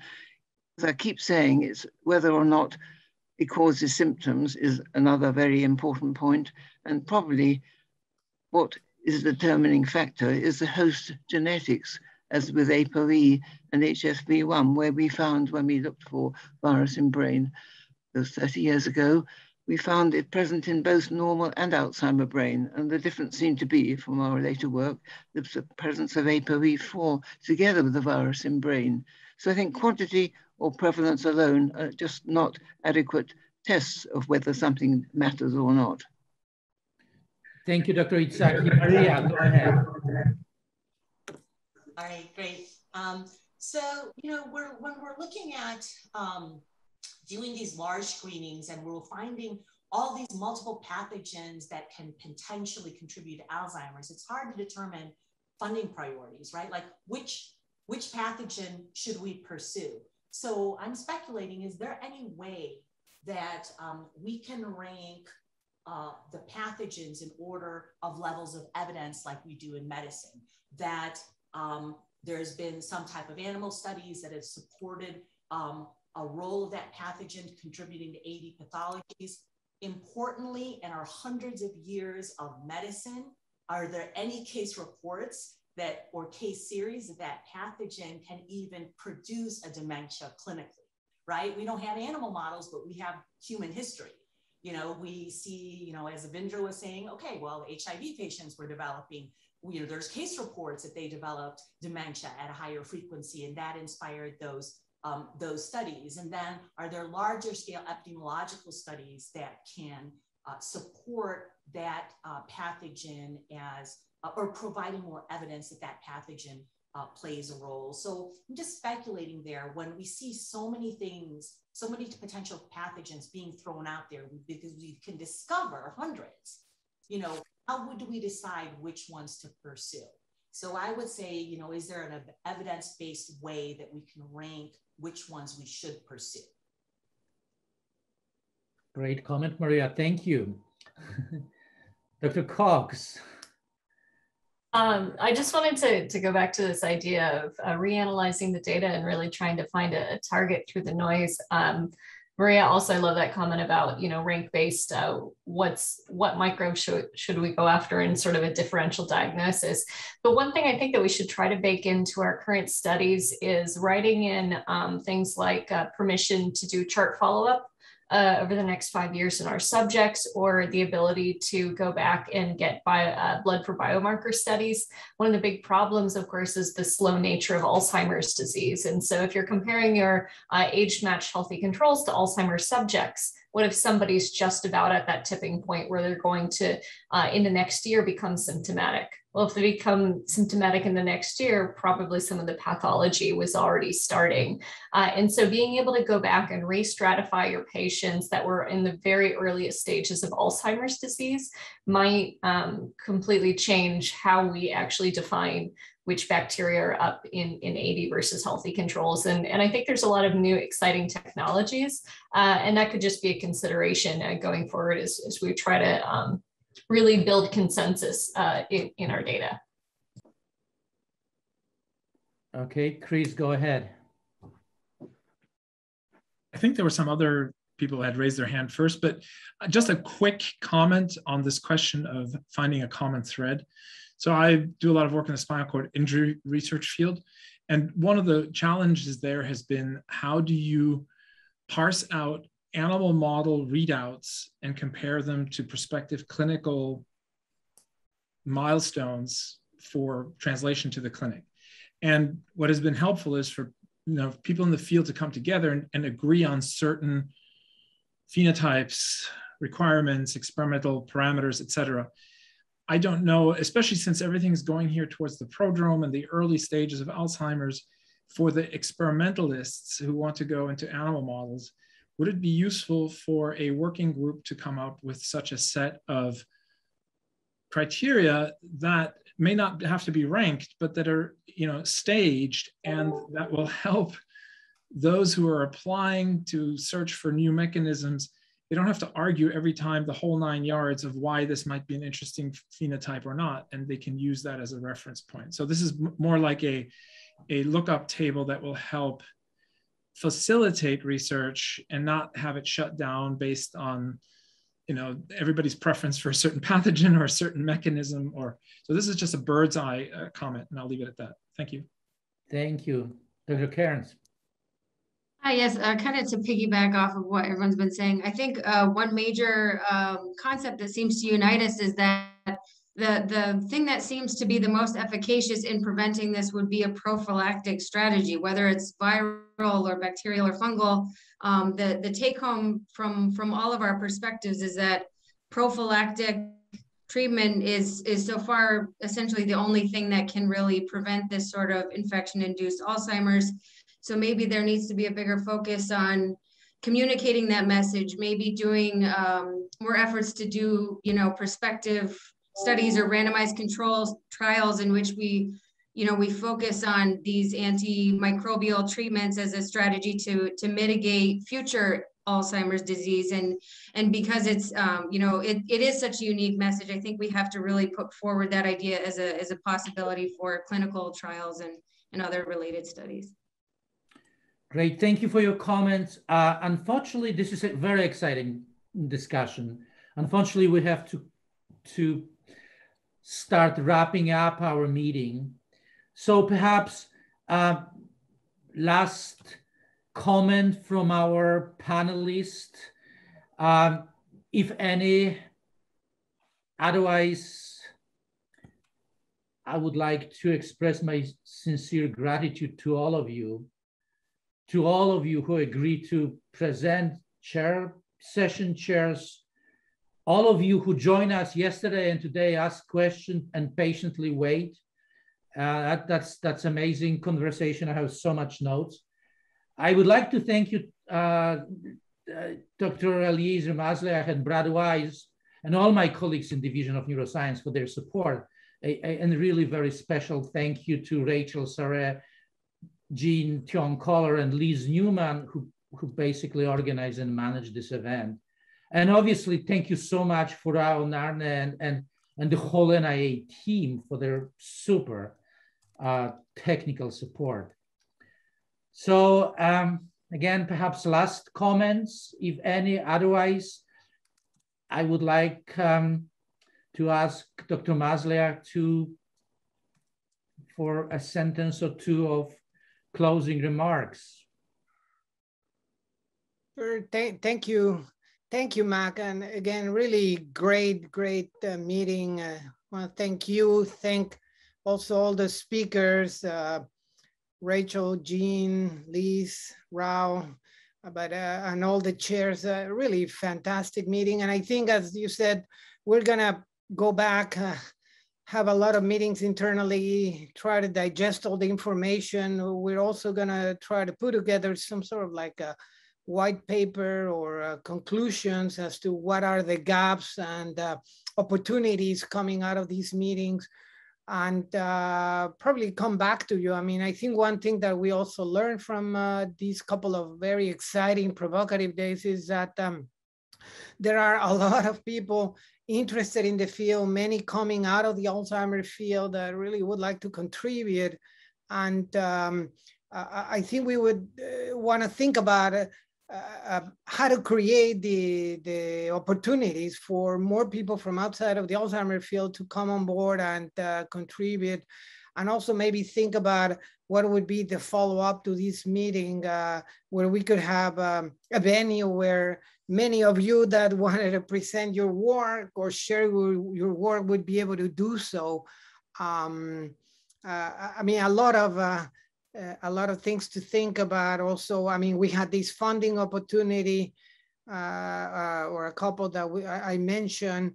And um, I mean, we need to think about in the future how we're going to go about it, uh, how we can open more doors. issues of review how have always been a problem. I mean, for example, with this specific funding opportunity that we had, we were very emphatic that we wanted to have a special emphasis panel with people that really understand the topic. Uh, but you know, we often get this issue with reviewers that uh, they tend to be someone down on, on, on some of these topics. So um, we're definitely something that we will continue to work and we really appreciate all your comments and uh, information and uh, just want to re reinforce that we're really committed to um, uh, help develop the field and uh, open the doors. And I mean, Mac has been doing an absolutely amazing job uh, along with all, all, the others at, at NIA. So um, thank you. Thank you everyone again and uh, hope to see you again soon. thank you, Eliezer.